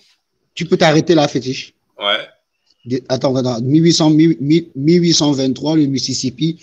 Eh bien, ce n'est pas seulement été aux États-Unis cette histoire. Cette, cette histoire a aussi été en France parce que même les Noirs qui venaient de la Martinique et de, et de la, et de, et de la Guadeloupe, ils étaient interdits de rassemblement. Voilà. C'est ça, ce, ce passage-là. Donc, c'est pas seulement aux États-Unis qui l'ont pratiqué, la France aussi l'a fait avant la, à- après la deuxième, la deuxième abolition de l'esclavage. Voilà. Et pratiquement à la même date. On continue. En 1830, la Louisiane fit une loi qui déclarait que toute personne qui enseignerait, permettrait d'enseigner ou ferait enseigner un esclave à lire ou à écrire serait emprisonnée pendant un laps de temps de 1 à 12 mois. La même loi interdisait aux nègres libres d'entrer, euh, aux nègres libres l'entrée de l'État, et il était de plus ordonné que quiconque écrirait, imprimerait, publierait ou distribuerait quoi que ce fût ayant une tendance à engendrer le mécontentement parmi la population libre de couleur ou l'insubordination parmi les esclaves serait condamné en cas de culpabilité reconnue aux travaux forcés à perpétuité ou mise à mort au choix du tribunal. Ouais, ça, c'est la vraie barbarie, mon frère. Ouh là là là là là là. Ça, c'est la vraie barbarie, là, alors, là, l'authentique boutique. Je relis. La même loi interdisait aux nègres libres l'entrée de l'État, et il était de plus ordonné que quiconque écrirait, imprimerait, publierait ou distribuerait quoi que ce fût ayant une tendance à engendrer le mécontentement parmi la population libre de couleur ou l'insubordination parmi les esclaves serait condamné en cas de culpabilité reconnue aux travaux forcés à perpétuité ou mise à mort au choix du tribunal. Bienvenue au monde des civilisés. Ouais. C'est la, barba- la barbarie à la dure. C'est-à-dire aujourd'hui, le seul pays d'Europe qui n'a pas participé à l'esclavage, qu'est la Russie, est sanctionné par l'Europe et les États-Unis Parce que la Russie vient affranchir, aider les esclaves que nous sommes pour ces pays de sociopathes à obtenir notre pleine et entière souveraineté. Eh Ah, bien, l'Europe et les États-Unis sanctionnent la Russie pour nous affranchir de leur diablerie. Chouette. Et euh, Fétiche, ils sont en train aussi de vouloir sanctionner la Chine hein, et de suspendre euh, les Jeux olympiques, euh, voilà, qui doivent euh, se passer en Chine. Et euh, le, euh, euh, comment on dit en- encore en français, le, spokes, le spokesman euh, chinois a rappelé à l'État américain qu'ils ont génocidé, euh, voilà, les, les, euh, les, les- originaires, les vrais originaires d'Amérique. Et, euh, et voilà, et euh, ils n'ont pas, ils ne se sont pas condamnés eux-mêmes pour leurs propres crimes. Et ils ont l'audacité de venir euh, dire que le gouvernement chinois, voilà, euh, euh, pratique des travaux forcés. euh, et si bien qu'ils veulent euh, imposer euh, en fait la suspension euh, des Jeux Olympiques en Chine. Alors, Donc euh, voilà l'état d'esprit dont ces gens sont animés en fait. Mais en fait, je vais te dire un truc. Bon, ils ont l'audace. Je te dis l'audacité, ils ont l'audace. En fait, le truc, c'est que, honnêtement, entre nous,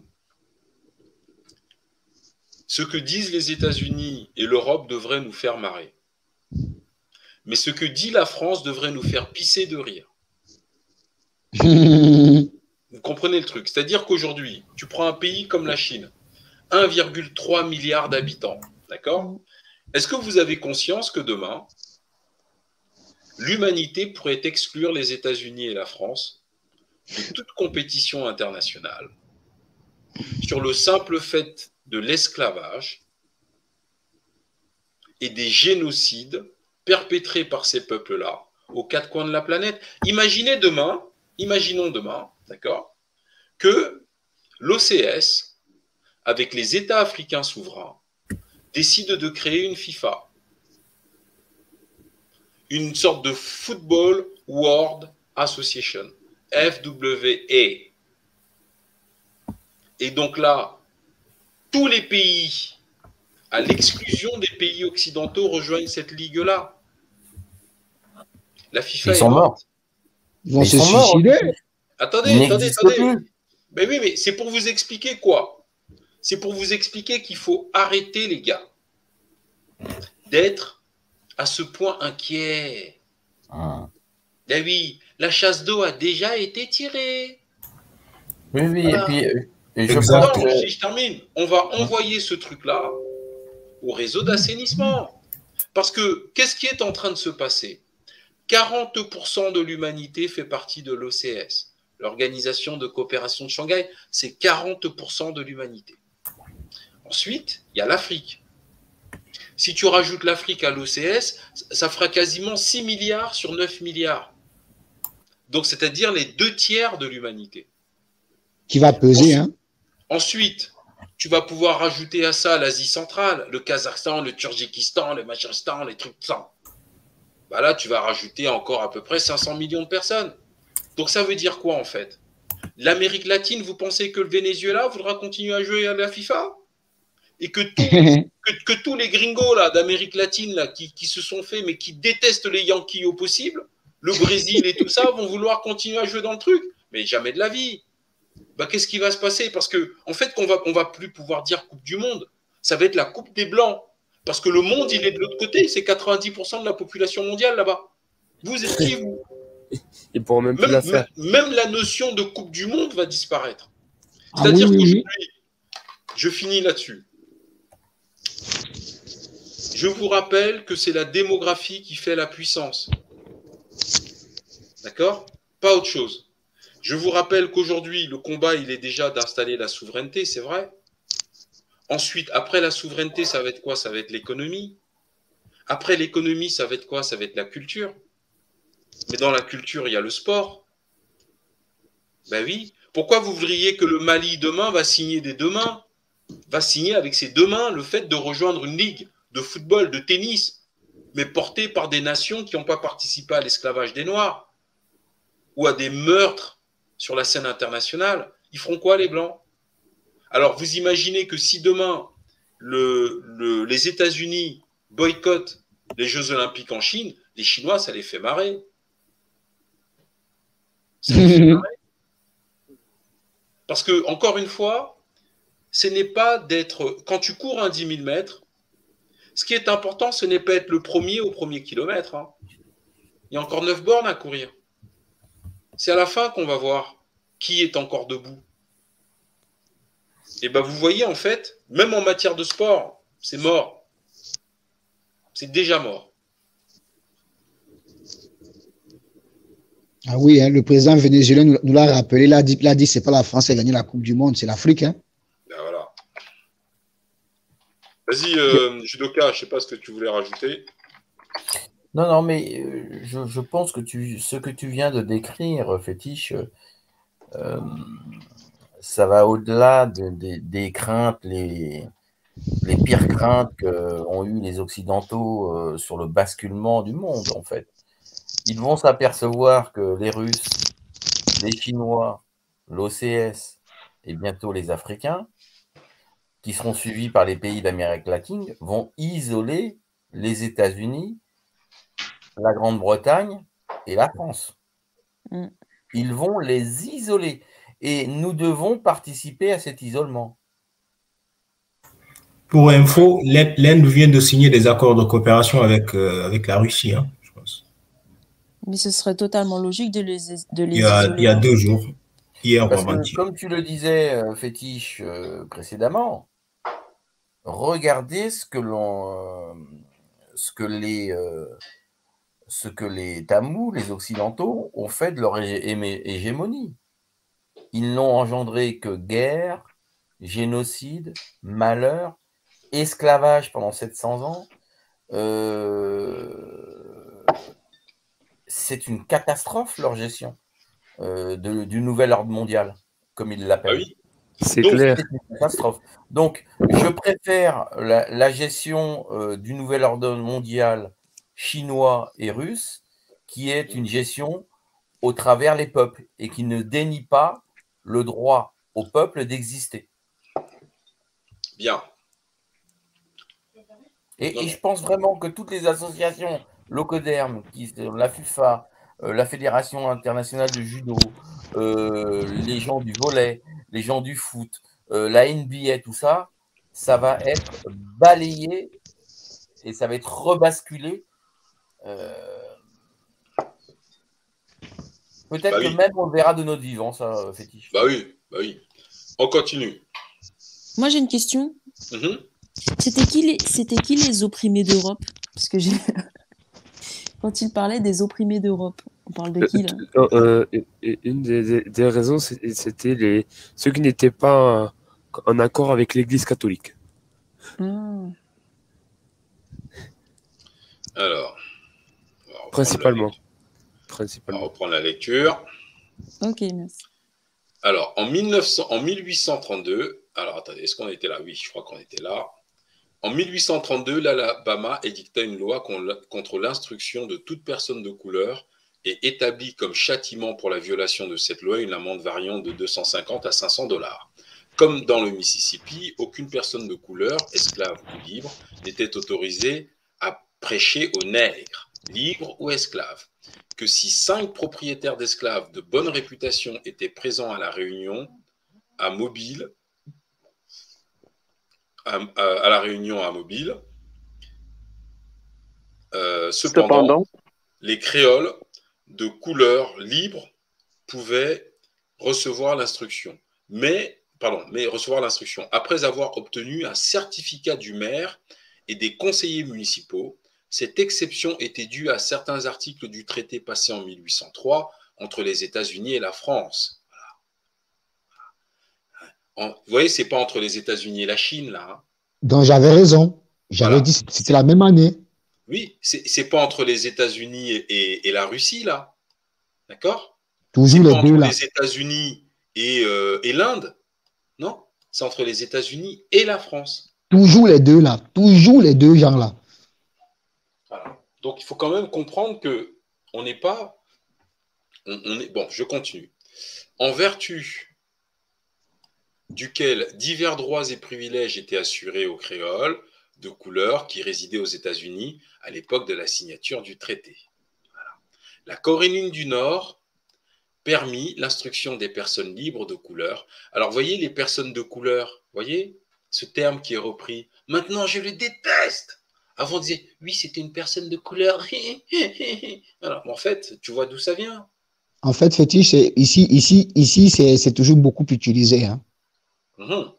Oui, ici, c'est beaucoup, c'est beaucoup utilisé dans, la, dans les médias, Bah, Tu sais, au contact avec les de autres. couleur, tu devrais dire personne transparente pour eux. Non, en fait, tu sais, comment- tu sais comment moi je leur, je leur réponds? Je leur réponds selon la fable de, la fable de, de, de, de Senghor. hein. Moi, c'est comme ça que je leur réponds. Je leur dis, si moi je t'énerve là, tu vas changer de couleur. Moi, je leur dis comme ça. Je lui dis, je lui je lui fâche-toi un peu, je vois, je vois, quelle- couleur tu vas prendre. Moi, je lui dis comme ça, énerve-toi. On va voir de nous deux qui est de couleur. Alors, livre de couleur jusqu'en 1835, époque où cet enseignement fut interdit par une loi, les frais des écoles pendant leur courte existence furent supportés par les nègres libres et non par le gouvernement. Alors, je reprends. La Caroline du Nord permit l'instruction des personnes libres de couleur jusqu'en 1835, époque où cet enseignement fut interdit par une loi. Les frais des écoles pendant leur courte existence furent supportés par les nègres libres et non par le gouvernement. En 1845, le Missouri, devenu État depuis 1822, publia un décret obligeant toutes les personnes libres de couleur à quitter l'État. Et en 1847, oui, le Missouri demande à ce que s'il y a des Noirs dans leur État, eh bien ces Noirs sont des esclaves. Donc toutes les personnes noires libres, donc noires non esclaves, doivent quitter l'État du Missouri. Et en 1847, il défendit qu'une personne tint une école où il enseigna aux nègres et aux mulâtres à lire ou à écrire. Bah oui, tu donnes pas des cours à des chevaux, soyons sérieux. Quand même. Voilà. Alors, on continue. Fétiche Ouais. Euh, Peut-on s'attarder. euh, On t'entend de loin. Peut-on s'attarder quelques instants euh, sur le mot les personnes On t'entend de couleur loin. Que- Ah, tu m'entends de loin là? Ça va mieux? Ouais, ouais, ouais. Euh, Peut-on s'attarder sur le, le terme personne de couleur Parce que moi, personnellement, euh, depuis que je. On t'entend de loin, Judoka. On t'entend Ah, pas très me- bien. On Ah, entend tu très bien. très bien. On entend très bien. Ah, d'accord, c'est peut-être moi alors. Je sais pas. Vas-y, Voilà, vous m'entendez là? Là c'est mieux. Je vais augmenter un petit peu le son. Euh, oui, les, les personnes de couleur, euh, c'est un des éléments de, de- de narration des tamous pour vous discriminer finalement. Mais franchement, euh, moi, quand je vois dans la société blanche, ici, les personnes de couleur, je trouve que ce sont les blancs. Hmm. Franchement. Et, et- et- et j'aimerais savoir si euh, certains du chat ont quelques idées pour euh, euh, remplacer le mot ou le retourner contre eux, mais je trouve que les personnes de couleur, ce sont eux, hein. c'est pas nous. hein. En fait, Nous, on est la couleur originelle. Je ne pas, tu, tu nous demandes beaucoup là, tu nous demandes beaucoup. C'est pas notre langage, ça, Frangin. Tu nous demandes beaucoup. Moi, je, franchement, je serais incapable de, de, de, de- de trouver quelque chose à cette réponse-là. Tu nous demandes beaucoup. Parce que j'ai pas la, j'ai, j'ai pas la mentalité pour inventer quelque chose de ce genre-là. Franchement, je, Ah, je mais le pas. chat, le va nous trouver quelque chose. Là, on a fait des, des, certes- des fois, on a fait des miracles. hein. Mm. Moi, je les appelle les caméléons. Parce qu'ils changent tout le temps de couleur. Ouais, les sociopathes, ça suffit. hein. Parce qu'ils disent, ils disent que c'est positif. On va pas, nous, la couleur, on s'en fout. Quoi. Je veux dire, euh, ça, c'est leur délire. C'est des C'est leur délire, ça. C'est des sociopathes. Alors, je C'est des continue. démons ou des virus. Comme tu Oui, veux. non, c'est le diable. Oui, ça va aussi. Les- Après tout, c'est eux qui l'ont inventé. Les autres États esclavagistes n'établissaient pas, en propres termes, de loi contre l'enseignement des nègres. La législation, cependant, n'accordait aucune pensée à cet enseignement. Et pratiquement, elle refusait aux nègres le droit de s'instruire. Dans ces États, les lois scolaires contenaient le mot blanc. Depuis le commencement jusqu'à la fin, ce qui excluait en réalité les enfants nègres des écoles. Bah oui. Parce qu'en rajoutant le mot blanc, bah, bah forcément les noirs ne peuvent pas y aller. En effet.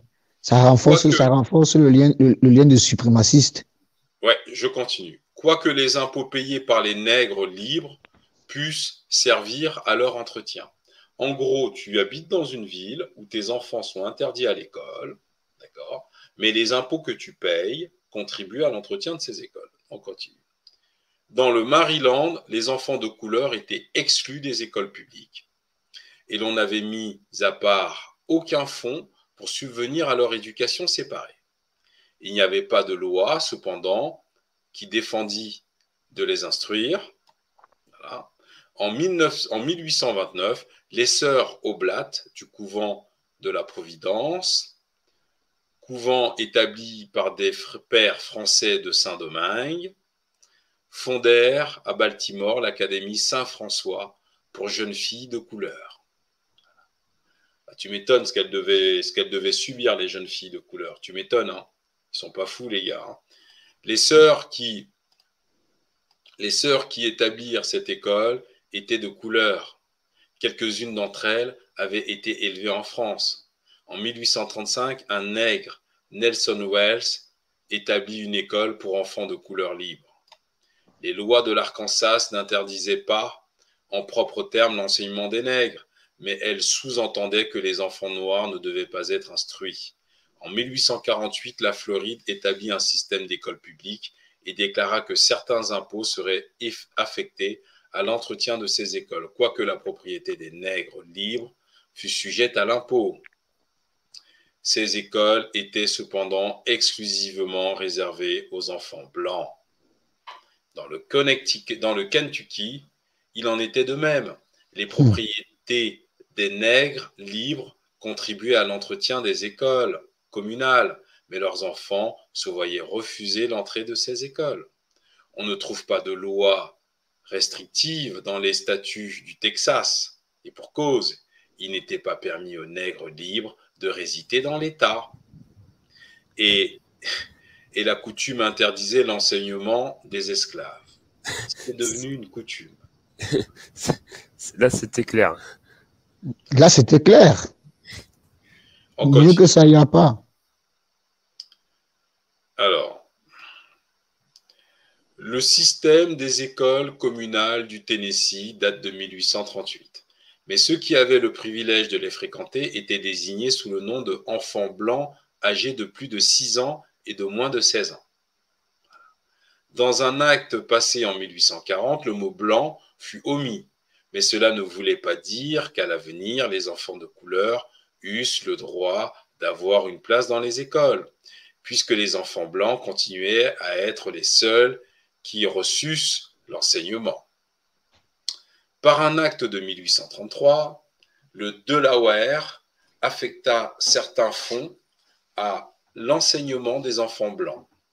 En 1832, les, revi- le- euh, euh, revises st- statutes pour- pourvurent encore à l'entretien d'écoles à usage exclusif des Blancs. On ne lit aucune prévision budgétaire pour les écoles de couleur. On ne refusait pas cependant aux nègres le droit de s'instruire, s'il leur convenait d'en payer eux-mêmes les frais. Dès le commencement au XVIIIe siècle, la Société de la propagation de l'Évangile envoya des missionnaires enseigner la- le catéchisme aux esclaves. Leurs efforts, pour diverses raisons, n'eurent aucun résultat. Et ils abandonnèrent bientôt leur entreprise. Tu m'étonnes. Vous avez vu? C'est-à-dire qu'on envoie des mecs essayer d'acheter l'âme de nos ancêtres. Et ben nos ancêtres leur disent fuck. Encore le Dieu là. Voilà. Donc vous rentrez avec vos Jésus. Et ben ils n'eurent aucun résultat. C'est-à-dire spirituellement, on leur a dit merde. On n'a rien celui-là. à voir, on n'a rien envie d'avoir en commun avec vous. Et surtout pas sur le plan spirituel. Voilà. Ça, c'est un témoignage qui est très important. hein. Voilà. On venait leur enseigner le catéchisme. Et qu'est-ce qu'ils ont fait, les Blancs? Les prêtres blancs, ben, ils ont abandonné leur entreprise, qui était de convertir ces ancêtres-là à Jésus-Christ, sincèrement. Moi, je suis très impressionné quand même. Waouh, quand même. C'est quoi ça? Cette partie-là serait une partie vraiment, vraiment magnifique, fétiche. Après, tu me l'envoies, je vais la traduire. Il n'y a même pas que cette partie, mon frère. Là, pour te donner, si tu as le bouquin, on est à la page 31. Il n'y a pas que cette partie. Tout ce qu'on lit depuis jeudi dernier est, est d'une immoralité, mais vous imaginez même pas. C'est-à-dire que vous avez qui des parle. gens. Attends, je finis, mon frère. Vous avez des gens qui vont à l'église, qui vont prier Jésus-Christ, le Dieu du truc de machin. D'accord? Le soir, ils violent des gamines. Ils font des l'élévage d'êtres humains, qu'ils violent en même temps. Et eux, ils prient Dieu. Je sais pas, moi j'ai du mal. J'ai vraiment du mal. C'est quoi c'est même, si tu es blanc, mais tu es forcément déglingué dans ta tête. C'est quoi cette vie? Je sais pas. En fait, fétiche, euh, euh, ils veulent donner la fausse illusion euh, d'être de bonnes personnes en, en, en, en, parlant de la Bible ou bien des religions et consorts. C'est une fausse illusion qu'ils veulent diffuser. Mais en fait, euh, ce que nous sommes en train de lire, ce que nous sommes en train de témoigner, nous démontre en fait que ça n'a pas de sens, que des gens qui font ce genre de pratique euh, ne peuvent pas être religieux, ne peuvent pas avoir une âme et un cœur. Donc, ce sont de fausses illusions. Ils ont créé un Dieu en leur propre image et, et leur a vendu et pop- popularisé. Ils ont pendu même ce Dieu s'il s'il Il n'a s'avère. même pas existé. Qui, voilà, j'ai dit s'il s'avère, même s'il a existé, il n'a même pas existé. On l'a vu, on a vu à la lumière de plusieurs lives ici. Donc, en fait, et, et- et ils ont créé ce Dieu, ils ont vendu ce Dieu aux Africains qui passent nuit et jour euh, pour euh, prier un Dieu qui a été utilisé pour, euh, pour le génocide, pour les tueries, les dominations, l'esclavage des êtres humains que nous sommes. Donc, moi personnellement, fétiche, je ne serai jamais ni catholique ni musulman et mes enfants ne le seront jamais. Donc, moi, c'est personnel et je respecte toute autre personne, religion, euh, dans le panel et sur le chat, je la respecte, mais moi, j'ai pris mes décisions personnelles. Merci. Fétiche. J'espère qu'un jour, il y a deux, il y a deux PDF que tu vas faire, que tu vas faire dessus un jour. Il y a un de Robert Amadou et, et un de l'amiral Mirandol. faut que tu me les envoies sur le, sur le groupe Telegram. J'ai acheté leur, j'ai acheté leur livre euh, parce que le Sèche avait fait des, des, des, des, des vidéos, euh, des lives sur eux. Franchement, ceux-là, vraiment, quand tu vois la manière auquel ils prennent Jésus et son Dieu par le cou, tu as, tu te demandes, mais c'est des locodèmes qui, qui crachent sur, sur leur propre Dieu comme ça, je t'ai dit vraiment euh, fantastique, hein. Non, à l'occasion, tu m'envoies ça, je vais regarder. Ok, Ou tu je vais te l'envoyer. le titre des livres. Alors, Je vais te l'envoyer. District de Colombie. Il est intéressant de remarquer que la première tentative pour établir une école à usage de- des nègres dans le district de Colombie fut faite par trois anciens esclaves qui ne savaient ni lire ni écrire. Waouh. D'accord Alors, moi, j'ai un truc à vous demander là. Bon, bref, on continue. Je vais vous demander après. Quoique illettrés, ils se rendaient compte de la valeur de l'instruction. Et en 1807, ils engagèrent un maître blanc pour donner l'enseignement à des élèves de couleur. L'école ne dura que peu de temps, mais fut réouverte en 1818 dans des conditions plus favorables. La moyenne des élèves présents dans cette école variait de 65 à 70. Ils nous appellent esclaves.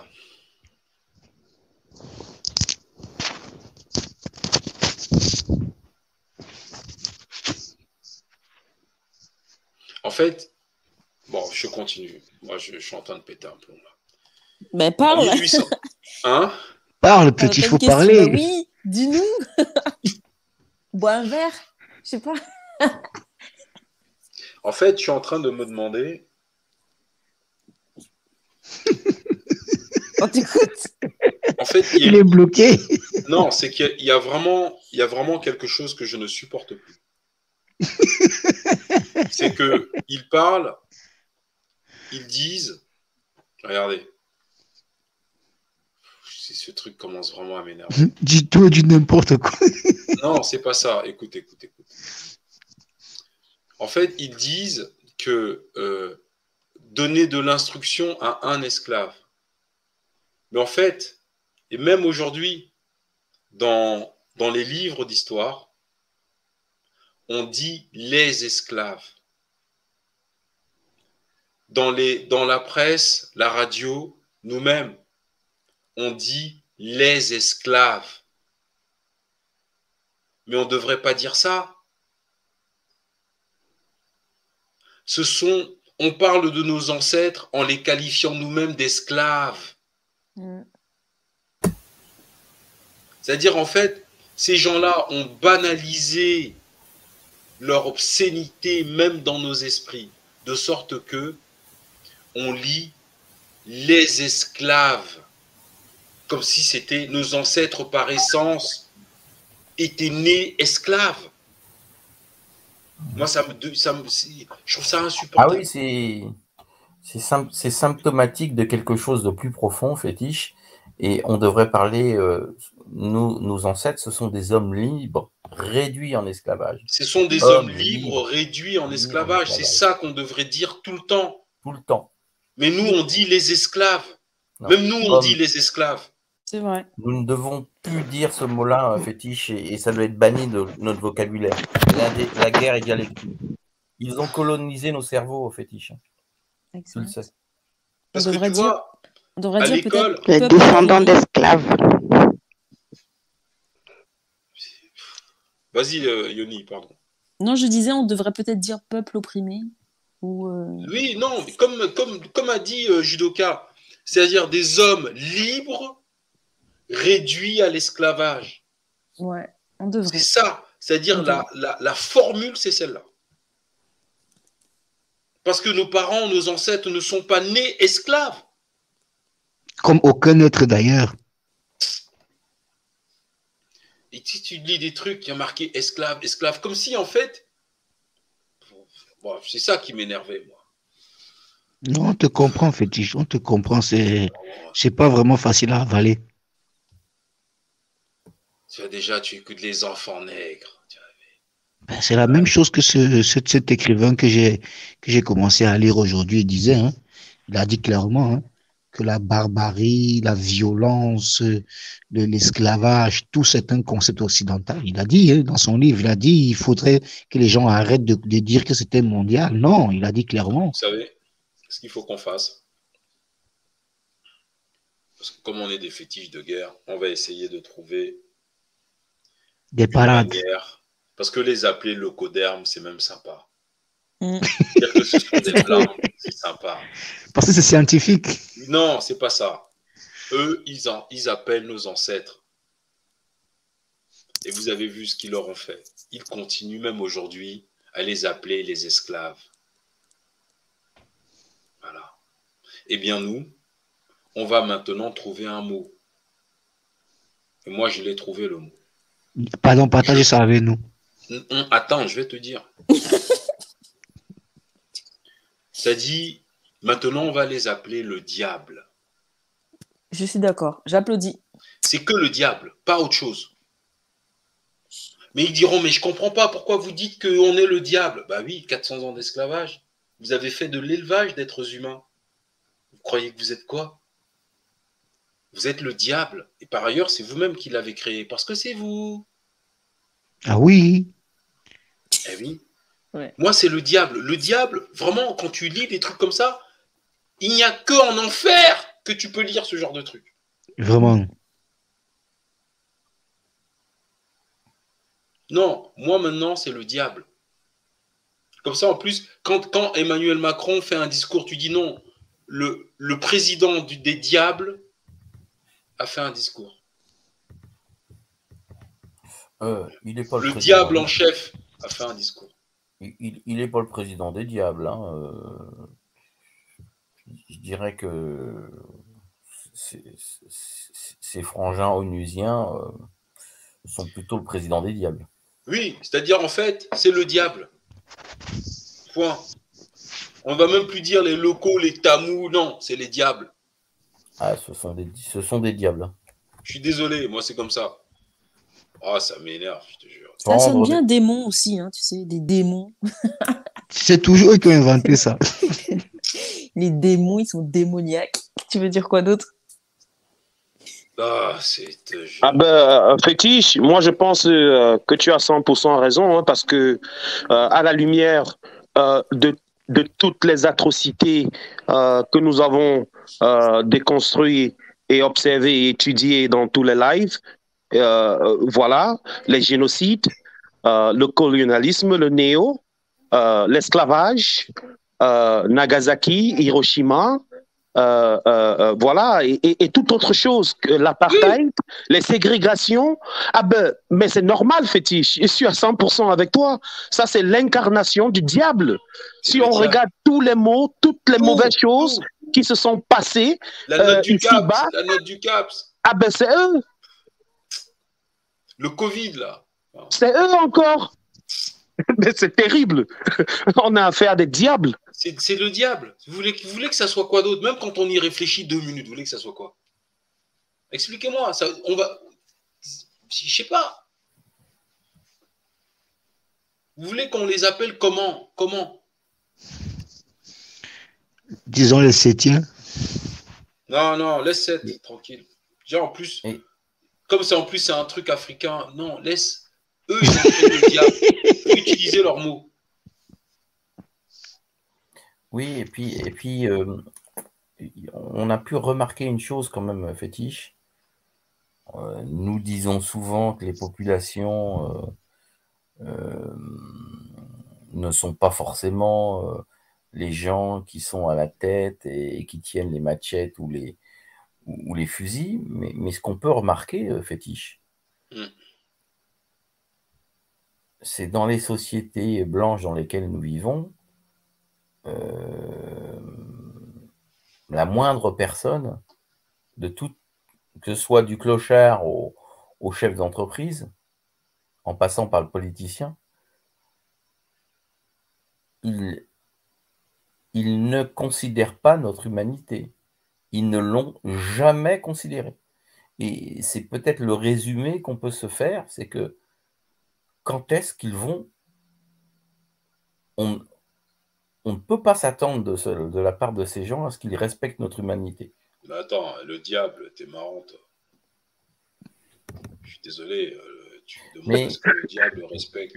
Euh, euh, désolé les frères, quel que soit ce que vous allez raconter, pour moi, ce sont des diables, vraiment. Je suis désolé, il n'y a pas d'autre mot. Ce sont, ce sont des diables, il n'y a pas d'autre mot.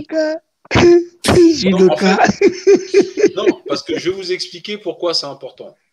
Vous savez ce qui nous fait mal à la tête ici Hein? Ce qui nous fait mal au crâne, c'est qu'on n'arrive pas à les déterminer. Je viens de m'en rendre compte. Depuis que j'ai dit que c'était le diable, je vais mieux. Parce que. Je vais mieux. Oui, je vais mieux. D'ailleurs, je vais même resservir un bol de biceps, là. Je vais mieux. Parce que, parce que je n'arrivais. Parce que le fait de ne pas réussir à, à prendre ça et à mettre dans un coin de ta tête, à dire voilà, sa place est ici. Ça te. Voilà.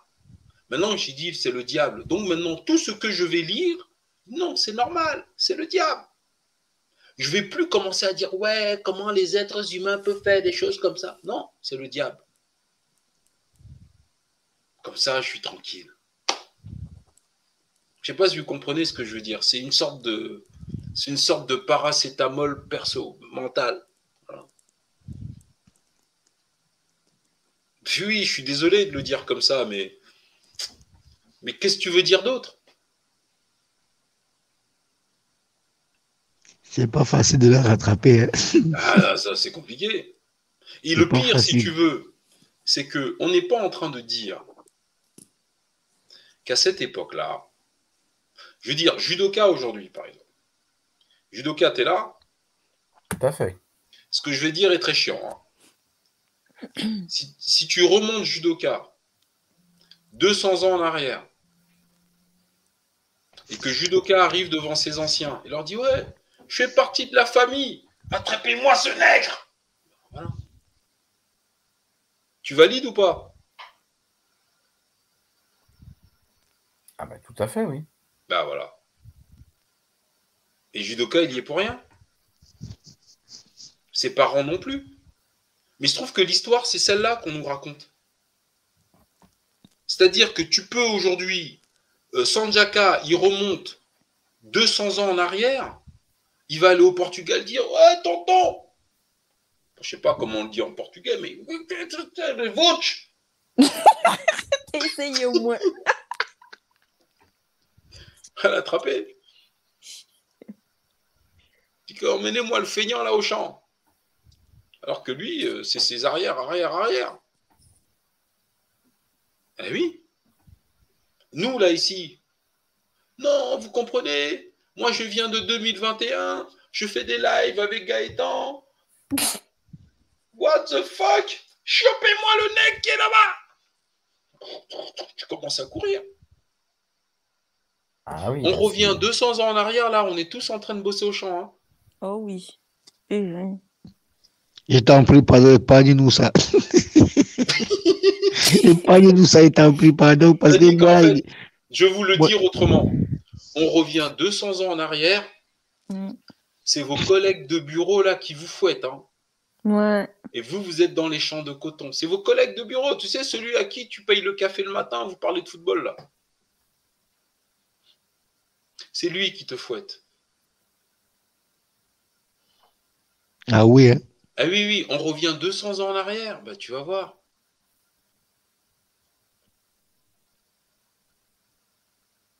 Donc c'est quand même ça qu'on est en train de vivre.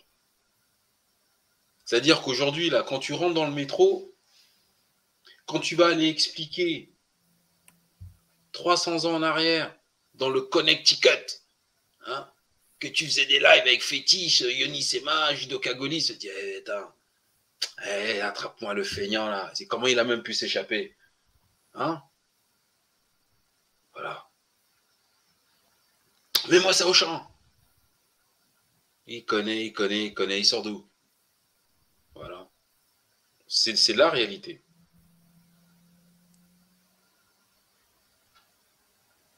En fait, la manière que tu le dis si légèrement, ça s'est vraiment passé ainsi. Hein. Ah oui. Je lui dis, regarde Sprinter là. Sprinter, il est là, il dit, ouais, putain, je supporte plus et tout. T'imagines demain là, tchac, il se retrouve 200 ans en arrière. Vois Ah, on va le faire sprinter. Hein. Ah ouais, attends, le frère, il va. il-. Bon, Vu qu'il s'appelle sprinter, il va bien sprinter. hein? Non, tu sais, je connais votre descendant, mais on a bossé ensemble. Je l'ai aidé pour ses devoirs. Putain, il a eu son examen grâce à moi, bordel. Mets-moi ça au champ, feignant.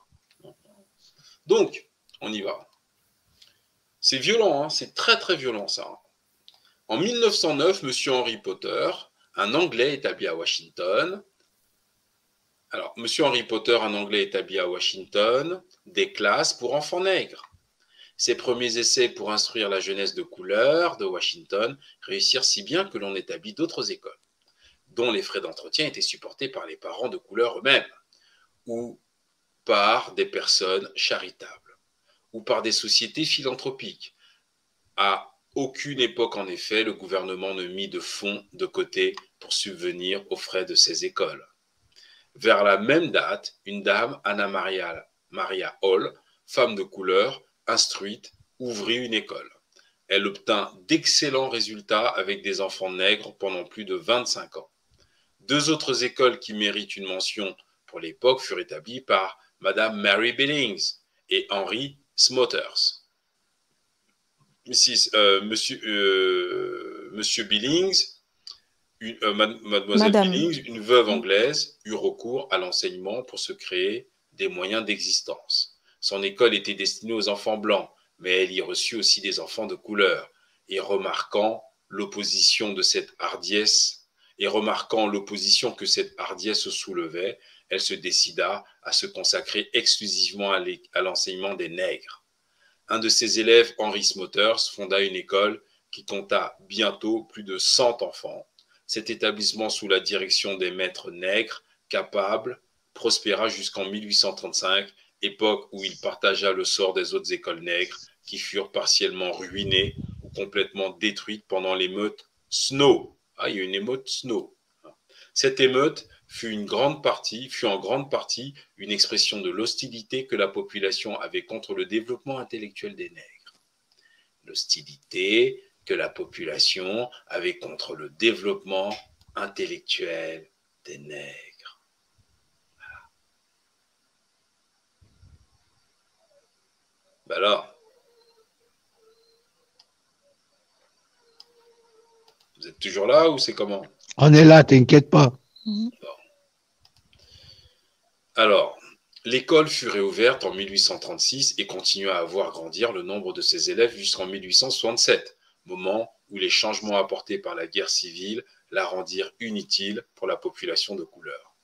La plupart, la plus remarquable peut-être des écoles nègres de Washington fut celle que fonda Marie, euh, Myria Miner, Myrtilla Miner, pour l'éducation des jeunes filles de couleur libre, dans la croyance que le salut de la race dépendait du relèvement moral et intellectuel de ces femmes.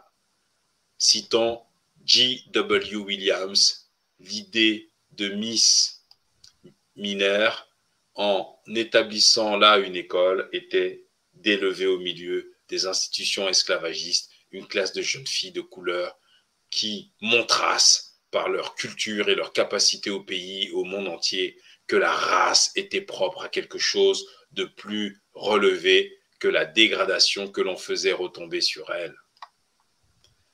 Elle visitait les gens de couleur de son district, allait de maison en maison et insufflait en eux une nouvelle vie pour ceux qui avaient rapport à l'éducation de leurs filles. Sa correspondance avec les hommes et les femmes du Nord, animée de philanthropie, était immense. Elle importunait les membres du Congrès et les hommes qui, au moyen des colonnes de la presse, façonnaient l'opinion publique pour qu'ils vinrent, pour qu'ils, pour vissent visiter son école et voir ses filles. Son activité toujours en éveil, jour et nuit, s'exerçait dans toutes les directions. Pour augmenter le quorum et l'élégance de son établissement et pour en faire connaître les mérites au public. Le travail dans son école n'était pas borné aux branches élémentaires. Les études littéraires et scientifiques trouvaient place dans son programme. Des conférences avaient lieu souvent, données par des hommes éminents qui portaient un intérêt bienveillant à l'école. Chaque jeune fille avait une plate bande de fleurs qu'on l'encourageait à cultiver. Les instruments, les livres, les gravures, les revues abondaient à l'école. Dans l'intérêt des élèves, on ne négligeait rien de ce qui était possible de tenter pour éduquer ces jeunes filles. Ah, attendez, je mets le truc. Tac. Pour élever ces jeunes filles de manière à en faire des femmes instruites et distinguées. Comme il est facile de se l'imaginer, la voix de Miss Miner fut semée de difficultés. Elle apprit qu'on ne saurait impunément prêcher et mettre en pratique des doctrines aussi odieuses à la société que le relèvement de la race nègre. À mesure que son école étendait son influence et voyait augmenter le nombre de ses élèves, elle fut en but de tous les côtés à une opposition de plus en plus acharnée. Non seulement on l'insultait, mais on la menaça de voies de fait si elle continuait son œuvre. Les bancs, des bandes de jeunes chenapans poursuivaient et terrifiaient ses élèves dans la rue. Les autorités fermaient les yeux pour ces outrages du moment qu'ils étaient l'expression des sentiments populaires du temps. L'école fut incendiée en 1860 pendant que Miss Miner était seule dans la maison. Mais elle se réveilla à temps pour sauver sa vie et pour éteindre les flammes. Néanmoins, elle ne fut nullement découragée et persista dans son œuvre malgré les persécutions croissantes. Walter Lennox, un ancien maire de Washington, poussa les choses jusqu'à écrire sous sa propre signature une lettre incendiaire dans le National Intelligencer, accusant cette école d'élever le niveau de l'éducation parmi la population de couleur, ce qui était une injustice envers la population blanche, et de répandre parmi les gens de couleur un degré d'instruction bien au-dessus de leurs conditions sociales et politiques, conditions qui doivent être maintenues telles quelles dans le district et dans tous les États esclavagistes. C'est exactement ce qu'essaye de faire Emmanuel Macron, l'Europe et la France en Afrique. Exactement.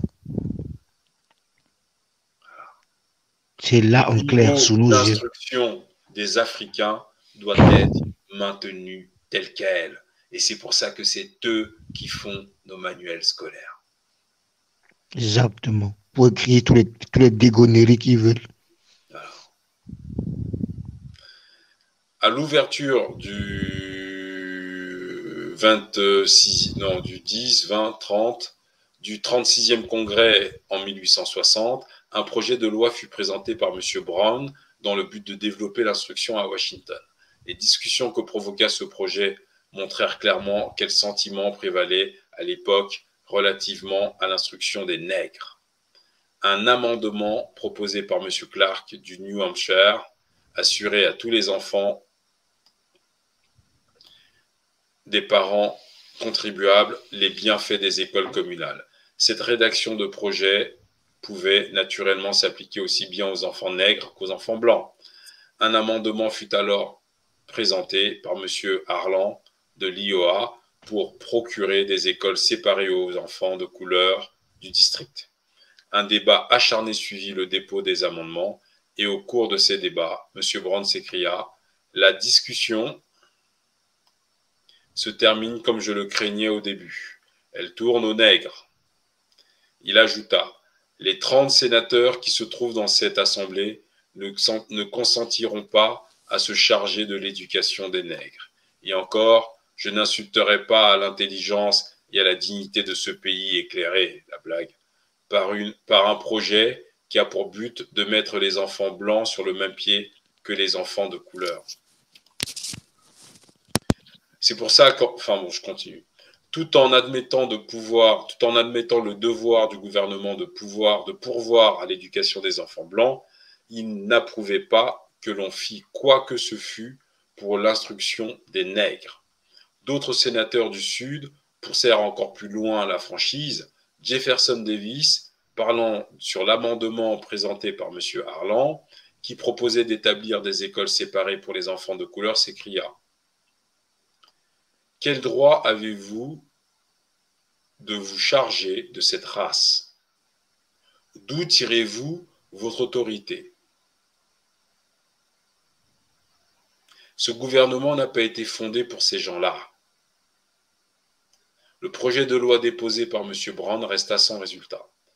La question de l'instruction libre des nègres ne fut plus, plus soulevée avant la guerre civile.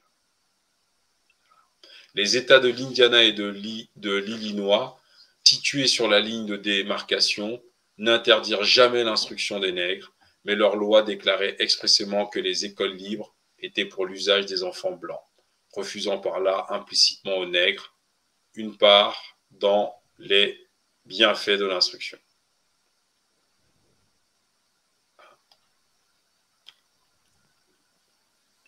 Des écoles privées furent fondées pour les enfants de couleur, mais la population blanche ne les regardait pas d'un bon œil. Quelque temps avant la guerre civile, le Free Mission Institute de Quincy fut détruit par une bande euh, d'émeutiers parce que les nègres y avaient été admis comme élèves. En fait, vous vous rendez compte?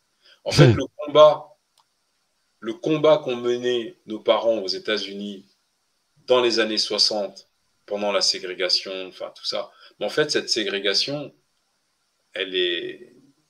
Elle, a, elle, avait, elle avait, déjà six siècles, quoi. Voilà. En fait, c'est un, un très très vieux combat. Vous vous rendez compte de la barbarie de ce pays? Hmm. En fait, on est en train de se rendre, compte- se rendre compte qu'en 1770, il y avait déjà ce combat aux États-Unis, jusqu'à dans les années 60-70. C'est quand même dingue. C'est un combat qui a duré 200 ans. Et encore aujourd'hui, on va. Ah, eh, je te jure, ces gens, c'est. Et ils font, ils font semblant, ils font semblant. Hein. Ils sont champions pour le, le semblant. Ils font comme si ça n'avait jamais été ainsi. Oui, réinventer l'histoire. Ils aiment Hmm faire ça. Ils aiment réinventer l'histoire. C'est c'est chaud. En, en tout cas, ça fait de la matière. hein. Je veux dire, nos gamins demain, nos descendants, là, quand ils vont étudier tout ça, je peux vous dire que Ils vont tomber de nœuds. c'est ça. Dans l'Ohio, les nègres de Cincinnati ouvrirent une école pour les enfants de leur race en 1820. En 1829, dans un acte relatif aux écoles communales, il fut ordonné que la fréquentation de ces écoles par les nègres et les mulâtres fut spécifiquement prohibée, mais que tous les impôts perçus sur la, sur la propriété des gens de couleur, comme impôts scolaires, fussent consacrés à leur instruction, à l'exclusion de tout autre objet. Les enfants de couleur étaient donc exclus des écoles communales, mais les impôts dérivés des sources ci-dessus mentionnées ne furent pas, pendant 20 ans, consacrés à leur instruction. En 1835, une autre école nègre fut ouverte à Cincinnati, mais l'opposition faite à cette école fut si violente que des émeutiers la fermèrent et à plusieurs reprises. On faisait subir toutes sortes d'ennuis aux maîtres blancs, au point qu'il leur était à peu près impossible de trouver pension en ville. Tant, tant étaient forts les préjugés qui existaient contre leur profession. La législature de l'Ohio fit en 1840 une loi établissant des écoles communales pour les nègres.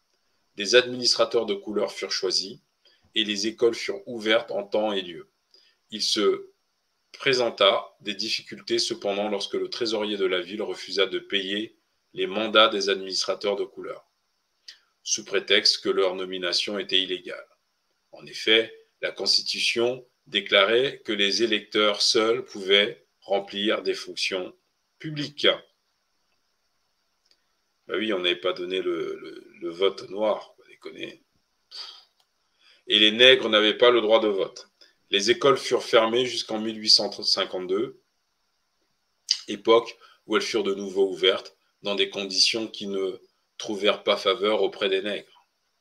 En 1856, on fit une nouvelle loi qui établissait les écoles sur une meilleure base. Il faut remarquer que pendant cette période an- antérieure à la guerre, alors que l'opinion publique était si nettement hostile à l'éducation des nègres, le collège d'Oberlin, par une voix de majorité dans son conseil d'administration, admit dès son ouverture en 1835 les nègres sur un pied d'égalité avec les blancs. Au début, naturellement, il ne se trouva que de rares sujets nègres qui purent profiter des avantages ainsi offerts pour acquérir une instruction supérieure, puisque les écoles préparatoires faisaient défaut. Mais quoique le nombre de nègres eût tou- toujours été restreint parmi les élèves du collège Oberlin, il pouvait en 1900 compter 128 nègres parmi ses diplômés. La première école nègre de la Pennsylvanie fut fondée en 1750 par Anthony Bennett, fils fils de parents huguenots français. Il avait été profondément impressionné par la condition malheureuse des nègres il consacra sa vie à la cause des anti-esclavagistes. Il instruisit des nègres gratuitement dans les classes du soir et à sa mort, il laissa, euh, en fidé. Je sais pas ce que c'est ça. En fidei commis un fonds destiné à établir une école de couleur. Il exprimait des vues fort nouvelles pour son temps et son, et son milieu lorsqu'il disait Je peux assurer en toute vérité et sincérité que j'ai trouvé parmi les nègres une aussi grande variété de talents que parmi un nombre égal de blancs. Certains gens prétendent que les noirs sont des êtres inférieurs sous le rapport des facultés. Je ne crains pas d'affirmer que cette idée est un préjugé vulgaire basé sur l'orgueil ou sur l'ignorance de maîtres aristocrates qui ont tenu leurs esclaves à une telle distance qu'ils ont été incapables de s'en former une idée juste.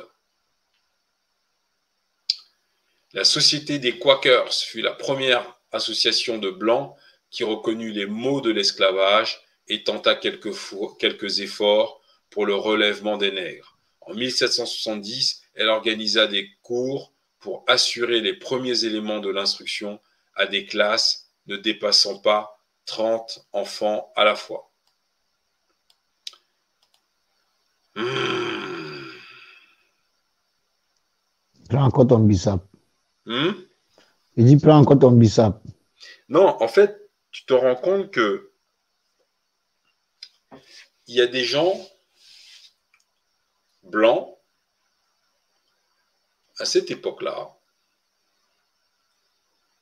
Des gens avaient pleinement conscience de ce qu'ils faisaient. Tous fétiches, ils en avaient, ple- ils en avaient pleinement conscience de ce qu'ils faisaient. Totalement. En fait, on n'est pas dans un délire où, euh, où les gens, euh, comment dire ça? En fait, qu'est-ce qui les a motivés à maintenir cet état de fait? L'argent. Effectivement, le matériel, c'est que l'argent. Ils avaient la main, la main d'œuvre servile. Ça. Ils, ils ne voulaient pas se- s'en débarrasser parce qu'ils en avaient besoin pour augmenter leur capital, C'est ça. pour, pour, pour, pour, pour, pour- pour proférer la, pour, pour euh, développer la, la, le, le- le- le- le- comment ils appellent ça, l'industrialisation, C'est ça. pour pouvoir absorber les richesses. Et comme ils n'ont pas assez de force pour pouvoir travailler, eh ben, ils avaient la main servile qui détenait par les bouts des canons. Parce qu'ils n'allaient pas bosser eux-mêmes, pour déconner? Voilà. Ah ben, ah ben Félix, euh, j'irai un peu plus loin. Hein. Euh, c'est pas seulement l'argent. hein. Euh, bah, à travers euh, les analyses que je vais que je vais essayer de démontrer et de propos et de et de montrer à l'audience quand il s'agit de la mélanine, ces gens ont une insécurité en eux. Ce ne sont pas des êtres naturels pour moi. Ce ne sont pas des êtres solaires. Nous sommes des êtres solaires. Nous, notre corps est fait en harmonie avec le cosmos, est fait en harmonie avec la nature. Et ces gens ont des problèmes pour vivre sous le soleil. Ils ont, ils ont, euh, ils ont cette jalousie envers les peuples mélanisés parce que ces gens sont, sont en harmonie avec le cosmos et, euh, et sont compatibles avec leur environnement. On a toujours ce souci de vivre en harmonie avec notre environnement. Ces gens, c'est le contraire. C'est la tuerie, c'est le génocide, c'est la mort. Ce sont des diables. Mais Panthère, tu sais comment, tu sais comment on les appelle aux États-Unis? Non, c'est pas moi qui vais t'apprendre Ice Brother ou Vanilla Brother. Ou bien? Désolé, homme nous paraît. J'ai mon petit gosse là qui. euh, Je disais, je disais, tu sais comment on les appelle aux États-Unis? Les Noirs les appellent aux États-Unis? Ils les appellent Ice Brother ou Vanilla Brother. Mais tu sais que si tu. brother over what? Ou Vanilla Brother. OK. Mais tu sais que si tu mets la, si tu mets la, la, la glace vanille sur le soleil, elle va fondre. OK. Mm, tu vois? Tu vois, si tu mets la, si tu mets, si tu mets Ice, euh, Ice Brother sur le, sur le soleil, il va fondre. Qu'est-ce que tu veux? Non, non, euh, paraît. Je, je, je, je, je, vais, je crois que. Stéphanie, stop. Je crois que j'aurai euh, assez de temps de me préparer pour ça euh, parce que j'ai des euh, des trucs que j'ai découvert euh, dans un livre et dans dans des vidéos d'un noir américain ici. Il est docteur en, en, en chimie. Il a étudié les polyesters et il parle de la mélanine et il entre dans un niveau vraiment très profond et il révèle en fait euh, euh, l'attitude de ces gens envers les peuples mélanisés. C'est pas le docteur cette- Uma Johnson? euh, non, non, non, non, non, non, non, c'est pas Ah. lui. Donc, euh, donc euh, en fait, euh, ça va, ça va au-delà de l'argent. Tu vois, ils ont, ils ont, ils n'ont pas, ils, ils n'ont pas cette sécurité que nous avons. Tu vois, quand il s'agit de vivre en harmonie avec la nature, ce sont des destructeurs, ce sont des pollueurs. Tu vois, euh, si tu regardes tout ce qu'ils fabriquent, tout ce qui se passe autour de nous, c'est la mort. ça, ça ne nous amène que vers la mort, à, à coup de feu, quoi. Ouais, ok, merci, je m'arrête là. Fétiche, fétiche. Ouais. C'est pas toi qui as posté euh, une, euh, une- un spam sur ta chaîne d'un message d'un chef indien à ces gens-là qui a dit que la terre ne nous appartient pas, nous l'avons héritée. C'est pas toi qui as posté ce, ce message-là? Non, ça me parle pas. Non, mon frère. non, mon frère. Ça, c'est pas moi. Non, non, mon frère. Si tu, euh, il faut me, il faut me reposter ça. Alors, ça ne me ressemble pas ça. Alors, euh, non, non, non. Donc, grâce aux efforts des Quakers, grâce à l'abolition Society et aux munificences de quelques particuliers, d'autres écoles furent établies pour la race de couleur, et dans le nombre de ces écoles se trouvaient plusieurs établissements industriels et agricoles où l'on enseignait aux nègres le labourage et divers autres métiers.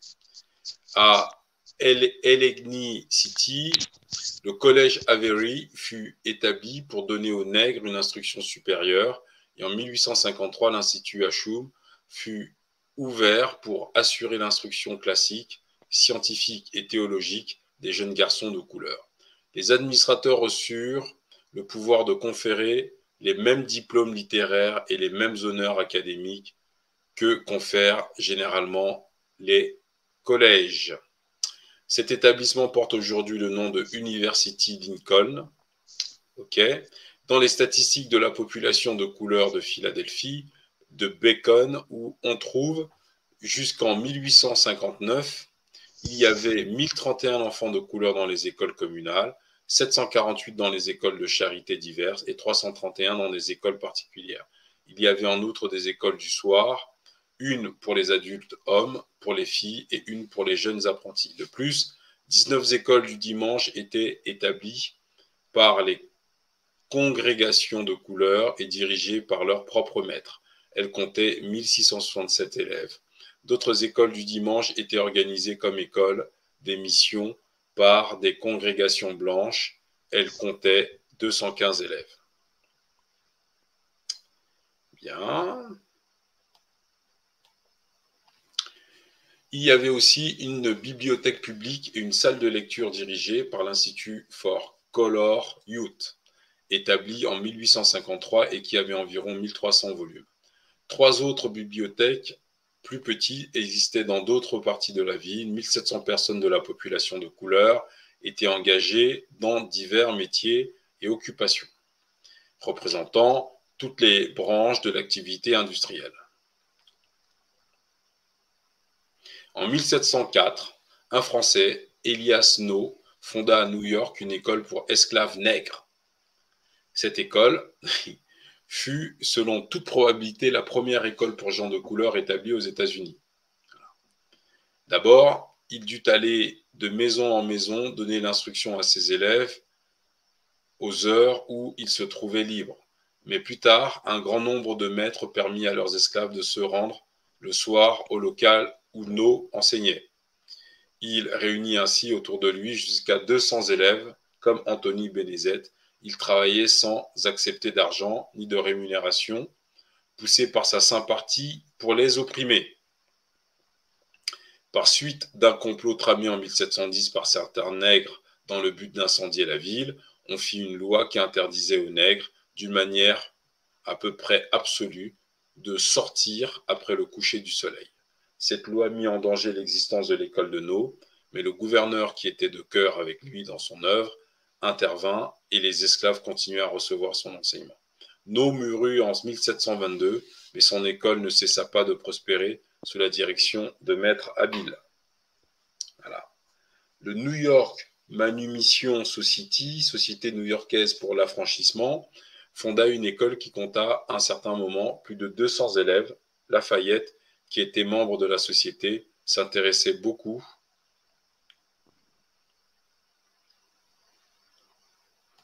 Encore celui-là. à cette époque et la visita en 1824 lors de son voyage à New York. Avec le temps, les écoles de la Société pour l'affranchissement se fondirent dans le système des écoles communales. En 1852, on établit des écoles du soir pour le bénéfice de ceux à qui leurs occupations ne permettaient pas de fréquenter les écoles du jour. Quelque temps plus tard, on ouvrit une école normale pour préparer des maîtres de couleur. Dans la Maine et le Rhode, Island, les enfants nègres jouissaient indifféremment des mêmes privilèges scolaires que les enfants blancs. Dans l'un et l'autre État, on avait accordé la, la franchise électorale aux nègres dans le Maine en 1820 et dans le Rhode Island en 1847. La première école nègre du Massachusetts fut établie à Boston en 1798. Les parents des élèves subvenaient aux frais d'entretien. Deux ans plus tard, les habitants nègres adressèrent aux autorités locales une pétition demandant que l'on ouvrit une école communale, mais il ne fut pas fait droit à cette requête. En 1835, la ville décida de contribuer pour 200 dollars par an au maintien de l'école établie en 1798. Une école primaire pour enfants de couleur fut établie par la ville de Boston en 1820. Les écoles, en fait, vous vous rendez pas compte, on est, on est en fait en train de, on est en train de remuer les, les tripes nauséabonds des États-Unis. Voilà, voilà le grand pays qu'on nous raconte, la liberté. La démocratie. Voilà, voilà franchement l'histoire d'un pays qui donne des leçons à la terre entière. Jamais vous irez fouiller l'histoire de la Chine et découvrir que les Chinois euh, traitaient les Vietnamiens, les Cambodgiens comme ils font là, ou les Indiens. Jamais. Hmm. Ça existait nulle part ce qu'on est en train de dire là, dans l'humanité. Et, et rappelons-nous que les Chinois n'ont jamais oublié qu'ils ont été pris en esclave pour faire les chemins de fer aux États-Unis. hein. Ils l'ont jamais oublié. hein. Franchement? Les Chinois n'ont jamais oublié ça. Les chemins de fer qu'ils ont, qu'on a déporté leurs parents pour faire aux États-Unis, ils n'ont jamais oublié. Ça rappelle comme si c'était hier. Voilà, voilà les États-Unis que les gens vont là. Ouais, allé aux States. euh, ouais, voilà. Il dit- Faut pas te, faut pas te, cal- faut pas calmer, c'est, le pays de l'aigle royal. Mais l'aigle royal, c'est pas, c'est pas, l'aigle royal, c'est celui des Indiens, des Amérindiens, pas celui des, des sociopathes là. Mais ils l'ont transformé en leur rigor. Non, laisse tomber, mon frère. La nature exècre ces gens-là. Cet acte disant en outre que tout enfant qui, à cause de sa race, de sa couleur ou de ses opinions religieuses serait exclu de toute école communale ou de toute école de district, si ces titres sont autrement suffisants, pourrait obtenir des dommages et intérêts. Bon, je, vous passe des trucs. Euh, bon, ok, là on a compris que euh, c'est quand même, euh, c'est de la ségrégation partout. On va pas se taper toutes les villes des États-Unis. On va, dé- on va descendre et attaquer le chapitre euh, qui suit. Hmm. Espérons que ce soit au moins léger. Oui, là on a vu que les écoles, euh, enfin, c'est, je pense qu'on a à peu près fait le tour. Mais tu sais, euh, faudra toujours, toujours leur rappeler ce qu'ils ont fait. Toujours. Comme une chanson. Oui. Toujours leur rappeler. Même si c'est le passé. On a, une, on a tous un passé, il faudra leur rappeler. Ah oui, hein? Ah oui. Et, et ils seront enchaînés, ils seront enchaînés à leur passé, hein? C'est Ah ça oui. qui leur joue les tours maintenant, là. La honte doit changer de côté, tu sais. Ça doit plus être nous qui devons avoir honte, mais eux. En plus, tout ce qu'on lit là, c'est vraiment à vomir. Hmm. Comme dit on, on continue. Continue à nous faire mal, Pekka. Vu que toi-même, tu aimes souffrir, là. C'est partagé. l'éducation industrielle avant la guerre. Cependant, si le nègre manquait à un point regrettable de toute instruction scolaire, il y avait un côté de son éducation qui certes n'était pas, n'avait pas été négligé. Nous voulons parler de l'enseignement industriel. Naturellement, on n'avait pas donné à cet enseignement au nègre en vue de son propre bien. L'esclavage n'était pas entretenu dans des idées philanthropiques. Néanmoins, le Effectivement. nègre- Néanmoins, le nègre tira son profit de cette instruction industrielle et par ce moyen obtint une place particulière dans la société. Une place qu'il ne faut pas oublier en formulant des plans pour son éducation. Une grande majorité des nègres, il est vrai, étaient ouvriers agricoles et pour cette situation, ils n'avaient guère plus besoin d'instructions que les bêtes de somme qui partageaient leurs travaux. Cependant, un certain nombre avaient été choisis pour des tâches qui demandaient plus d'habileté. La maison du planteur avait, avant la guerre, été dans un certain sens une école industrielle où la jeunesse nègre était forcée d'apprendre les divers métiers et les diverses industries, le labourage dans ses détails, les métiers de charbon, de forgeron, de plâtrier, de tailleur, de cordonnier. De leur côté, les filles nègres apprenaient à être d'excellentes couturières, cuisinières, ménagères, blanchisseuses, car il ne faut pas oublier que presque tous ces métiers inférieurs étaient exclusivement réservés aux nègres. C'est c'est- c'est- c'est la même chose qui veut nous faire faire jusqu'à présent. C'est la même chose qu'ils nous font jusqu'à présent. Ceux qui étaient avantagés sous le rapport physique et intellectuel étaient choisis pour le service de la maison. Ils recevaient, alors oui, pardon, ceux qui étaient avantagés sous le rapport physique et intellectuel. Physique, c'est pour les filles, hein, étaient choisis pour le service de la maison. Ils recevaient une certaine instruction. Ils étaient d'ailleurs quelquefois les enfants illégitimes des maîtres ou des planteurs voisins. Ok. Ok. Comme Ces toujours. serviteurs domestiques, en contact journalier avec la famille et les amis du maître, ne pouvaient manquer d'acquérir quelque chose de cette culture rare et de cette élégance pour lesquelles le Sud fut justement renommé. Tu parles d'une élégance. Cette éducation industrielle de l'esclavage, quelques excellentes qu'elle ait été, quelque excellente qu'elle ait été, restait loin cependant de ce qu'on aurait pu accomplir dans des circonstances analogues avec des affranchis. L'esclave ne recevait pas une instruction industrielle dans le vrai sens du mot, car la discipline intellectuelle lui faisait presque toujours totalement défaut. Mais il acquérait une certaine dextérité manuelle. Il n'avait aucun mobile qui l'encourageât au travail. L'esclave n'a pas de cerveau, mais peut avoir une dextérité manuelle. Il ne pouvait prendre à sa besogne que peu ou point d'intérêt, puisqu'il n'avait pas de part aux fruits de son industrie. En outre, tout travail manuel était marqué du stigmate de la servitude. Il se trouvait avili parce qu'il était en quelque sorte l'apanage exclusif de l'esclave. Par conséquent, lorsque les nègres acquirent leur liberté, ils montrèrent tout naturellement de la répugnance à exécuter des travaux manuels.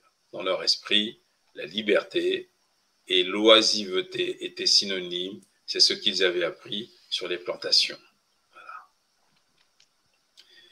L'instruction à laquelle ils aspiraient n'était pas celle qui leur enseignerait à gagner honnêtement leur pain quotidien aux moyens d'occupation industrielle. Ce qu'ils voulaient, c'était un enseignement sco- scolastique qui joint à certains arts d'agrément, voilà, les, les mis immédiatement au même niveau que le blanc et leur assura cette même vidèse et de plaisir qui, dans leur esprit, était le complément inséparable de la liberté. Tu m'étonnes, les frères ont Hmm. tellement souffert.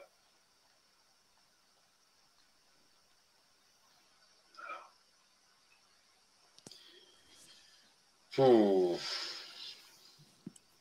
Un commentaire? Ouais. Tu sais, de ta lecture, là, ce qui m'a un peu. euh, Ça m'a fait bizarre, c'est quand ils disent l'enseignement industriel. Tu sais, quand tu as un troupeau d'animaux et que tu veux les enseigner quelque chose, tu sais. Mhm. Ça. Et puis, euh, quand ils disent euh, la discipline intellectuelle leur faisait défaut. Super. Ça veut dire qu'on n'était pas très intelligent, en fait. hein. Bah non, non, Ça. non, non. Mais même Ah aujourd'hui, d'ailleurs. Mais même encore aujourd'hui, cette pensée, elle est toujours vivante. Elle est toujours vivante. En effet, dire- parce qu'il il nous, éduquait comme un type, un peu comme le dressage des chevaux. C'est ça. C'est ça.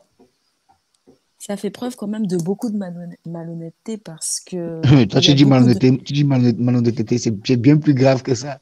Mais oui, mais il y a beaucoup de Noirs qui ne pouvaient pas poser- déposer de brevets à cause des lois qui ont été mises en place. Et ça, en fait, ça, ils le, ils le disent pas. Non.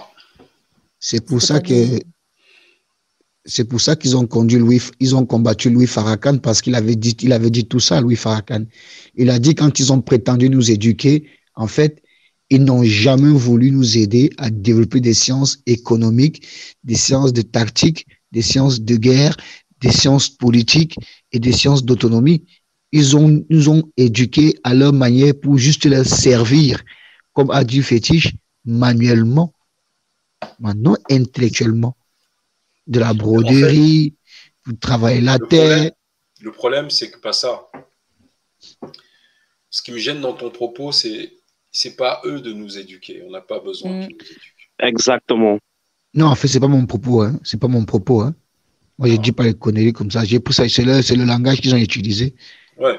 C'est-à-dire que eux, ils estiment que, alors que quand même ces gens qui écrivent tout ce qu'ils écrivent, c'est avec l'alphabet que nos ancêtres, l'ancêtre de leurs esclaves avait apporté à leurs ancêtres. En gros, ils estiment que eux peuvent nous éduquer. Regardez-moi ce, que ces gens-là. En fait, c'est moi, c'est ça qui m'impressionne. On parle de gens qui sont capables de, de, de barbarie, là, comme on a vu sur ce, sur ce livre. Et ensuite, c'est eux qui parlent d'éduquer. Je ne sais pas si vous vous rendez compte. Euh, fétiche, euh, à la lumière euh, de ce qu'on vient de lire et de ce que tu viens de dire aussi, euh, quand on regarde euh, les, civi- les civilisations euh, africaines, noires, on, on- voit que l'homme noir a fait des choses vraiment qui ne peuvent pas être répliquées aujourd'hui. Ils ont, ils ont pillé nos connaissances, ils les ont, ils nous ont endormis à travers euh, les génocides, l'esclavage. Ils ont effacé et éradiqué euh, les connaissances de nos ancêtres et ils les réutilisent aujourd'hui sous d'autres formes et ils nous font croire que ils sont les maîtres de, la connaissance. Ils ne le sont pas. Les civilisations, l'histoire nous apprend euh, qui nous sommes et de quoi nous sommes capables. Et ça, et ça revient à nous de nous éduquer nous-mêmes. On ne peut pas compter sur ces gens. On n'a pas compté sur eux. Ils n'étaient même pas présents quand nos ancêtres ont, fait des choses grandioses.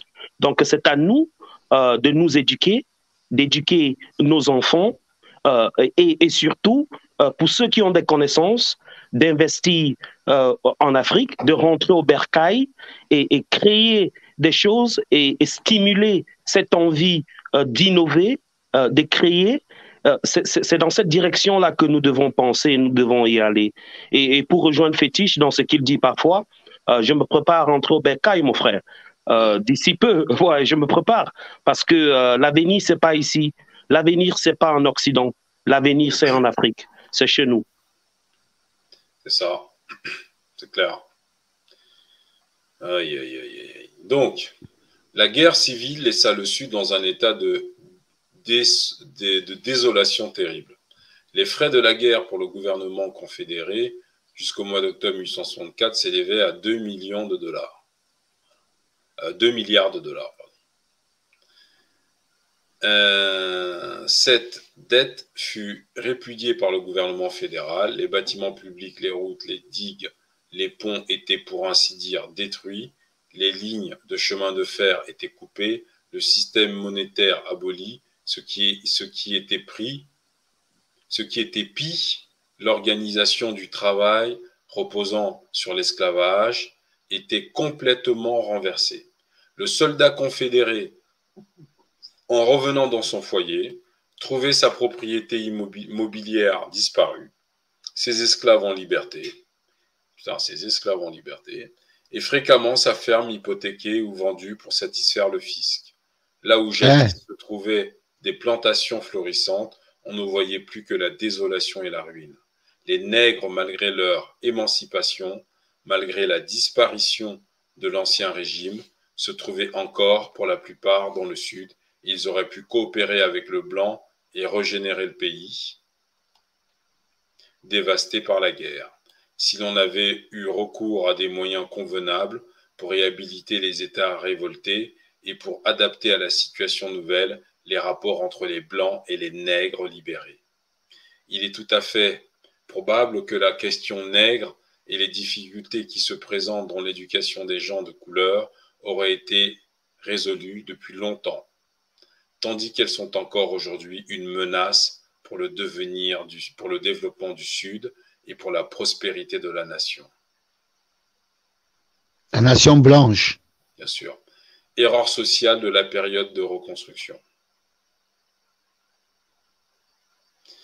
Bon, moi, honnêtement,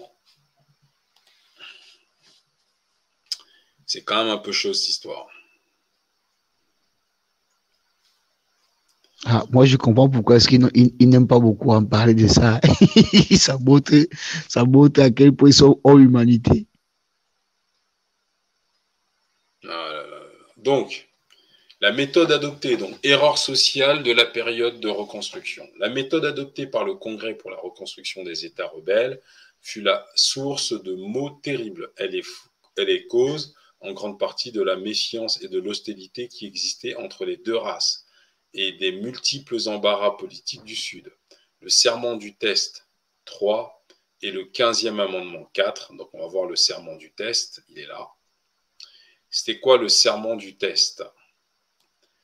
Voilà ce que dit le serment du test. Je jure de la façon la plus formelle que jamais je n'ai volontairement porté les armes contre ma patrie, depuis que je suis citoyen des États-Unis, que jamais je n'ai de plein gré soutenu, favorisé, conseillé ou encouragé leurs ennemis déclarés, que jamais je n'ai tenté ni accepté d'exercer une fonction quelconque sous un gouvernement vrai ou fictif hostile aux États-Unis.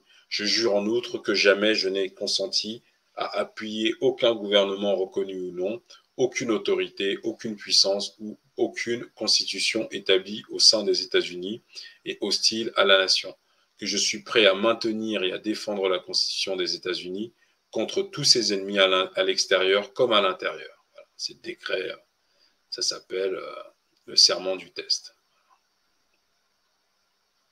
Ce serment, il était, il était, il était prononcé par qui? Hmm? Il était prononcé par qui le serment? Je ne sais pas, par, euh, par probablement tout citoyen qui voulait euh, probablement avoir des, des rôles politiques, locaux, euh, etc. Ça, c'est après la guerre. Donc, qu'est-ce qu'on a? On dit le 15e amendement enlevait,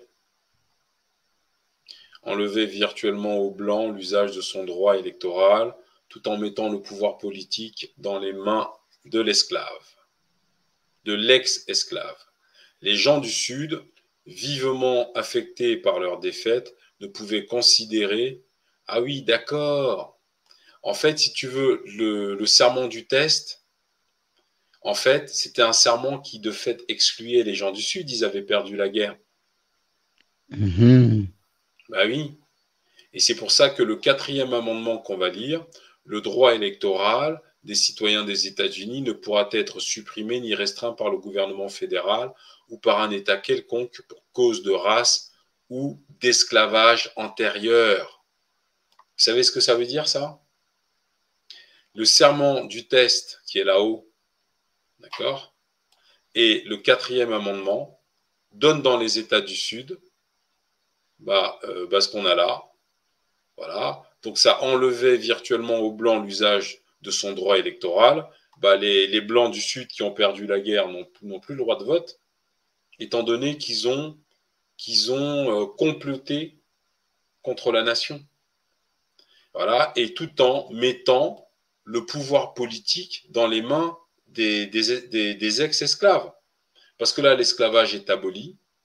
Et seules les personnes qui n'ont pas levé les armes contre la nation américaine ont le droit de vote. Donc ça veut dire que tous les blancs du Sud se retrouvent exclus politiquement. Je ne sais pas si vous comprenez.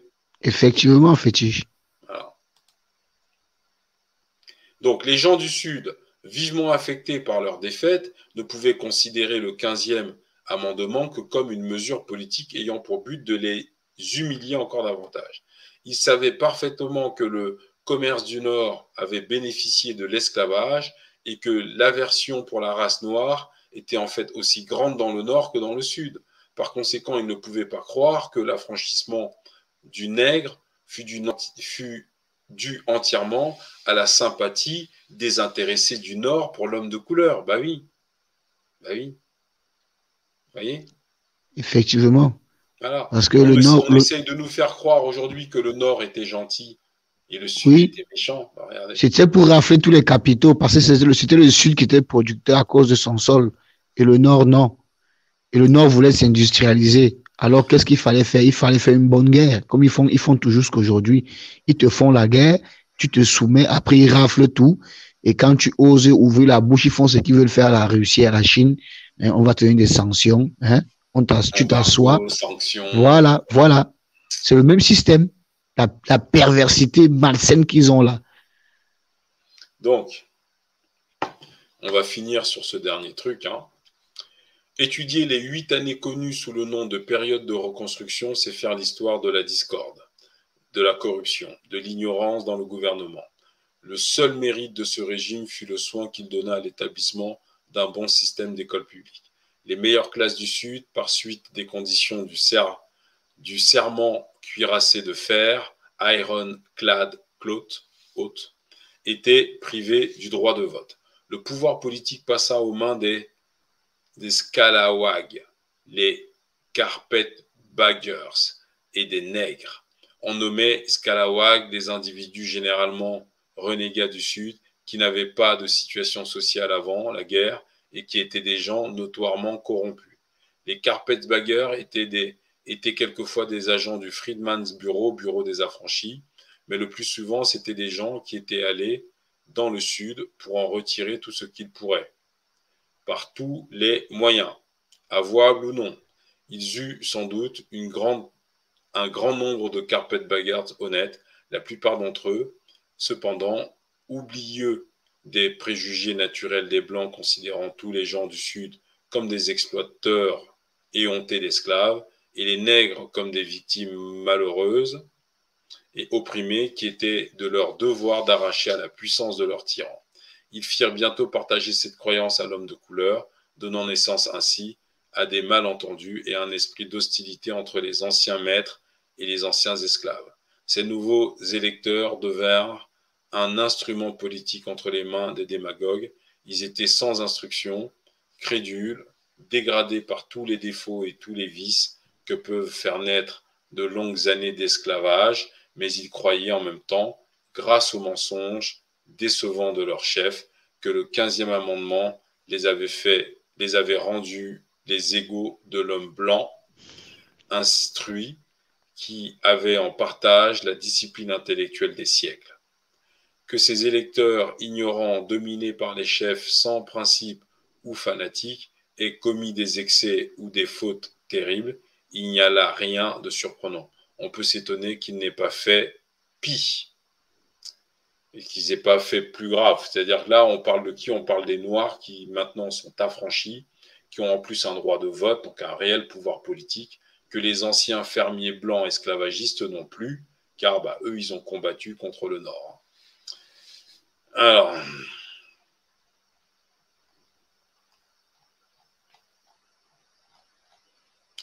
le gouvernement des carpetbaggers et et la législature nègre rendirent impossible la réconciliation entre les deux races, raffermirent dans l'esprit des gens du Sud la croyance à l'irrémédiable infériorité morale et intellectuelle du nègre et les déterminèrent à lutter pour rabaisser le nègre et pour le maintenir à la place qu'il croyait être réellement la sienne. Ainsi, il est facile de comprendre pourquoi le projet, on va voir ça, alors le petit 1 c'est quoi?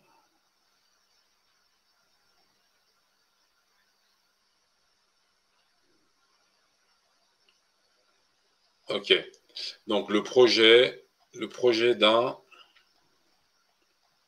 programme d'instruction pour les nègres trouva plus d'avocats dans le nord que dans le sud, et pourquoi parmi les gens du sud, ceux mêmes qui étaient en faveur de l'instruction du nègre ne pouvaient pas s'entendre avec les gens du nord au sujet de l'espèce d'instruction la mieux appropriée aux besoins des nations, aux besoins des anciens esclaves. On doit dire en toute, en toute justice que les gens du Sud étaient de bonne foi dans leur opposition à un enseignement scolastique pour le nègre. Ils croyaient qu'ils étaient incapables d'y trouver aucun avantage et que le peu d'instruction qu'ils pouvaient en retirer le rendrait impropre à remplir dans la société la place que le sort lui avait assignée, parce qu'il serait amené là à devenir un être à la fois mécontent et dangereux. Voilà. On va s'arrêter là. Voilà les, voilà, voilà les diables. Wow. En tout cas, ce qu'on peut dire, c'est que sur cette deuxième partie de ce livre, bah, hostilité, hostilité, hostilité, hostilité, hostilité, mépris, mépris, mépris, mépris, mépris. À tous les étages. Vraiment. À tous les étages. C'est, moi, je trouve ça hallucinant. euh, ce, cette espèce de, il y a un truc qui va pas chez ces gens. Qu'est-ce qui peut bien?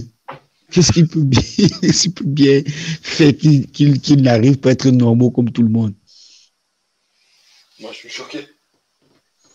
En fait, je te dis, quand tu, quand tu lis, quand tu lis le livre de ce, de de ce, de ce, de ce- de cet euh, historien que j'ai acheté, historien archéologue, mais c'est-à-dire que tu vois, aujourd'hui, quand j'ai même écouté son interview, c'est-à-dire, tu vois comment le journaliste même, il est, il, il est, il est vraiment mal à l'aise quand, quand, quand le, le, type-là le dit ça. Il est vraiment mal à l'aise. C'est-à-dire, il sait au fond de lui que c'est la pure vérité, mais la manière que c'est un historien et un archéologue qui dit ça comme ça, vraiment, il aimerait qu'il n'ait pas à dire que la violence, tous les mauvais mots de l'humanité proviennent de l'Occident. En fait, lui ne voudrait pas. Pour lui, c'est une chose qui est tabou. Tu ne dois pas le dire comme ça. Bah oui, mais je sais pas quoi dire. Non, il n'y a rien à dire, fétiche. En fait, ce n'est que le résultat de. Nous nous découvrons, nous nous sommes en train de découvrir réellement qui sont ces gens qui ont maltraité et génocidé nos ancêtres et fait disparaître énormément de populations. Nous découvrons parce que ceux-là n'ont pas eu le, temps et la chance de les découvrir. Alors nous allons les découvrir pour permettre aux générations futures de s'en épargner de ces gens. C'est ça. C'est en fait c'est le devoir que nous pouvons faire.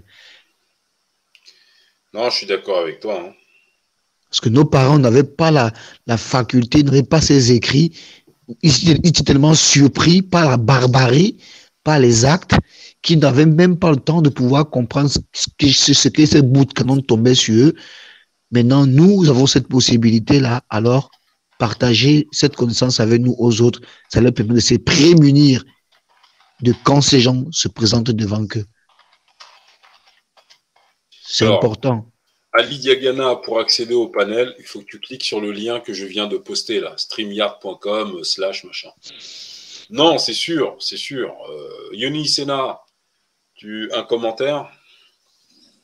Alors moi, je dirais euh, euh, qu'on doit se désaliéner.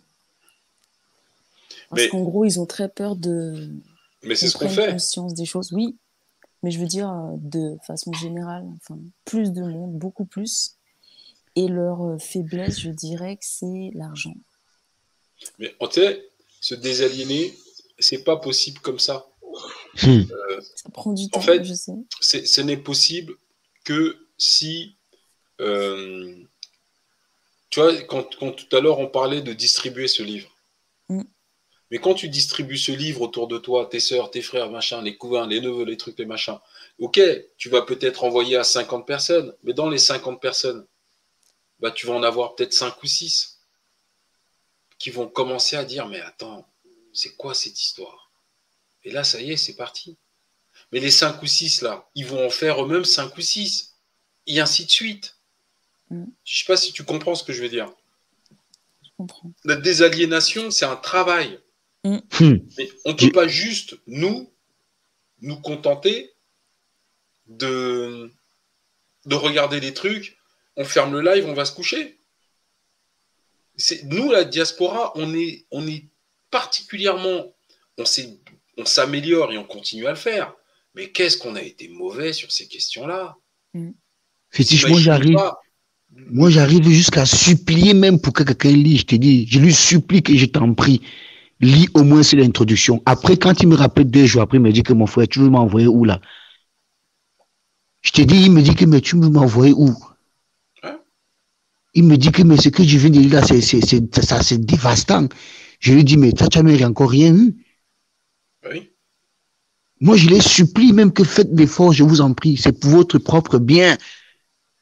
Oui, mais en même temps, en même temps, comme on a dit, il y a un gros travail. Moi, en Afrique, pour moi, c'est les universitaires et les enseignants qui m'intéressent. Eh oui. Donc aujourd'hui, là, quand on fait un live comme ça, dans, moi j'ai envoyé ça, je dis, il faut distribuer au Mali, là. J'ai envoyé un enseignant au Mali. Je sais que tous ses collègues vont avoir ce livre. Tous. Eh oui. Donc vous, vous devez aussi avoir sur le continent une sœur, un frère qui vous sert de pivot. Vous savez que si vous lui adressez un truc important, ça va circuler. Et ça, c'est un, c'est une obligation. C'est même pas un devoir, c'est une obligation. Vraiment.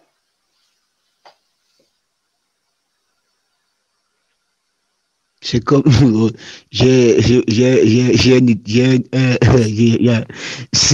un ami sénégalais où il, où il, est musulman, je lui vois de, je, lui vois faire les publicités de, de, de Noël. Je lui ai envoyé le message. J'ai dit, mais Habib, mais c'est quoi, tu es musulman et tu fais la publicité à la télévision de Noël? Il m'a, tu sais qui m'a raccroché au nez?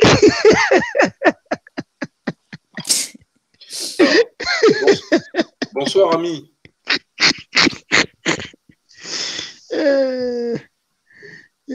Bonsoir, bonsoir tout le monde. Bonsoir, ami, bonsoir, grande sœur. Bonsoir, ami. Bonsoir. Bonsoir. Donc euh, Ouais, voilà, ami, je passais. la, tu, tu arrives après la bataille.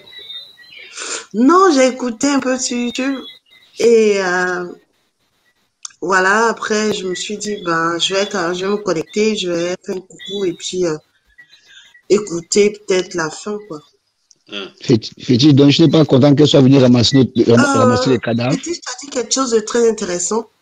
C'est euh, faire parvenir euh, souvent des livres, des choses comme ça aux frères euh, du pays qui, qui, qui, qui sont profs, qui exercent ou qui, voilà. J'ai, justement, j'ai une amie d'enfance qui, qui finit ses études-là pour enseigner euh, à, au lycée, au lycée. Et euh, j'ai, euh, je me suis toujours dit que je, je, bon, enfin, je, je lui ferais parvenir des livres sur, euh, sur des, voilà, des, des livres de Cheikh Anta Diop ou, euh, voilà, des, des livres comme ça. Et quand tu, quand tu parles de ça, ça m'a, je me suis dit, il est temps peut-être que je le fasse, quoi. Bah oui, mais regarde, sans acheter même les livres de Cheikh Anta Diop, tu vois. Dans un premier temps, le, le livre qui nous sert à faire le live de ce soir, il est téléchargeable gratuitement. Le lien pour le télécharger est dans la description du live. C'est un livre que tu vas télécharger, tu lui envoies par WhatsApp. Dans les groupes de la famille, faut envoyer ce livre, demander aux gens de lire l'introduction et de partager. Et oui, on ne peut pas continuer comme ça. Ici, déjà, on est passé de la vie où tu attends le prochain iPhone. On te parle du pays, tu dis, hey, le pays de quoi? Voilà. Maintenant, on est là à faire des lives, à apprendre ensemble. Maintenant, il faut qu'on passe à l'autre étape qui consiste à, dès qu'il y a un document, je prends cinq minutes là, je vide mon contact avec. Tout le monde le reçoit. Les groupes WhatsApp, machin, je transmets. Il faut lire l'introduction. Ce livre-là, déjà, s'ils lisent l'introduction, ils vont poursuivre. Comment je fais pour le télécharger? Tu as un Hein lien? Oui, c'est un lien. En fait, c'est un lien. Attendez, on va le faire ensemble. Je vais vous montrer. Alors, c'est un lien qui vous mène. Je vous montre comment on télécharge. Tonton Biel. Alors, donc, si on prend le truc, si on- donc on tape Kate Brousseau, d'accord, euh, éducation des nègres aux USA. Voilà. Donc, ça arrive ici. Euh, alors, attendez, euh, BNF. Voilà, c'est parfait, il est là. OK Donc, quand vous arrivez ici, vous voyez, le livre, il est là, c'est la première page. D'accord? Ensuite, ici sur le côté, vous avez ici le lien télécharger. Vous cliquez là-dessus, vous le voulez en PDF et vous voulez le document entier. D'accord? Ben là, on- ensuite, on clique sur les conditions générales qui sont là. D'accord? Et ici, il vous propose de télécharger. Voilà. Voilà. Et le livre est téléchargé. Vous comprenez? Oui, mais une fois qu'elle l'aura, elle, est obligée d'avoir, euh, je veux dire, elle va le télécharger, mais après, Non, mais euh, toi, tu il peux, faut le, qu'elle tu peux le télécharger sur ton téléphone en PDF et tu lui envoies directement le livre. Oui, Tu vois? mais après, elle, est-ce qu'elle a besoin d'être, d'avoir Internet euh, pour Non, non, non, pas tout du tout. Si tu lui envoies le livre, elle va, le, elle va télécharger ton message. Donc, elle télécharge le livre. Et après, pour lire le livre, elle n'a pas besoin d'Internet. Tu comprends? Ok. Quand Oui, tu lui envoies le livre, c'est comme si tu lui envoies une image. Elle affiche l'image quand elle veut. Mhm. OK? C'est pareil. Ok. Et ça, c'est des trucs que vous devez faire tout, tout, tout le temps, tout le temps, tout le temps. C'est obligatoire.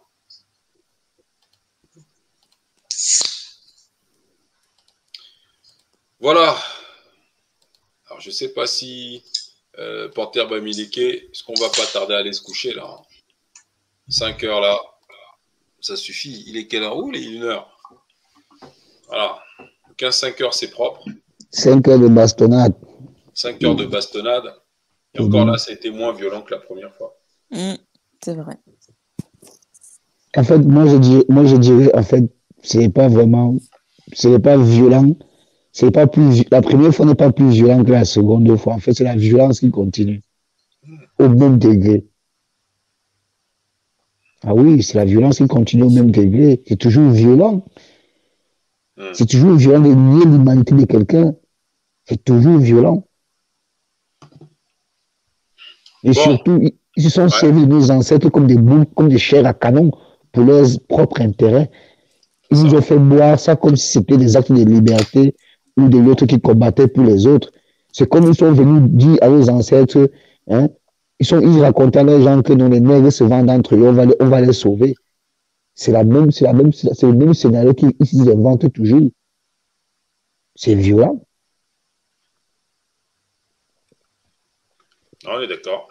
Violent avec ces gens, ils sont. Chez nous, moi, je, je n'aurais pas de qualificatif pour eux, franchement. hein. Ah, il n'y a pas. Je n'aurais pas de qualificatif pour eux. Mais je crois, je crois par contre que si avec le champion de la Coupe du Monde de l'atrocité, non, ils seront, ils seront, ils seront le Barça. Bon, euh, judoka, mon frère, un, un dernier mot, on va se coucher.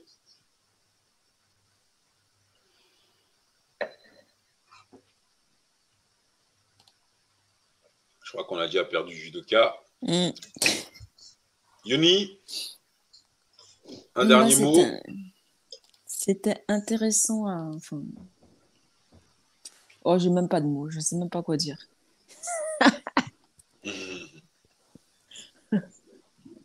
J'ai noté plein de petites phrases. Du coup, euh, je vais m'en souvenir. Ouais.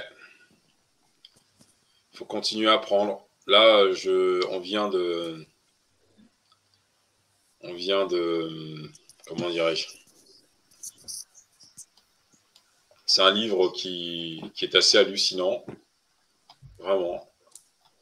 Vraiment, vraiment, je suis impressionné par. euh, En fait, les États-Unis, tu vois, c'est un peu l'envers du décor, quoi. On est dans les coulisses du pays, là. Voilà. Et c'est pas beau. Mais au moins, ça nous a permis de.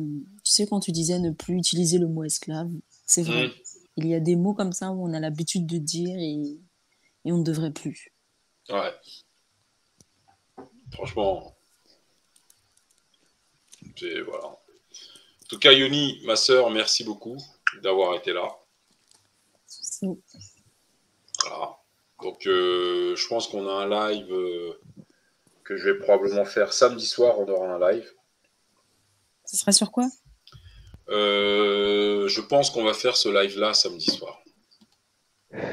Bon, attendez, je regarde parce que en fait, j'ai déjà des trucs là. Je sais même plus où j'en suis. Voilà, tout ça. Attendez, bougez pas. Samedi, alors là, euh, samedi, on peut faire le live sur Monsieur euh, Egunchi, non? Mmh, Oui. Ça va être Ou chaud sinon, ton live. ou sinon, on peut faire, euh, on peut faire Joséphine Baker ou Egunchi. Hmm, Joséphine Baker, il y a il y a- il y a- j'aimerais bien que les, les cosmopolites qui sont en France là va, va, va, va un peu chercher un peu sur elle. Ils vont dire quoi? Oui, oui, oui, parce que la France ne met qu'au panthéon que les traîtres. Joséphine Baker, moi, ça m'intéresse. hein. Ouais. Bon, on, on fait Joséphine Baker euh, samedi. On va, on va, on va, on va, on va déjoséphiner la Baker là. Parce que Joséphine Baker, en gros, l'idée, c'est. euh, l'idée, c'est. Donc, Joséphine Baker, c'est samedi soir. L'idée, c'est de faire un parallèle entre le meurtre des, des- des Noirs euh, au- en Afrique et. euh, c'est-à-dire, euh, c'est la mort pour nos familles en Afrique, et ici, on veut détourner notre attention. Maintenant, regardez, on est gentil, on a mis. Enfin, bon, bref, on va faire. Moi, j'aurais fait Gunchi Béranzin, idéalement. Moi, Joséphine Baker, Ouais, m'intéresse. c'est vrai. pas C'est vrai. Franchement. Ça va être chaud si tu fais sur lui. hein. Béranzin Ouais. Ben, vas-y alors, vas-y, vas-y. Bernard, c'est pas mal non plus. Mais il y a, Béranzin. tonton B qui est arrivé là. Il y a tonton B qui est arrivé là. Attends, je vais mettre Béanzin, euh, Joséphine Baker, on la fera plus tard. On va mettre Béanzin. euh. Béanzin, euh, Béanzin, ça m'intéresse beaucoup plus parce que euh, on va mettre Monsieur Egunchi Béanzin. Voilà, donc voilà, c'est Egunchi Béanzin qu'on va faire, qu'on va faire samedi soir. Lundi on fait, on fait Joséphine Baker. Ok. Voilà. Je joue avec le feu si je fais sur Egunchi. Mm, Pourquoi pense il dit aussi. ça? Pourquoi vous pensez ça? Bah, demande-le lui. Pourquoi vous Why, pensez ça? fait, why tu Why fétiche Tu joues avec le feu. Si Parce tu que fais, Je pense qu'il a quand même, il a quand même l'adhésion de beaucoup de gens. Et En du fait- coup, on sait comment ils partent en. Ils sont émotionnels. hein. non, la seule- On s'en fout de ça. En fait, le, moi je suis. Je m'en- je m'en contrebalance, mais un truc de malade. Parce que vous croyez que je vais faire un live sur lui euh, à la, à la Serge Anango ou quoi? Ah non, Bah alors, avec documentation et tout et tout. bien sûr, on veut de la clarification. honnêtement, je peux te dire un truc, c'est que s'il y a des gens qui le suivent et qui viennent voir le live là, bah ils risquent de perdre beaucoup de monde. Bah oui. Regardez, quand on, on a fait un live sur Simo, bah il y a eu six mois avant notre live et il y a eu six mois après notre live. hein. Ce qu'on me rapporte, c'est que il dit plus tout à fait les mêmes choses. hein. Il corrige. Mhm. Voilà. Chancho, on a fait un live sur lui, là, sur, euh, avec son truc avec Naturi. Encore aujourd'hui, euh, il y a à peu près 50 vues par jour, euh, une trentaine de vues par jour. Sur le live qu'on a fait en mai sur Chancho, en juin, je sais plus. J'ai jamais entendu, j'ai jamais vu ce live, mais je vais aller donner un coup d'œil à ce tchancho là. Eh, mon, mon frère, tu vas te marrer parce que moi, je l'ai réécouté le live là. Putain, il- le. J'avais on jamais l'a- su qui c'était. On l'a- l'avais en regardé. fait, on l'a dénudé, le frère. Et c'est même, on l'a dénudé avec ses propres écrits. Tu vois, on n'a pas fait un Congo ça, c'est un feignant, c'est un machin. J'ai entendu dire que Bernadette, la sœur consanguine de ma petite sœur. on n'a pas fait ce genre de truc. Tu vois? Oui. Oui, Fétiche, je réécoutais ce live euh, pas plus tard qu'il y a 3-4 jours, là. euh, Mhm. Je me suis encore marré pendant une heure et demie. hein. Mais c'est- c'est- dites-moi, c'était sur quel live Parce que moi, je ne sais même pas qui est ce. Après, je vais aussi aller voir si je vais résister. Non, il est drôle, ça. ça Ah, c'est un comique. non, c'est un espèce de type euh, qui s'en est pris à Naturie. euh, Je ne sais pas qui c'est. foire. oui. au oui. total. Bah, de toute façon, c'est pas compliqué. Tu vas sur la chaîne Les Fétiches, tu tapes Naturie, tu vas voir le live, et Naturie apparaît sur la, la, sur la vignette. Bon, grand frère BPH, c'est comment? Il vient accompagné de ses grillons. là. Ok, ben, je veux savoir. Toujours, Fétiche, toujours ce griot-là. Parce que là, euh, je crois que, euh, au niveau de ma connexion, il est très bizarre. Non, mais on t'entend très bien. hein. Même, même les on grillons, on t'entend. entend aussi. hein. Ah, Par exemple, là, je vois que il y a des gens qui répondent et je n'entends pas. Là, je... Ah, euh, On t'entend, nous? Nous, on t'entend très bien. On l'a perdu. Bon, euh, un dernier mot, Panthère? Euh, oui, Fétiche, euh, merci pour le live. Euh, ben, C'était vraiment intéressant et euh, euh, malgré le fait que parfois il est difficile et pénible de digérer ce que nous lisons, mais au même moment, le fait que nous découvrons de nouvelles choses est une victoire. Donc, je vois pas seulement ça euh, comme étant euh, de la douleur euh, infligée en nous, parce qu'en fait, nos ancêtres qui ont subi ces atrocités physiques euh, ont souffert plus. Ils ont Ça. souffert plus que nous. Donc, euh, si on s'attarde sur nos souffrances internes, morales et euh, sentimentales, euh, bah, euh, ça veut dire que nous sommes un peu plus faibles que nos ancêtres, quoi, parce qu'ils ont enduré physiquement euh, toutes ces choses euh, vraiment euh, euh, atroces, quoi. Donc, euh, le fait que nous découvrons cela et nous la partageons est déjà une victoire. Donc, euh, je dirais que nous devons continuer le combat et nous devons continuer dans cette lancée. Merci. Tonton. Hein. Tonton BPH, t'es revenu avec, ton, avec tes accompagnateurs. Tonton BPH, il vient toujours accompagner. Il y a derrière. Moi, moi, par contre, j'ai- j'aime le bruit de ces grillons. hein. Euh, ça fait partie euh, du Ça décor. fait penser, ça fait euh, penser à l'ouest, mon frère. Ça fait penser à l'ouest. Voilà, c'est ça. Et en fait, les grillons participent au live, tu vois, ils participent au live. Donc, euh, c'est bon. Tiens, regarde, il y a la sœur qui te répond sur le live sur Chancho là. En plus, on a fait un live, honnêtement, Le, je te jure. le on a père été- Sancho a été lavé, rincé et essoré par la machine fétiche de Oui, parce Merci que pour ce live. Non, on n'a pas du tout insulté. hein. Moi, j'ai été clean. hein. En fait, non, va aller voir le live. C'est un live qui a duré, qui a duré 10 heures, mon frère. Ouais, ouais, ouais. Euh, euh, c'est à partir de ce live, je crois. Je sais pas ce que je cherchais. Je suis tombé sur votre chaîne. Mhm. Et euh, j'ai vu la manière par laquelle vous étiez en train de décortiquer et de déconstruire, euh, euh, de décapiter le mec, quoi, avec ses propres mots, Avec ses, ses propres documents, oh, qui étaient pleins d'erreurs pour un juriste, mais c'était terrible, c'était terrible. Donc, euh, vous avez détruit le mec, euh, voilà, Avec ses propres textes. voilà, c'est ça, avec ses propres textes, ses propres documents. Ouais. Le mec qui te dit qu'il est juriste, mais quand il veut écrire les tribunaux ou les tribunaux, il met les tribunaux. Hey. Bon, là, à un moment donné, tu dis, attends, le gars, il devait fumer un truc énorme. Vraiment énorme. Non, à ce niveau-là, c'est même en intraveineuse, tu fumes plus. Tu vois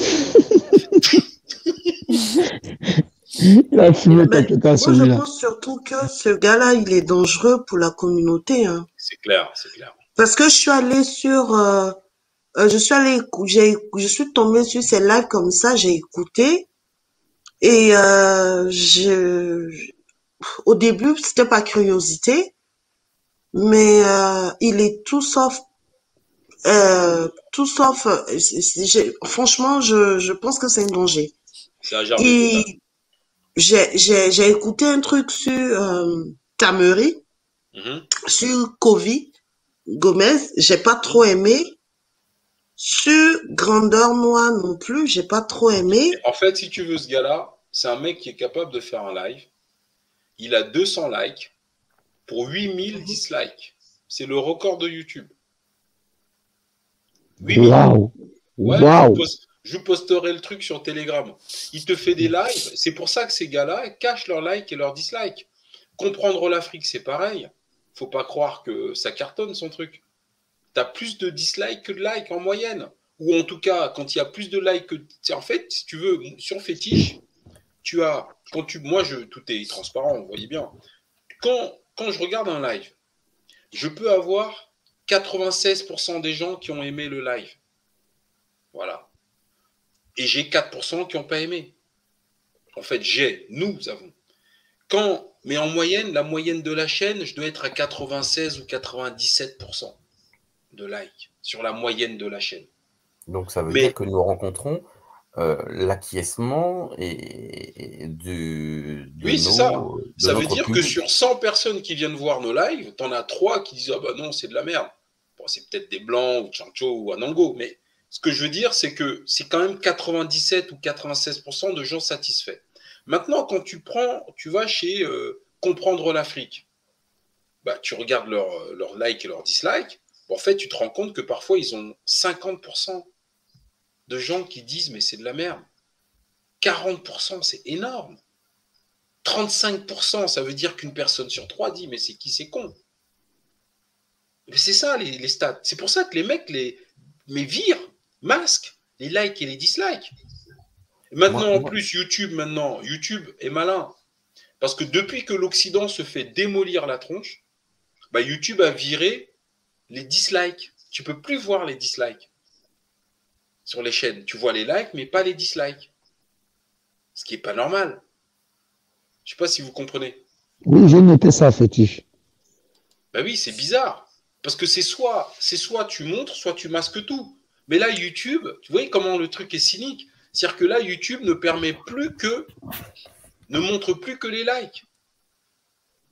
C'est, alors faire c'est- passer la pilule. Pour faire Oui, passer la pilule. C'est-à-dire que un afrophilo qui va te montrer 300 likes, en fait, il va, bah, comme, on- comme tu peux pas voir les dislikes, bah, en fait, le mec, il a quand même 170 dislikes derrière.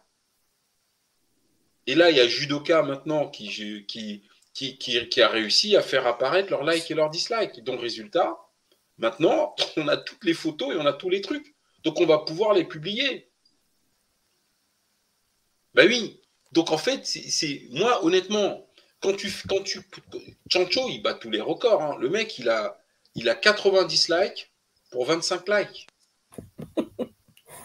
J'ai vu ça, Et, j'ai euh, vu ça, j'ai vu ça Et, sur le et, groupe et, et Telegram. elle est très agaçante, euh, sa, sa collègue. hein.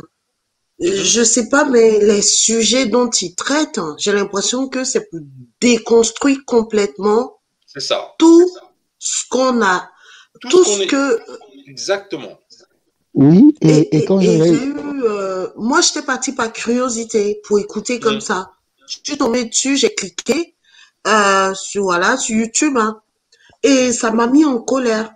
Pourtant, au départ, euh, voilà, je suis partie comme ça pour écouter, pour entendre, et ça m'a mis en colère. Je Moi, dis, mais même moi, je suis en colère là, mais qu'est-ce qu'il fait? Qu'est-ce, pourquoi il se comporte comme ça? Est-ce qu'il est, euh, je sais pas, est-ce qu'il est payé pour faire ça? Je sais pas. C'est ça. c'est- Non, mais tu es obligé. Moi, je vous le dis. Quand, imagine, ma soeur, tu vas créer une chaîne YouTube. Tu fais tes trucs et tout, machin. Tu le fais avec ton cœur. tu te prends, tu, te, tu, tu as 80 likes et tu as 70 likes. Tu as 60 personnes qui n'ont pas aimé ce que tu as fait. Bah, à un moment donné, quand tu te prends 200 likes mais 180 dislikes. Mais à un moment donné, tu dis, putain, il y a quand même 180 personnes qui n'ont pas du tout aimé. Mais à un moment donné, bah, t'arrêtes. Tu changes de sujet, tu parles plus de trucs, ou tu fermes ta chaîne, tu te dis, attends, vous imaginez les fétiches de guerre, là? On fait des lives et tout. Derrière, il y a des commentaires de merde, t'as plus de dislikes que de likes, euh, t'as 40% des gens qui trouvent que c'est nul euh, et tout. Vous pensez que je serai assis là, moi?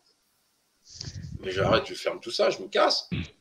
Mais pour qu'un mec comme lui et la déesse s'acharnent à continuer, on masque tout, on continue, c'est parce qu'on les paye pour faire ça. Eh oui. Parce que à quoi ça sert? Déjà, franchement, quand tu te prends le live qu'il se- qu'il s'est pris dans la tête, celui qu'on a fait là, il faut savoir que les lives qu'on a fait sur Jean-Claude Chancho, en totalité, il y a quasiment 20 000 vues aujourd'hui. 20 000. Il y a plus de, il y a plus de 7 000 spectateurs uniques qui ont vu ce live-là. Bah Oui, Serge Anango, regarde, il se prend 55 likes, il se prend 1111 dislikes. Vous croyez qu'il est là pourquoi, Serge Anango? On le paye pour faire ce qu'il fait. Oui, et j'ai remarqué que chaque fois qu'il fait toujours ses likes, ses, ses lives, il y a toujours. J'ai regardé, parce que moi, je suis jamais intéressé surtout par les, les commentaires des, des propos eux tiennent. Et j'ai remarqué que c'était toujours accompagné par beaucoup plus de l'idéologie des locodèmes qui mettaient les commentaires. Parce que lui, quand il attaque la communauté noire, arrêtons d'être pleurnicheurs, arrêtons toutes ces choses, il y a toujours des, des locodèmes qui viennent commenter, en effet, voici un bon nègre, voici un doigt, toujours s'il y a de, de, de, de- j'ai dit, ah, Voilà. c'est là où j'ai dit, non, non, non. Vas-y. Justement, je suis d'accord. Il me fait penser au bon nègre, c'est-à-dire l'esclave de maison. Le nègre pour ça que de j'ai- maison. Il me fait Ouais, le penser à nègre libre, le nègre libre. Au départ, j'avais pas cette impression-là. Bon, enfin, je savais rien de lui, hein, je veux dire. Mais quand j'ai été Moi non plus. écoutée, j'ai été très en, je suis, je suis, je- j'ai été en colère. Et je comprends pas pourquoi il y a des, il y a des personnes qui le suivent pourtant, euh, fétiche, hein, qui Ami, font des commentaires. Non, attends, Et en qui- fait, il faut pas confondre. Des- T'as des gens qui suivent ce genre de mec parce que c'est distrayant. Le mec est tellement con, t'as des gens, ça les fait marrer. Euh, t'as des gens qui suivent Serge Anango parce qu'ils sont cons aussi comme lui. Mais en réalité, si tu veux, je pense que c'est une équipe. En fait, il faut bien comprendre ceci. Il ne faut pas être dupe. Pas du tout. Ne soyez jamais dupe. Un homme comme ça, qui est père de famille, hein, le mec est père de famille. Demain, il parle. C'est-à-dire que, imaginez un Chinois en France qui parle de la Chine, comme fait Serge Anango, de l'Afrique. Ce Chinois-là est mort. Bah tu sais oui. pourquoi, Ami? Oui.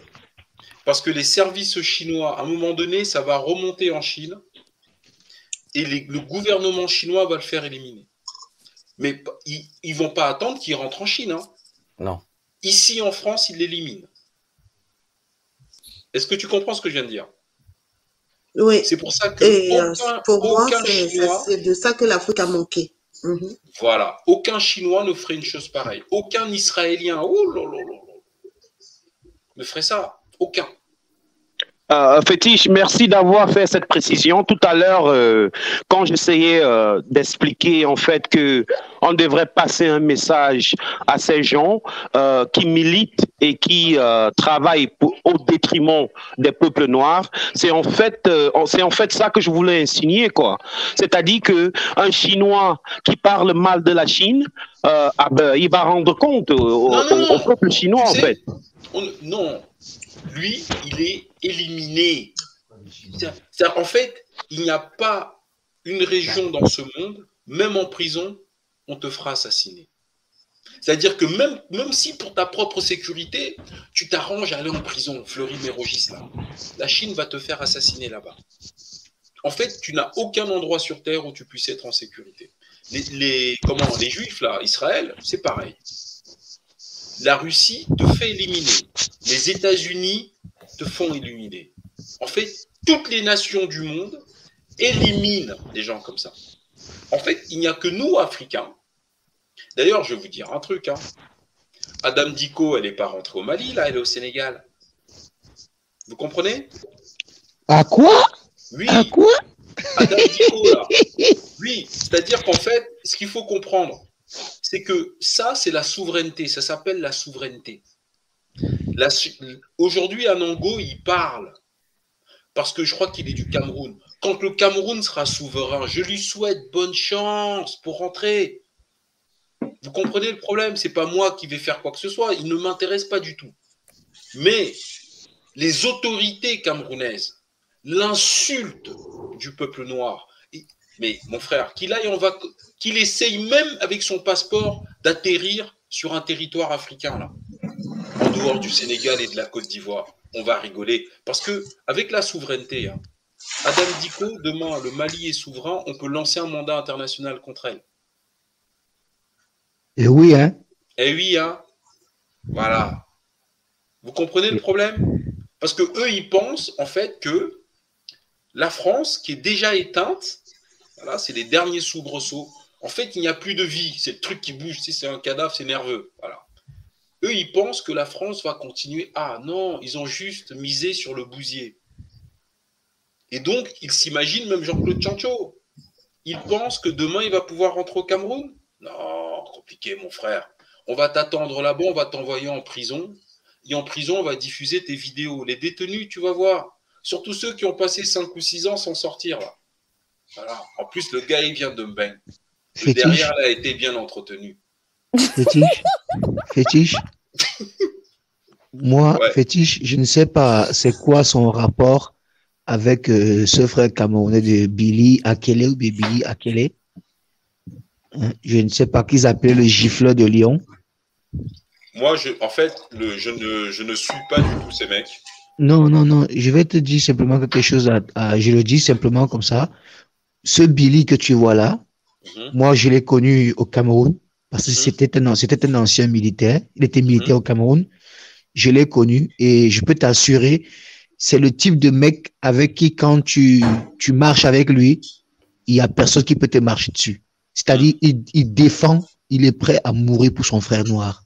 On peut le reprocher tout ce qu'on veut, mais je peux t'assurer que même si vous êtes Et cinq moi, je contre ne vois même pas de qui tu parles. Non, parce que le Serge Anango, il- avec beaucoup d'autres, ils ont passé leur temps à l'insu- à l'insulter, à le, à le traiter de, tout. Non, On peut le Serge reprocher Anango- tout. Attends, mon frère, écoute-moi bien. Il ne, ne, ne commente jamais les propos d'un fou.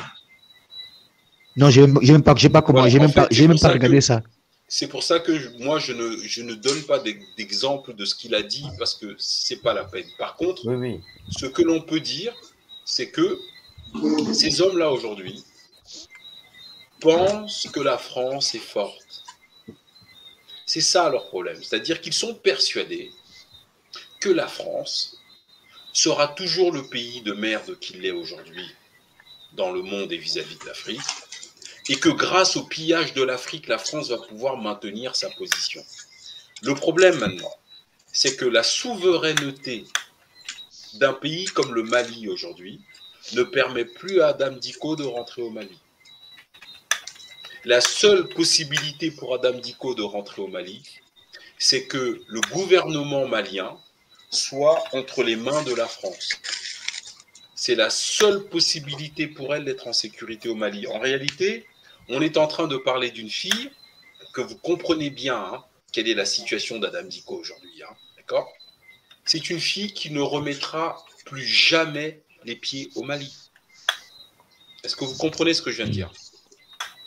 Et là où on parle là, elle est en train d'en prendre conscience, petit à petit. Bien sûr.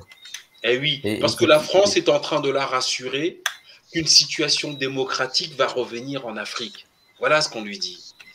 Mais il n'y aura jamais rien de tout ça.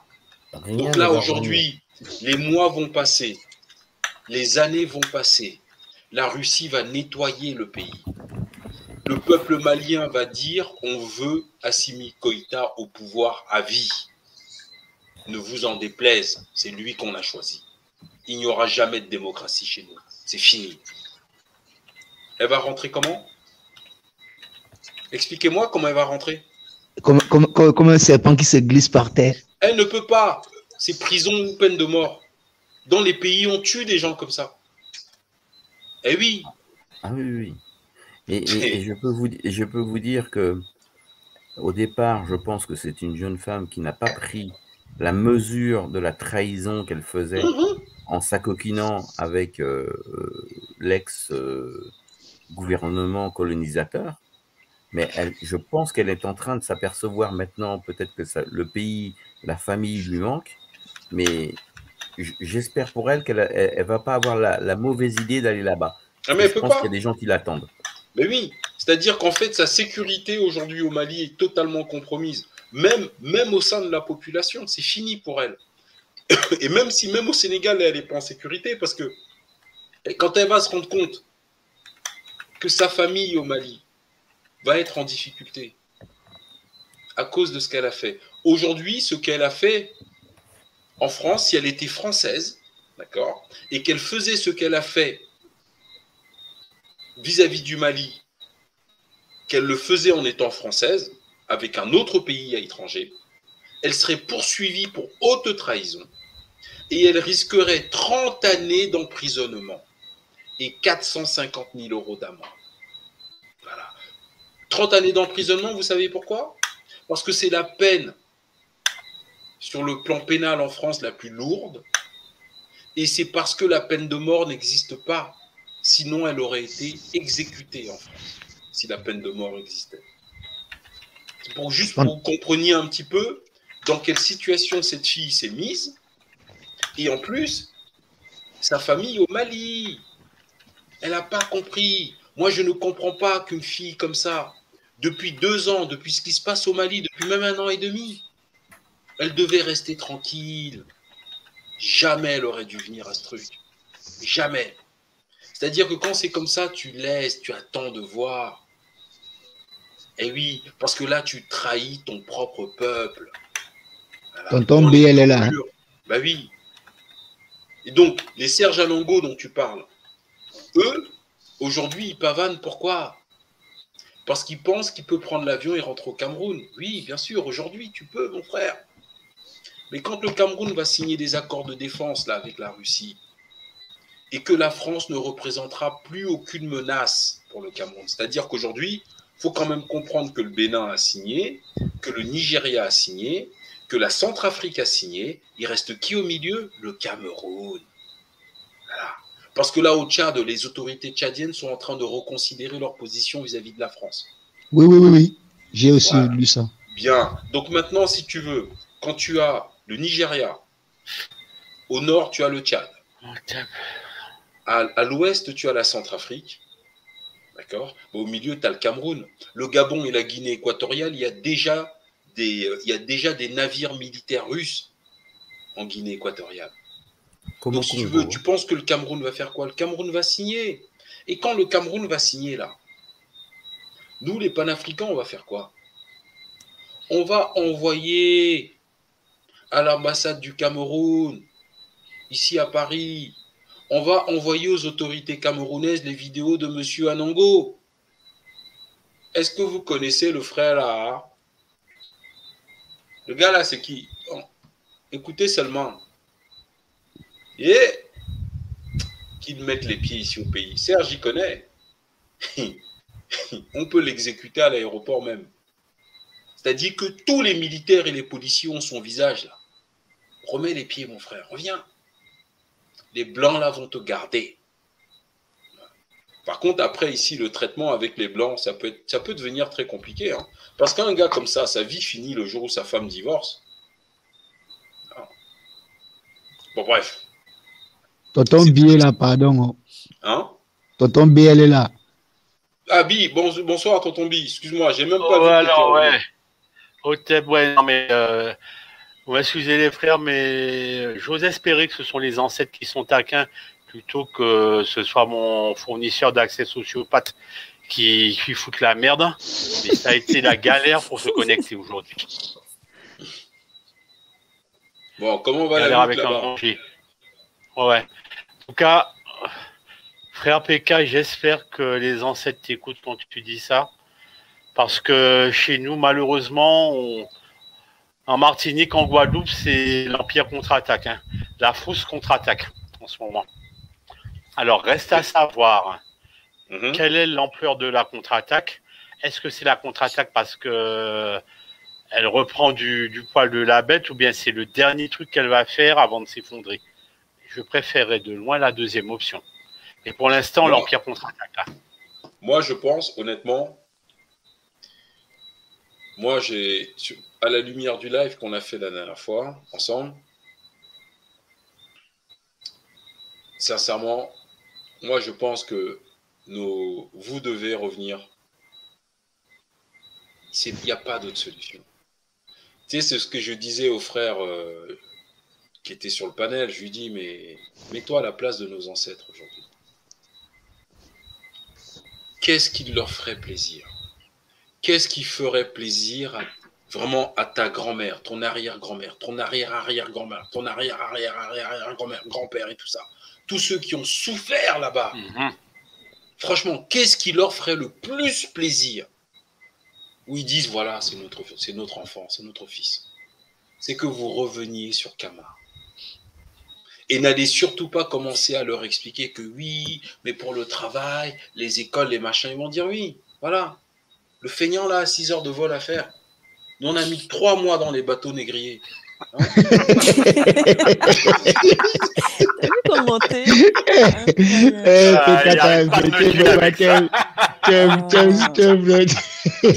vraiment, hein. Non, non. Frère, frère, c'est- c'est pas le feignant, hein, c'est pas le feignant, c'est. Non, je dis le feignant, je parlais que- pas de toi, Si. euh, c'est c'est imagé, quoi. Tu En fait, c'est Ouais. scientifique, Non, non, c'est mais- scientifique non, ce que tu as mais dit c'est très scientifique même. Ouais. Non, mais si je mets le pied dans la tanière du- des sociopathes, les sociopathes vont chercher à me piquer. Même si je sais que avoir des... Moi, je suis sûr hein, Mi PH. que du, Là. côté des, des initiés piques, mais dans, dans, dans les bois là, hein, ceux, qui, ceux qui ont Tu donné dois- la force à Dieu donné, Tu dois rentrer. je suis sûr qu'il y en a qui savent retirer les effets, toutes les saloperies du vaccin. Je suis sûr qu'il y en a qui savent faire ça. Mi Mais non, PH. je veux pas qu'on. Ouais. Mets-toi mets-toi à la place des anciens qui te regardent. Mm. Eux, ils doivent se dire voilà, moi, l'enfant, là, voilà. Il y a des opportunités pour tes enfants à Voilà. Sukama. Hein. Tu as un billet d'avion à payer. Ils ont passé 4 mois sous fond de cale de bateau. Tu es là, tu racontes que machin, que truc. Tu dois rentrer. Et tous nos frères et nos sœurs là-bas, il est temps. C'est peut-être même pour ça que vous souffrez autant. On a pollué le sol. Les ancêtres vous demandent de partir de là. Chlordécone, pas d'eau potable, machin. Vous ne comprenez pas le message. Il faut rentrer. Tonton Bi. Tonton Bi. Oui, j'écoute. J'écoute. Écoute. Oui, j'écoute. que vous m'entendez là je écoute, écoute, moi j'ai beaucoup de terres. Je cherche à entrer en contact. Parce que moi, je, bientôt, je- bientôt, je vais rentrer sur Kama. Quand je vais rentrer, je cherche à te mettre en contact avec moi. Si tu me dis, voilà, moi, je vais rentrer, tu me dis, moi, je suis, je viens de trois chefferies et nous sommes des notables. Crois-moi, Ah je peux mettre, je peux mettre la bouche, on va te donner un, un passé de terre pour ta famille. Oui, Chez nous, la fait- terre, c'est rien. C'est Ah, rien. Merci de dire ça, mon frère Oumnoud Perret. Alors, je vais C'est rien. l'IPH. Attends, attends, attends. Parce que le Non, non, mais euh, ceci dit, non, sérieusement, là, je suis touché. Non, non, non, attends, parce que attends, quand on va t'expliquer. qui me demande de rentrer, Non, attends. c'est pas on va, on va t'expliquer. Chez nous, les Bamilékés, et chez tous les peuples d'Afrique, tu comprends? Dès que tu parles à un successeur, j'en suis un, comme le frère Oumnoud Perret en est un, à partir du moment où nous, en Afrique, on n'y a pas d'état civil, de cadastre, de trucs de machin. À partir du moment où on t'a accepté, on te dit voilà, ton terrain part de l'arbre qui est là-bas jusqu'à la rivière qui est là et revient à l'arbre qui est ici. Ta femme va pouvoir cultiver sur le champ qui est derrière là-bas. Tu as vu, non? Tu dis oui. Voilà. Elle cultive là-bas. C'est sa parcelle. Toi, tu es là, tu as ton terrain, tu as ta parcelle pour cultiver. Maintenant, tu vas, tu t'installes, tu construis ta maison. Et les gars du village là vont venir t'aider. À construire la maison, hein. À construire la maison. Voilà. Et tu es installé. Derrière, après, tu peux réfléchir au business que tu veux. Euh, on va te demander, mais tes enfants sont où? Non, c'est qu'en fait, la vie en Martinique, c'était compliqué. Bon, et vraiment, faut qu'on lui trouve parce que voilà, on va te trouver. Oui, oui, c'est vrai, hein, c'est vrai ce qu'il te dit. hein. Il faut pas oublier, vrai hein, ce qu'il on te peut dit. lui hein. en trouver deux, trois, quatre même. Oui, oui, oui. Deux, trois, Mon gars, c'est pas le. C'est pas les blagues, hein. C'est pas les blagues. Les blagues. BIPH, comme ça. Oh ah, jamais, En fait, en fait, en fait. Alors, ah, je veux bien. hein. Bon, je sais pas si tu vas tenir le coup avec quatre, hein. Alors, non, je veux bien, mais à ce moment-là, sur mon terrain, je vais prendre toutes les fleurs, eh, je prends toutes les plantes pour faire à côté. En fait, y a quatre tonton Bi, Non, tonton pas compris ce disait. Hein. tonton compris. Hein, Oui. tonton Bi, tonton Oui. tu es avec dans ce là où tu es là, il y a Panthère Bamileke, il y a PK, il y a Fétiche, il y a moi. Oui, oui, Nous sommes nous sommes Bamileke de l'Ouest. Quand on te dit ce sont nos traditions, on ne te ment pas. sont- ce- attendez, ce sont nos traditions. Kimpa Vita, c'est totalement vrai. C'est-à-dire qu'il faut comprendre que un homme chez nous, tu vois, tu ne vaux rien quand tu n'as pas d'enfant. Et c'est même une insulte pour la communauté. Hmm. Tu es une sorte de graine qui n'a pas germé. Un truc qui sert à rien. Donc ton chien, là, on s'en fout de sa race. Un vieux peut pas vivre avec un clébard. On va aller te chercher une petite, là. Et voilà, une famille. Parce qu'on considérera toujours que tu es quelqu'un qui n'est pas responsable. Surtout chez nous, les Bamileke. Et oui, moi, j'ai pas d'enfant. À mon âge, oh, en plus, je suis successeur.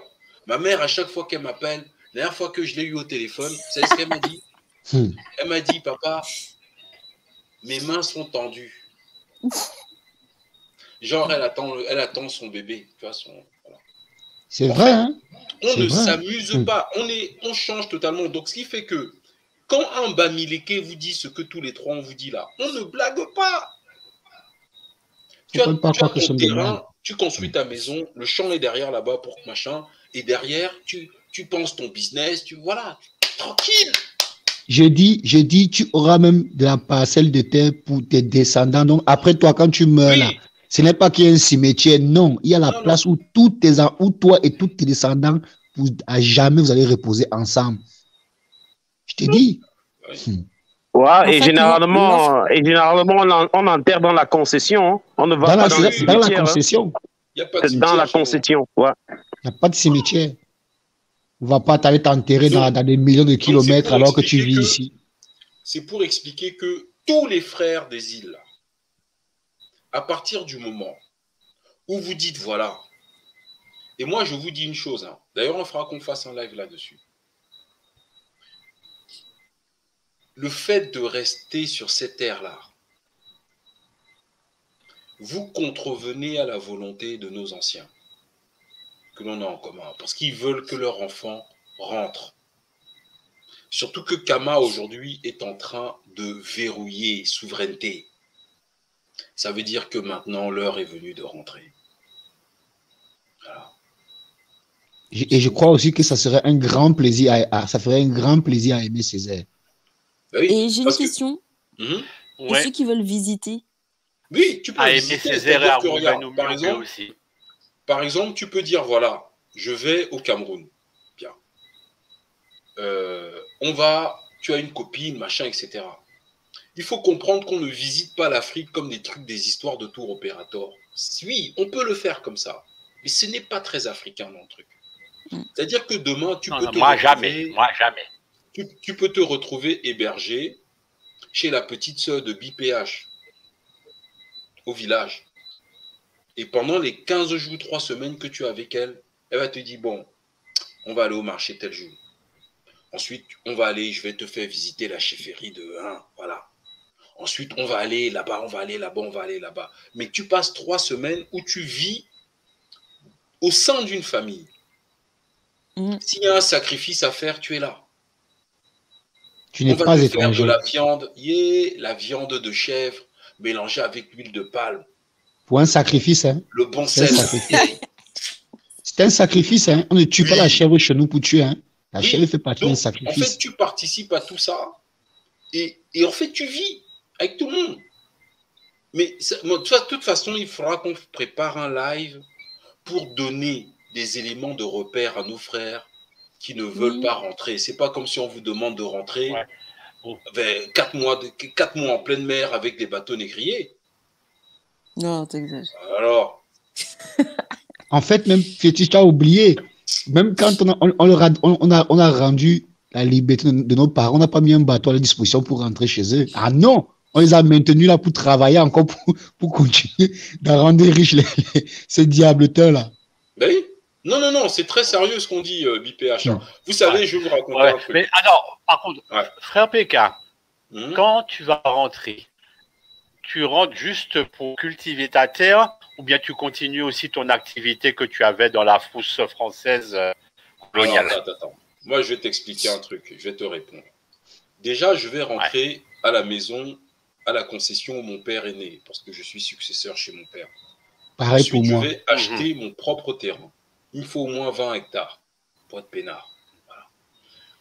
Et comme ma femme est d'Angola, je dois être, moi, je ne peux pas être enterré ailleurs que dans ma concession ou dans celle de mon père. Et donc, déjà en Angola, il me faut au moins, allez, 10 hectares minimum. Au Cameroun, il me faut mes 10 hectares minimum. Donc ça veut dire quoi? Moi, quand je vais rentrer, j'aurai besoin d'effacer tout ce que j'ai vécu en Occident. En fait, je veux redevenir un vrai Bamileke. Les tenues, je veux, je veux humer, manger ma culture. Et, et donc, je vais d'abord m'installer, mais je ne rentre pas en feignant. J'ai des faits de guerre ici en Occident. Donc j'ai quelques trophées à ramener quand même. Donc je vais par contre me laisser deux bonnes années pour observer, m'acclimater, m'habituer à mon pays, parce que quelque part je- je- j'y serai un étranger. Moi, je ne fais rien avant deux ans.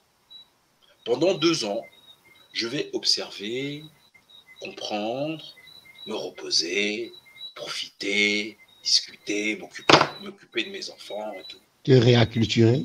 me réacculturer sur le plan social, spirituel, économique, politique. Par contre, je vais acheter des terrains tout de suite. Et je vais petit à petit m'occuper un peu, voilà, des broussaillers, ce genre de trucs. Et c'est après deux ans que je vais commencer à me dire, bon, je peux investir dans ça, je peux lancer ça. Mais dans le but, en fait, pour moi, d'améliorer la condition de vie du peuple. Pas dans le but d'être des milliardaires avec 15 euh, euh, Porsche dans le garage et à regarder les gens vendre les, les, les- comment, le maïs non. euh, au coin de la rue. Ça, ça m'intéresse pas. Je veux vraiment quelque chose qui me permette de De marquer ton existence. d'aider les gens sans les sans comment dirais-je de, de Sans faire les- en sorte de prendre soin des gens que j'aime ma famille Voilà. mon village ma nation voilà Un- une sorte de Ubuntu qu'il va falloir qu'on recrée en fait On est, quand- on est obligé. ben voilà Parce que tu vois, fétiche, tu vois, moi, j'ai mon, mon, mon grand-père qui était un ancien ministre. On a, tu connais Banga, non? ça me parle Oui, Banga. Ouh, on, a, on, a- on a- on avait des hectares, on a des, on a des hectares là-bas. C'est devenu, c'est devenu une forêt avec des arbres. Ah, tu parles que- de la, la ville de Banga, de, dans Oui, le oui. littoral là? Oui, oui. Ah oui, oui, Mon- oui, oui. oui. parce que Ouais, mon mon papa a grandi là-bas, j'ai la famille là-bas. mon- hein. Il y a mon beaucoup grand-père de était- Bamileke là-bas. Mon grand-père était troisième exportateur du Cameroun de ananas banane plantain. Il était exportateur, troisième famille exportateur de banane plantain. On a, on a, c'est devenu, on- depuis que c'est abandonné, c'est des arbres gigantesques qui ont poussé là-bas. Hmm. Pour faute de moyens, je n'ai jamais pu vraiment euh, refaire tout ça. Mais moi aussi, quand je vais rentrer, je crois que je vais me poser. Peut-être c'est là-bas que je vais reprendre son activité. Ou je vais Oui. rentrer à l'ouest parce que à l'ouest, à Djumre, à Banka, à Chenye, à Medjo, ou et à Guegua, où j'ai des terres, peut-être aussi là-bas, je vais aussi imaginer quoi me faire là-bas. Que moi je viens de Gogua hein. ma mère ma mère Hey est née à Gogua hein. Hey, tu es de Guegua? Ben oui, ma mère est de Gogua Mais... on discutera en aparté tout cas, Bah ouais, j'allais dire c'est la réunion des Camerounais là. voilà, en tout cas, quelque chose là. En tout cas, ce qu'il faut savoir, c'est que quelque chose là. Les frères et les sœurs des îles, l'Afrique, l'Afrique est là. Et, c'est, et vraiment, il faut, il, faut il, il- il va falloir. La question se pose même en ces termes, si je peux me permettre, euh, frère BPH, frère BPH. Maintenant, la question est de savoir si on peut être digne de nos ancêtres ou pas. Si on est digne de nos ancêtres, on fait ce qu'ils demandent. Ce qu'ils demandent, c'est que vous rentrez. Parce que s'ils souhaitaient que vous soyez heureux là-bas, il n'y aurait pas le GIGN, le chlordécone partout, la gendarmerie et toute cette merde. Il n'y a même pas d'eau potable. Il faut rentrer. Eh oui. Eh oui, parce que quand la France va commencer à voir cet exode de, de, de, de, de Noirs, de Guadeloupe, de- des Antilles, rentrer, et en plus ceux qui rentrent expliquent aux autres qui sont restés, qui hésitent, mais que c'est génial. Les photos, les tenues, les machins, les trucs, les gens vont rentrer. Mais là, la France, c'est, c'est la fin des béquets là-bas. Qui va bosser dans leur champ à la con là? Hein? Ouais, les béquets sont sournois. Ils vont Ah, toujours voilà. trouver des, ils vont toujours trouver des, des nègres de maison, malheureusement. Non, Oui, mais vous les laissez avec le nègre des maisons? non, faut Tu les laisser avec les les nègres. béquets Attends, détiennent aussi les supermarchés et tout ça. hein. C'est les chanchos qui iront bosser là-bas. Ah oui, hein. Ah oui, il va trouver les chanchos, des Tanguy David. Il y en a même qui vont laisser la France pour aller bosser pour les béquets parce qu'ils disent qu'il fait du chaud là-bas. Ben, ils Mais détiennent tout que. Par contre, il y a une chose que moi j'ambitionnerais au bout d'un moment, c'est de dire que tous les soldats qui auront été formés par Wagner et qui auraient été formés par les soldats formés par Wagner, de faire une armée de libération pour les. Et ça, c'est quelque chose que mes enfants. Ça va venir, ça. tranquille, tranquille. Non, ça va venir. Mais maintenant, Tranquille. avant, avant, il faut revenir sur le continent. Parce que tu vois, frère Bipé acheté dans l'enseignement. Tu vois, quand tu rentres au Cameroun, là. Bah oui, mais te- te- toute cette expérience. Et, et, euh, il faudra que je sois au niveau parce que les enseignants au Cameroun, c'est du très haut niveau. J'ai déjà vu. Ils sont très, très, très forts, les profs au Cameroun. Ouais. Donc il faut venir. L'Afrique. À la limite, euh, ce sera, c'est pas moi qui leur apprendrai quoi que ce soit, c'est eux qui vont m'apprendre. Non, mais c'est pour ça que je dis vraiment. euh, Alors, qu'est-ce qu'on raconte sur Serge? Non, il faut Ah. venir. Ouais, BIPH, euh, il y a beaucoup euh, de Martiniquais, de Guadeloupe, Guadeloupéens hein, que, je, que je connais au Cameroun. mais hein. les- les Ils ont épousé des Camerounaises, ils vivent au Cameroun. Et si tu les vois vivre, ils ont acheté des maisons, des terres. Ah ben, si tu les vois vivre, c'est euh, c'est formidable. Donc euh, j'en connais, euh, j'en connais beaucoup. hein. Tous les Antillais qui sont au Cameroun, ils ne veulent plus entendre parler des Antilles. Mais tu peux pas ils, ils rentrer. sont- ils disent qu'ils sont chez eux. Mais je ils te sont dis- chez eux, je ils te ne dis- rentrent pas. J'ai une femme guadeloupéenne, elle m'a dit qu'elle. Je te dis un truc. Tu, tu arrives au Cameroun, et je parle du Cameroun parce que je connais bien. Ce qui, ce qui, ce qui cloue les gens au Cameroun, c'est la nourriture. Une Ah, variété je- là, je- énorme. Là, je, suis- là, je suis mort. Je sais pour la Des nourriture. variétés, écoute bien, la variété des repas, des plats au Cameroun, des, des sauces là. Laisse-moi le citer quelques noms, non, dis donc. Ah, non, non. Monsieur, arrêtez. Non, non, on va arrêter.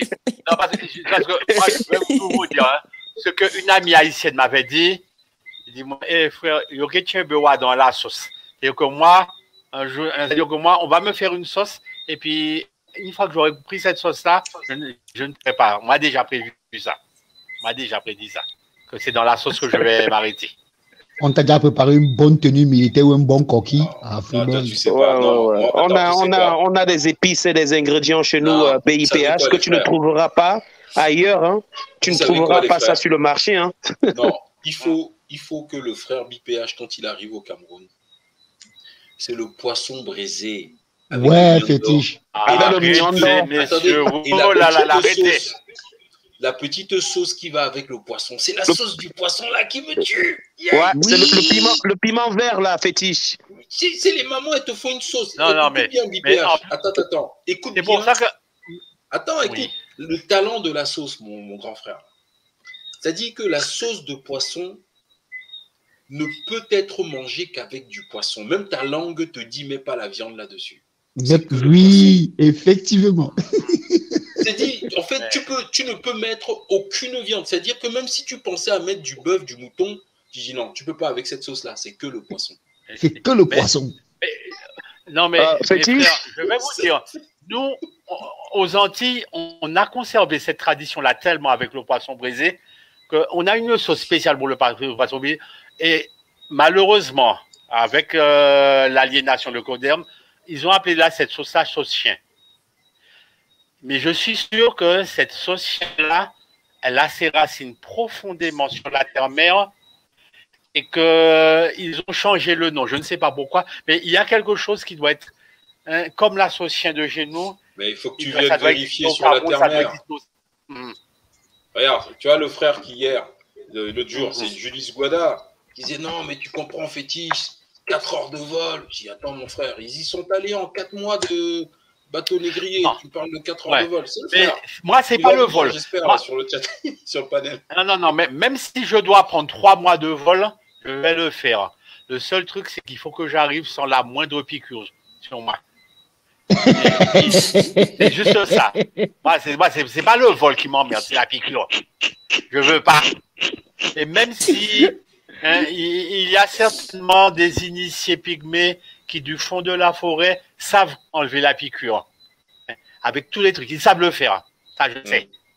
Mais malgré tout, je veux pas de la piqûre. C'est le seul truc qui m'a.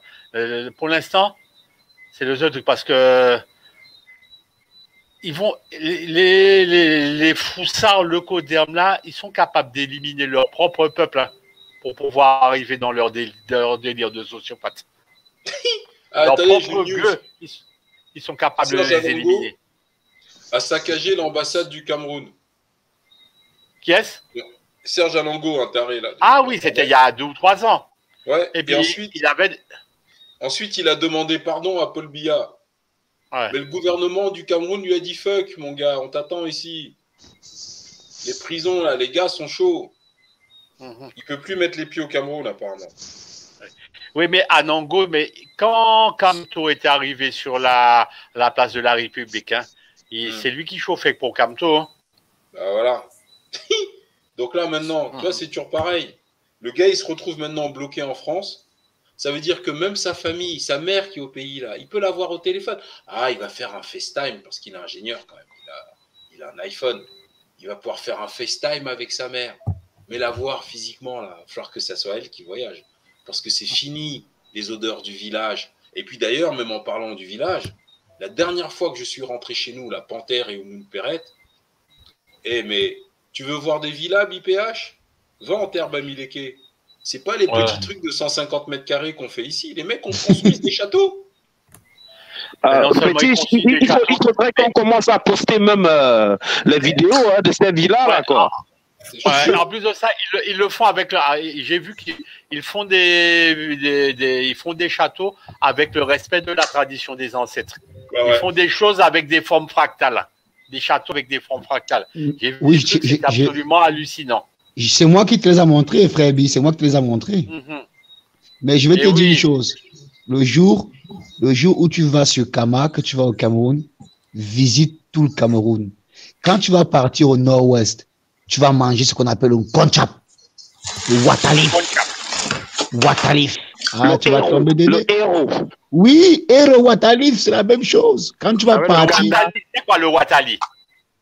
Laisse tomber, c'est un secret. Est-ce qu'on va dire tous les C'est secrets vrai, ici? Parce que chez nous, on parle de Watalibi pour un petit poisson qui est très très goûteux. Non, c'est pas un poisson. C'est pas un poisson. Ah, c'est un légume, c'est un légume. légume. Le Watali. Et quand tu vas partir, et quand tu vas partir dans le sud, on va te, on va te donner le, le, le, le, le sanga. Avec le. Tu connais le sanga, le Parce que moi, ben, j'allais dire, moi, je connais ce- jusqu'à présent, hein, la, pour moi, elle me disait qu'elle elle ne jurait. Mais, à part- mais je ne sais pas, je qu'on l'avait formaté avec le Ndolé qui représentait le Cameroun. hein. Bon, C'est les Sénégalais pour leur faire croire qu'il n'y a que le Tchibouken qui représente le Sénégal. Il y a plein je d'autres vais devoir choses. vous faire faux bon parce que j'ai une journée de dingue demain. Pareil pour moi. Mhm. Ouais, bon. Allez, 30 secondes chacun, on se dit au revoir. Et puis on se retrouve samedi soir pour Monsieur Béanzin. Tonton Bi à toi. Oui, ça va être. D'ailleurs, à ce propos, je recherche le CV de Monsieur Béanzin, Ogunchi Béanzin. C'est pas son vrai bien. nom. hein. Son vrai nom, je l'ai mis sur la vignette du live, mais il me faut son CV. Ogunchi Béanzin. Oui, ce, ce- pour, pour, euh, Ouais, juste les euh, nouveaux infiltrés. Par rapport au live de demain, Fétiche, Hmm je voulais euh, juste euh, souligner que moi j'ai une question concernant ce monsieur et son association et ses actions. Je trouve toujours qu'il vient en validation euh, dans des moments clés sur des thèses pour faciliter, euh, on va dire, la justification d'actions engagées par le gouvernement français. Donc je, on va- suis, On va étudier ça demain. ouais, le samedi, je suis toujours assez euh, dubitatif euh, sur ce qu'il fait et, et sur ce qu'il dit. Je suis d'accord avec toi. Ouais. Donc c'est un infiltré 2.0. On sait Ben, pas encore. je- Samedi, on Malheureusement, je pense que c'est quelqu'un qui est, qui est sous influence et tenu, à mon avis. Je pense aussi. Mais on va, on va voir tout ça samedi soir. Yuni, ma Ah Bah, soeur, bonne soirée. hein. Bonne soirée à vous tous et à samedi. à samedi. Bonne soirée. Bonne soirée, PC Chette. Euh, C'est vrai, c'est l'image de-. Ouais, c'est C'est la- vrai. c'est la ba- c'est l'image de PC Chette qui est là. Mais oui, c'est vrai. Ami En tout cas, Oui, moi, je, je me pose des questions. Après, je, je, par rapport à Béanzin, je, je sais pas trop, mais je sais qu'il se fait aussi persécuter un peu par la police. Ça, ça peut être une mise en scène. Ça ne veut rien dire. Ça veut rien dire, ça. euh. Ça, on, peut, vu. on peut- on peut venir le chercher à 6 h du matin parce que c'était pré- prévu, il est au courant. Voilà. Toi, tu seras pas là, il n'y a pas d'image, il n'y a rien. Voilà. On l'emmène, voilà, ça fait le buzz. C'est pour montrer qu'en fait, euh, la France le persécute, mais en fait, c'est une mise en scène. Tu n'as aucune, rien qui te permet d'être sûr que machin. Et puis d'ailleurs, ils sont venus le chercher pourquoi? Tu es au courant, toi? Euh, j'ai juste vu une vidéo. Oui, Euh, mais les, raisons pour lesquelles mois. il est, il- les raisons pour lesquelles ils sont venus le chercher? Euh, non. Je sais Ah, voilà. juste que. Comme nous. Comme nous, on ne sait pas. Mais en fait, ce que je veux te dire par là, c'est que la police, elle est aux ordres de qui? Du ministère de l'Intérieur, qui est aux ordres de qui? Du, du président de la République, du Quai d'Orsay. Bien. En gros, ça, ça peut être une mise en scène pour tromper la diaspora. En fait, tout est possible. faut jamais rien, rien, euh, rien, euh, comment dirais-je, euh, rien évacuer. Tout Oui, est on- possible. Oui. En tout cas, le parcours de ce monsieur pose question. Ça, Euh, le type, il est au RSA il y a question. 5 ans. Ses, ses allégeances. il a dit qu'il avait une entreprise Oui, de laquelle? Depuis combien de temps? Depuis combien de temps? Je sais pas. Ah ah Oui, mais parce que si tu veux dire que j'ai une entreprise, tu vois, je vais vous expliquer un truc. Il te dit j'ai une entreprise. Ah d'accord, elle s'appelle comment? Elle existe depuis combien de temps? Elle s'appelle comment? Bah, Ça me permet d'aller vérifier. Je peux même, même via le CCI choper tes statuts. D'accord? Elle existe depuis combien de temps? Ah d'accord. Donc en gros, si je comprends bien, il y a 5 ans, tu étais au RSA. Enfin, pardon, en 2014, tu es condamné pour viol sur personne handicapée. En 2014, à ce moment-là, tu étais au RSA, tu faisais des rats pourris, d'accord? Tu as fait de la prison, parce que tu as été condamné. Derrière, tu sors, et tu es un leader panafricaniste qui prend l'avion avec trois ou quatre personnes, qui va dans tous les pays d'Afrique. Mon frère, il s'est avec, passé quoi? avec, avec- avec quel argent fait-il tout Avec ça? quel argent tu fais ça? Qui finance les voyages? Qui finance? Le et je pense vraiment que Donc les c'est- billets d'avion. Mais non, il n'y a pas d'adhérent à la LDNA. L'association existe depuis 2018. D'accord. on va, on, on va, on va voir ça, on va voir ça samedi. Donc on va voir tout ça samedi. Donc en fait, si tu veux. Et ma dernière, Comment? Ma dernière interrogation, voilà, euh, c'était que j'ai, au départ, puisque j'étais dans le flou, hein, moi je découvrais aussi, je le découvrais, on découvrait aussi, et j'avais pas compris cette guerre entre lui. Comme, là où j'ai été un et, peu, et Kémy Seba oui, voilà, Non, il a, il y a pas guerre. Pas du tout. C'est que c'est lui. que c'est quand il a accusé Kémy Seba de collabo, collabo en fait, de collaborer avec, euh, voilà, donc, Ami, euh, Ami, regarde. Ça, ça si m'a. moi, je veux me faire un nom, d'accord? C'est-à-dire que si je suis une petite crapule, sans envergure, je dis pas que c'est son cas, et que je veux me faire un nom, qu'est-ce que je fais? Eh bien, par exemple, je vais cibler un mec qui a énormément d'autorité, que tout le monde connaît. Eh ben, je vais aller euh, inventer une embrouille contre lui. Limite même, tu vois, demain, moi, si je veux faire la une avec les fétiches de guerre, bah, je vais au, Bénin, ou je sais plus où il est, Kémy Seba. Je me renseigne dans quel pays il est, je vais dans le pays, je m'assure qu'il y ait une caméra, tu vois, un, pote qui est allé avec moi là, ou deux copains qui ont tous les deux leur téléphone, euh, genre ils se mettent à 20 mètres, et moi derrière, je m'en vais, et j'attrape Kémy Seba comme ça, tu vois. Là, tu vois, rien que les 30 secondes de ça, ça me fait faire un buzz de ouf. Donc, là, ça je- te fait connaître? je, le- je multiplie l'audience de la chaîne par 20. Alors que tu vois, c'est juste 30 secondes.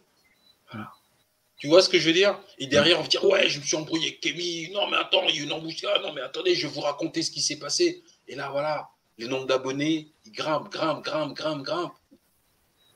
Oui, et puis ton. C'est tout. C'est c'est ce qu'il a essayé de faire. L'embrouille Voilà. avec Kémy Seba, c'était pour se donner de la notoriété, je pense. Il- Oui, oui, et puis. Et euh, surtout que Kémy Seba, moi j'ai écouté un peu son parcours, il a, il, il s'est fait connaître au bout de beaucoup de d'années. Je veux dire, c'est pas fait rapidement comme Benza. Donc, bah, c'est- euh, c'est ce qu'a voulu, c'est ce qu'a voulu faire Sobayo à Naturi. Le mec, il pensait qu'il allait s'attaquer à la sœur et récupérer toute l'audience de Naturi, mais il a oublié qu'il n'avait pas le cerveau de la sœur. En tout cas, fétiche, moi, je vais vous laisser la famille. Bonne nuit à tous et Bonne nuit, Minute Perrette. Merci beaucoup. Oui, hein.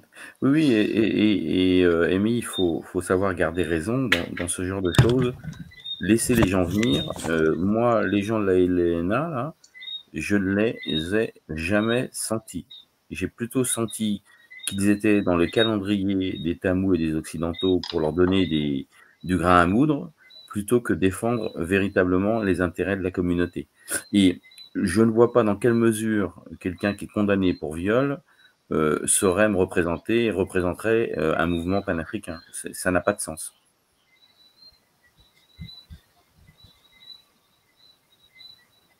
Non, ça n'a pas de sens. Ça n'a pas de sens. Euh, Mis à part nous, nous, encore une fois, nous, nous déstabiliser, nous décrier et nous faire passer pour des, des gens euh, violents comme ils le font tout le temps. hein. Non, on va, on va, on va, euh, on va traiter du sujet. Petits oignons, comme on sait les faire sur, euh, sur cette chaîne? Par contre, moi, ce qui me manque, c'est son CV. J'arrive pas à tomber dessus, mais je vais regarder demain si je peux trouver ça. Euh, Panthère Bamileke, un dernier mot, mon frère?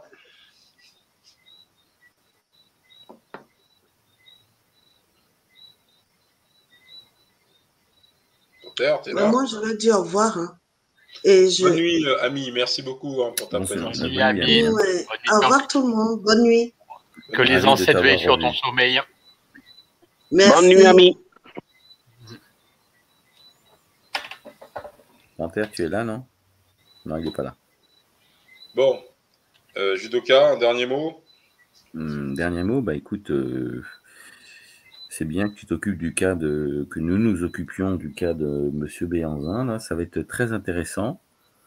Euh, il y aura beaucoup de, peut-être de questions qui vont se poser. En tout cas, son parcours pose question et euh, on pourra à ce moment-là, euh, je ne sais pas si nous arriverons au, bout de ce live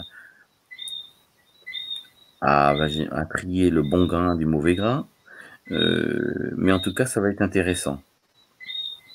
Oui, mais en tout cas, moi, je fais pas ça dans le but de le salir non plus. Parce que c'est un type que je trouve personnellement, moi, très, très suspect. J'ai du mal avec lui.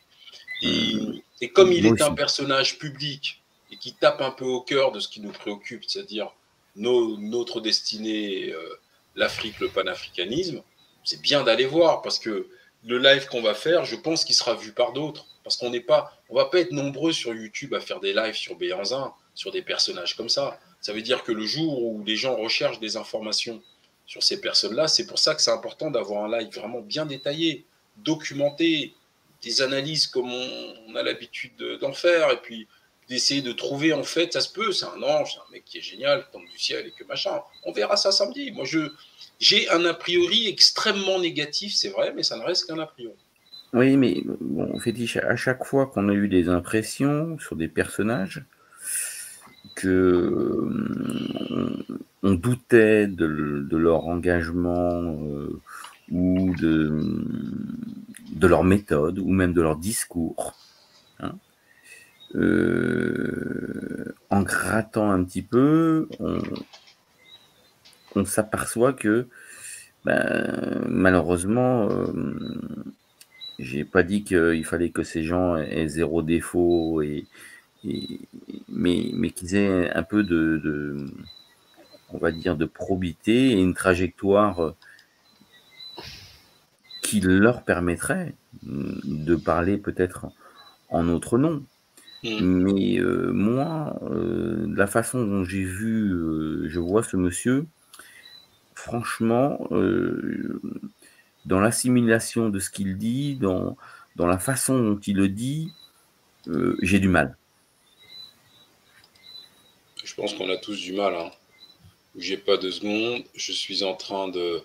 J'ai récupéré un truc ce là. monsieur. hein. Il a certainement payé sa dette à la, à la, à, à la société. euh, il a aussi dit et fait des conneries euh, quand il était rappeur.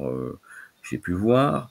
Euh, mais, tout ça me, fait dire que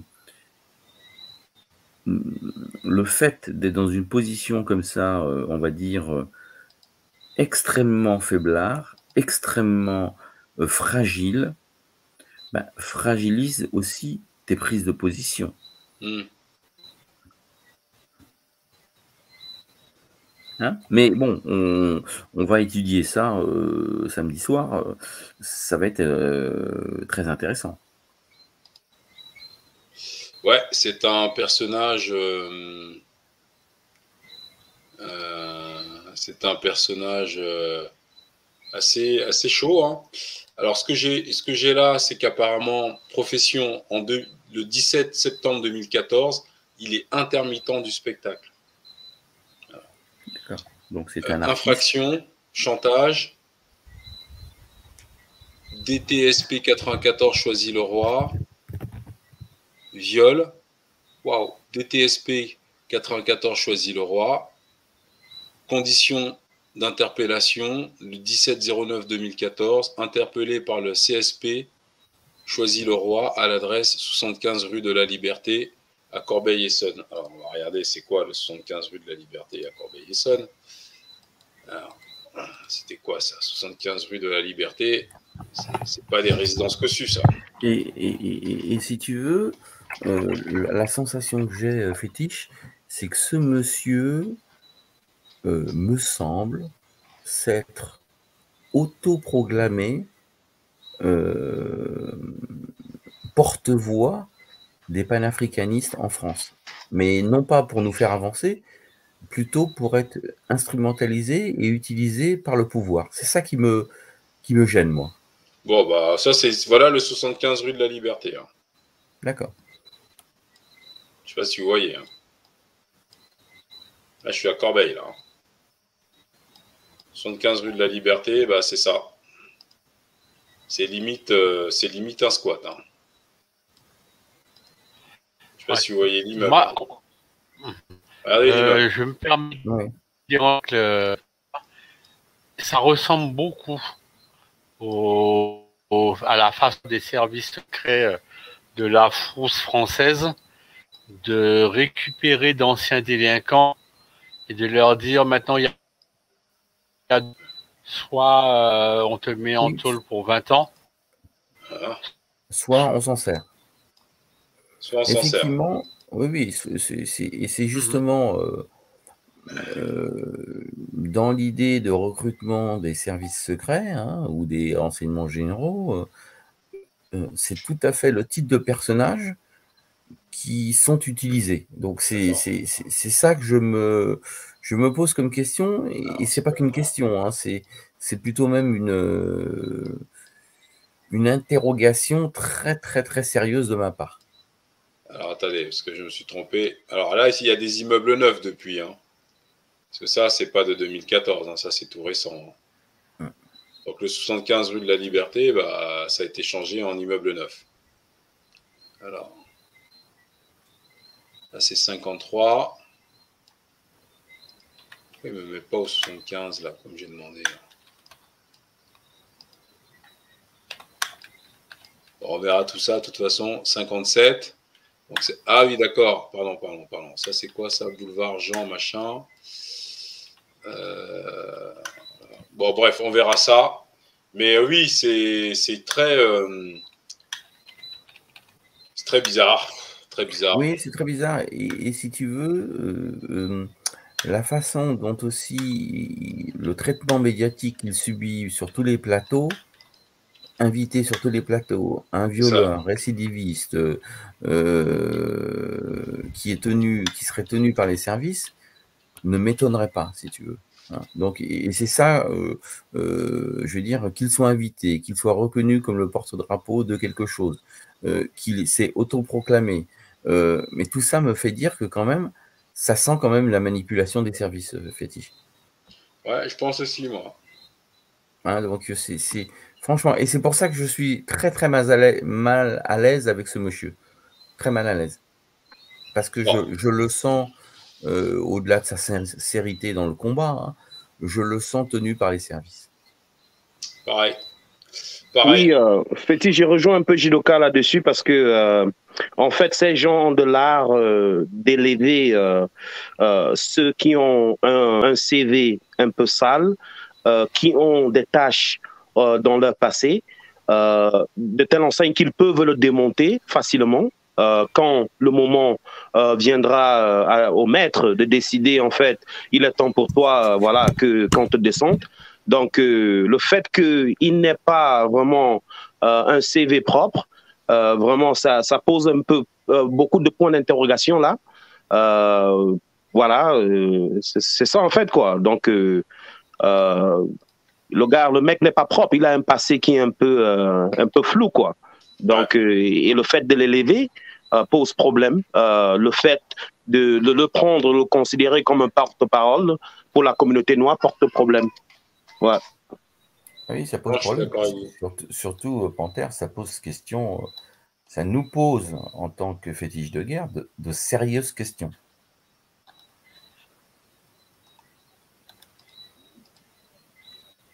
On va regarder ça, on verra, ça samedi. De toute façon, euh, euh, on verra ça samedi. Mais en, tout cas, euh, je, suis tout à fait surpris aussi que ce monsieur, non seulement il est dans tous les médias occidentaux, mais en plus, il est aussi invité sur Afrique Média. Il, a il s'est agglutiné à d'autres activistes qui réclament la restitution des œuvres africaines, des œuvres d'art. Euh, il s'est agglutiné au gars qui est en Italie. euh, euh, attends, je vais te donner son nom, le gars qui est en, en Italie là. Euh, Conaré Conaré, oui, voilà.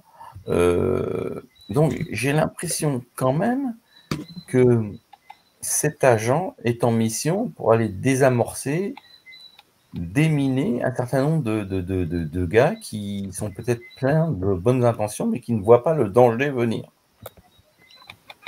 Ouais. Bon. Je, je- je- je les trouve, ces gens-là, euh, en tout cas les gens qui l'approchent, je les, ai trou- je les trouve très naïfs d'aller s'afficher comme ça Non, avec mais Monsieur en fait, Bernard. tu as le droit de ne pas savoir, mais nous, on va faire un live, on va voir. Les gens, les gens, les gens sont naïfs. Bon, après, euh, dire, pas tous nos âges non plus. Hein. Moi, un type comme ça, euh, Ah bah, euh, tout de suite, je te dis, euh, je ne lui confierai rien du tout d'important, que ce soit d'un point de vue militant ou d'un point de vue personnel. hein. bon, ok. BPH, Bon, un dernier mais mot. on, on en saura plus euh, samedi, fétiche. J'espère qu'on pourra euh, avancer sur, euh, et regarder un petit peu, on va dire, le parcours, la trajectoire de ce monsieur, qui ont amené d'ailleurs à la dissolution de son, de son mouvement. hein, mais Ouais, mais il est, il est installé en Belgique maintenant. J'ai vu. ouais.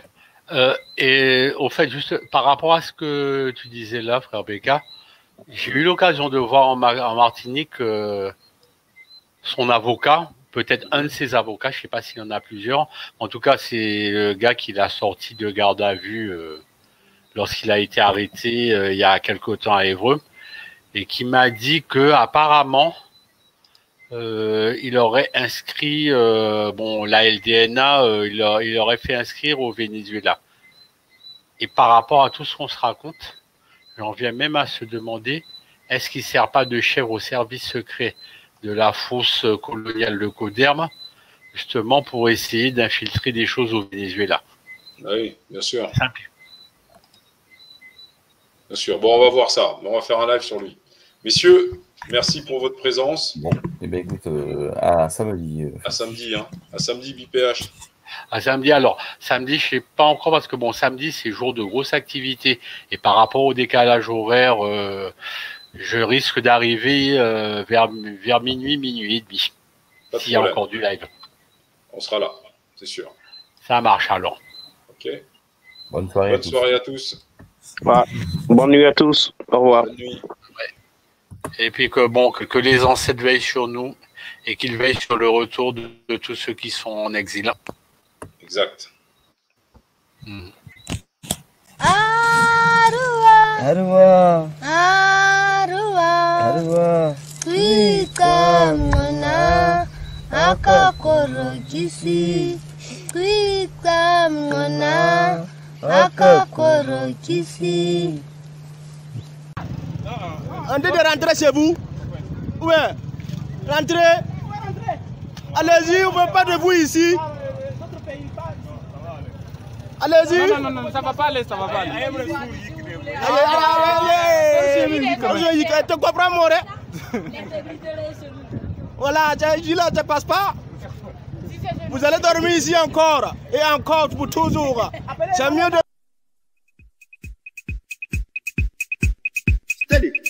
Tell him. Oh, we clap now. The second clap again now. Oh, we bend down. One, two, right, left, right. Love my head. One, One, two, three. Four, my head. Bile se tini ko taga bufi mu fatu sile. Head. no salva tara ogenu ma va tara ogenu be beti mo fato sele bê sông hân luôn em cũng mà mà nhóm gõ chết phá xìa lệ bỏ lỡ gà phích bên cả chừa mà lần nào ghé phá tiêu ta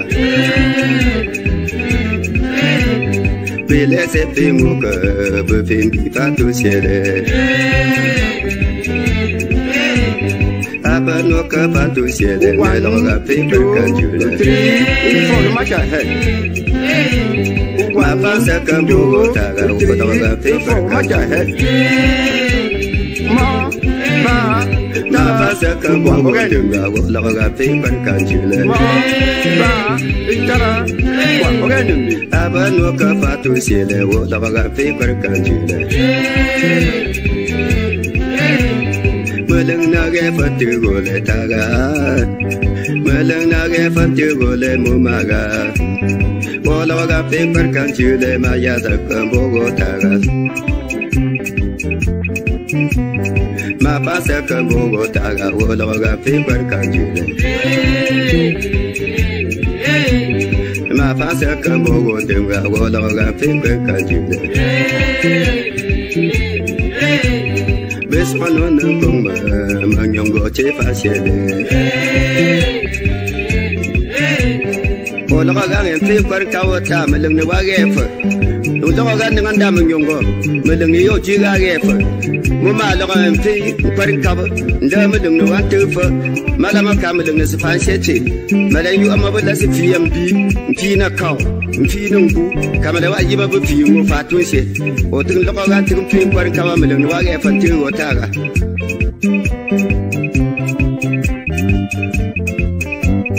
Vele se vindică Fiul pentru ele Vele se vindică Fiul pentru ele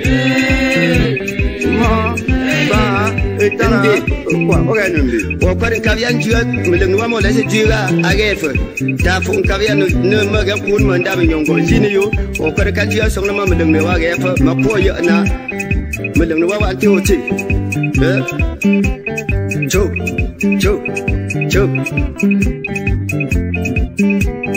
Mata sekambogo tafawo laga fikir kanju ah ah nasko mata sekambogo demga wo laga fikir le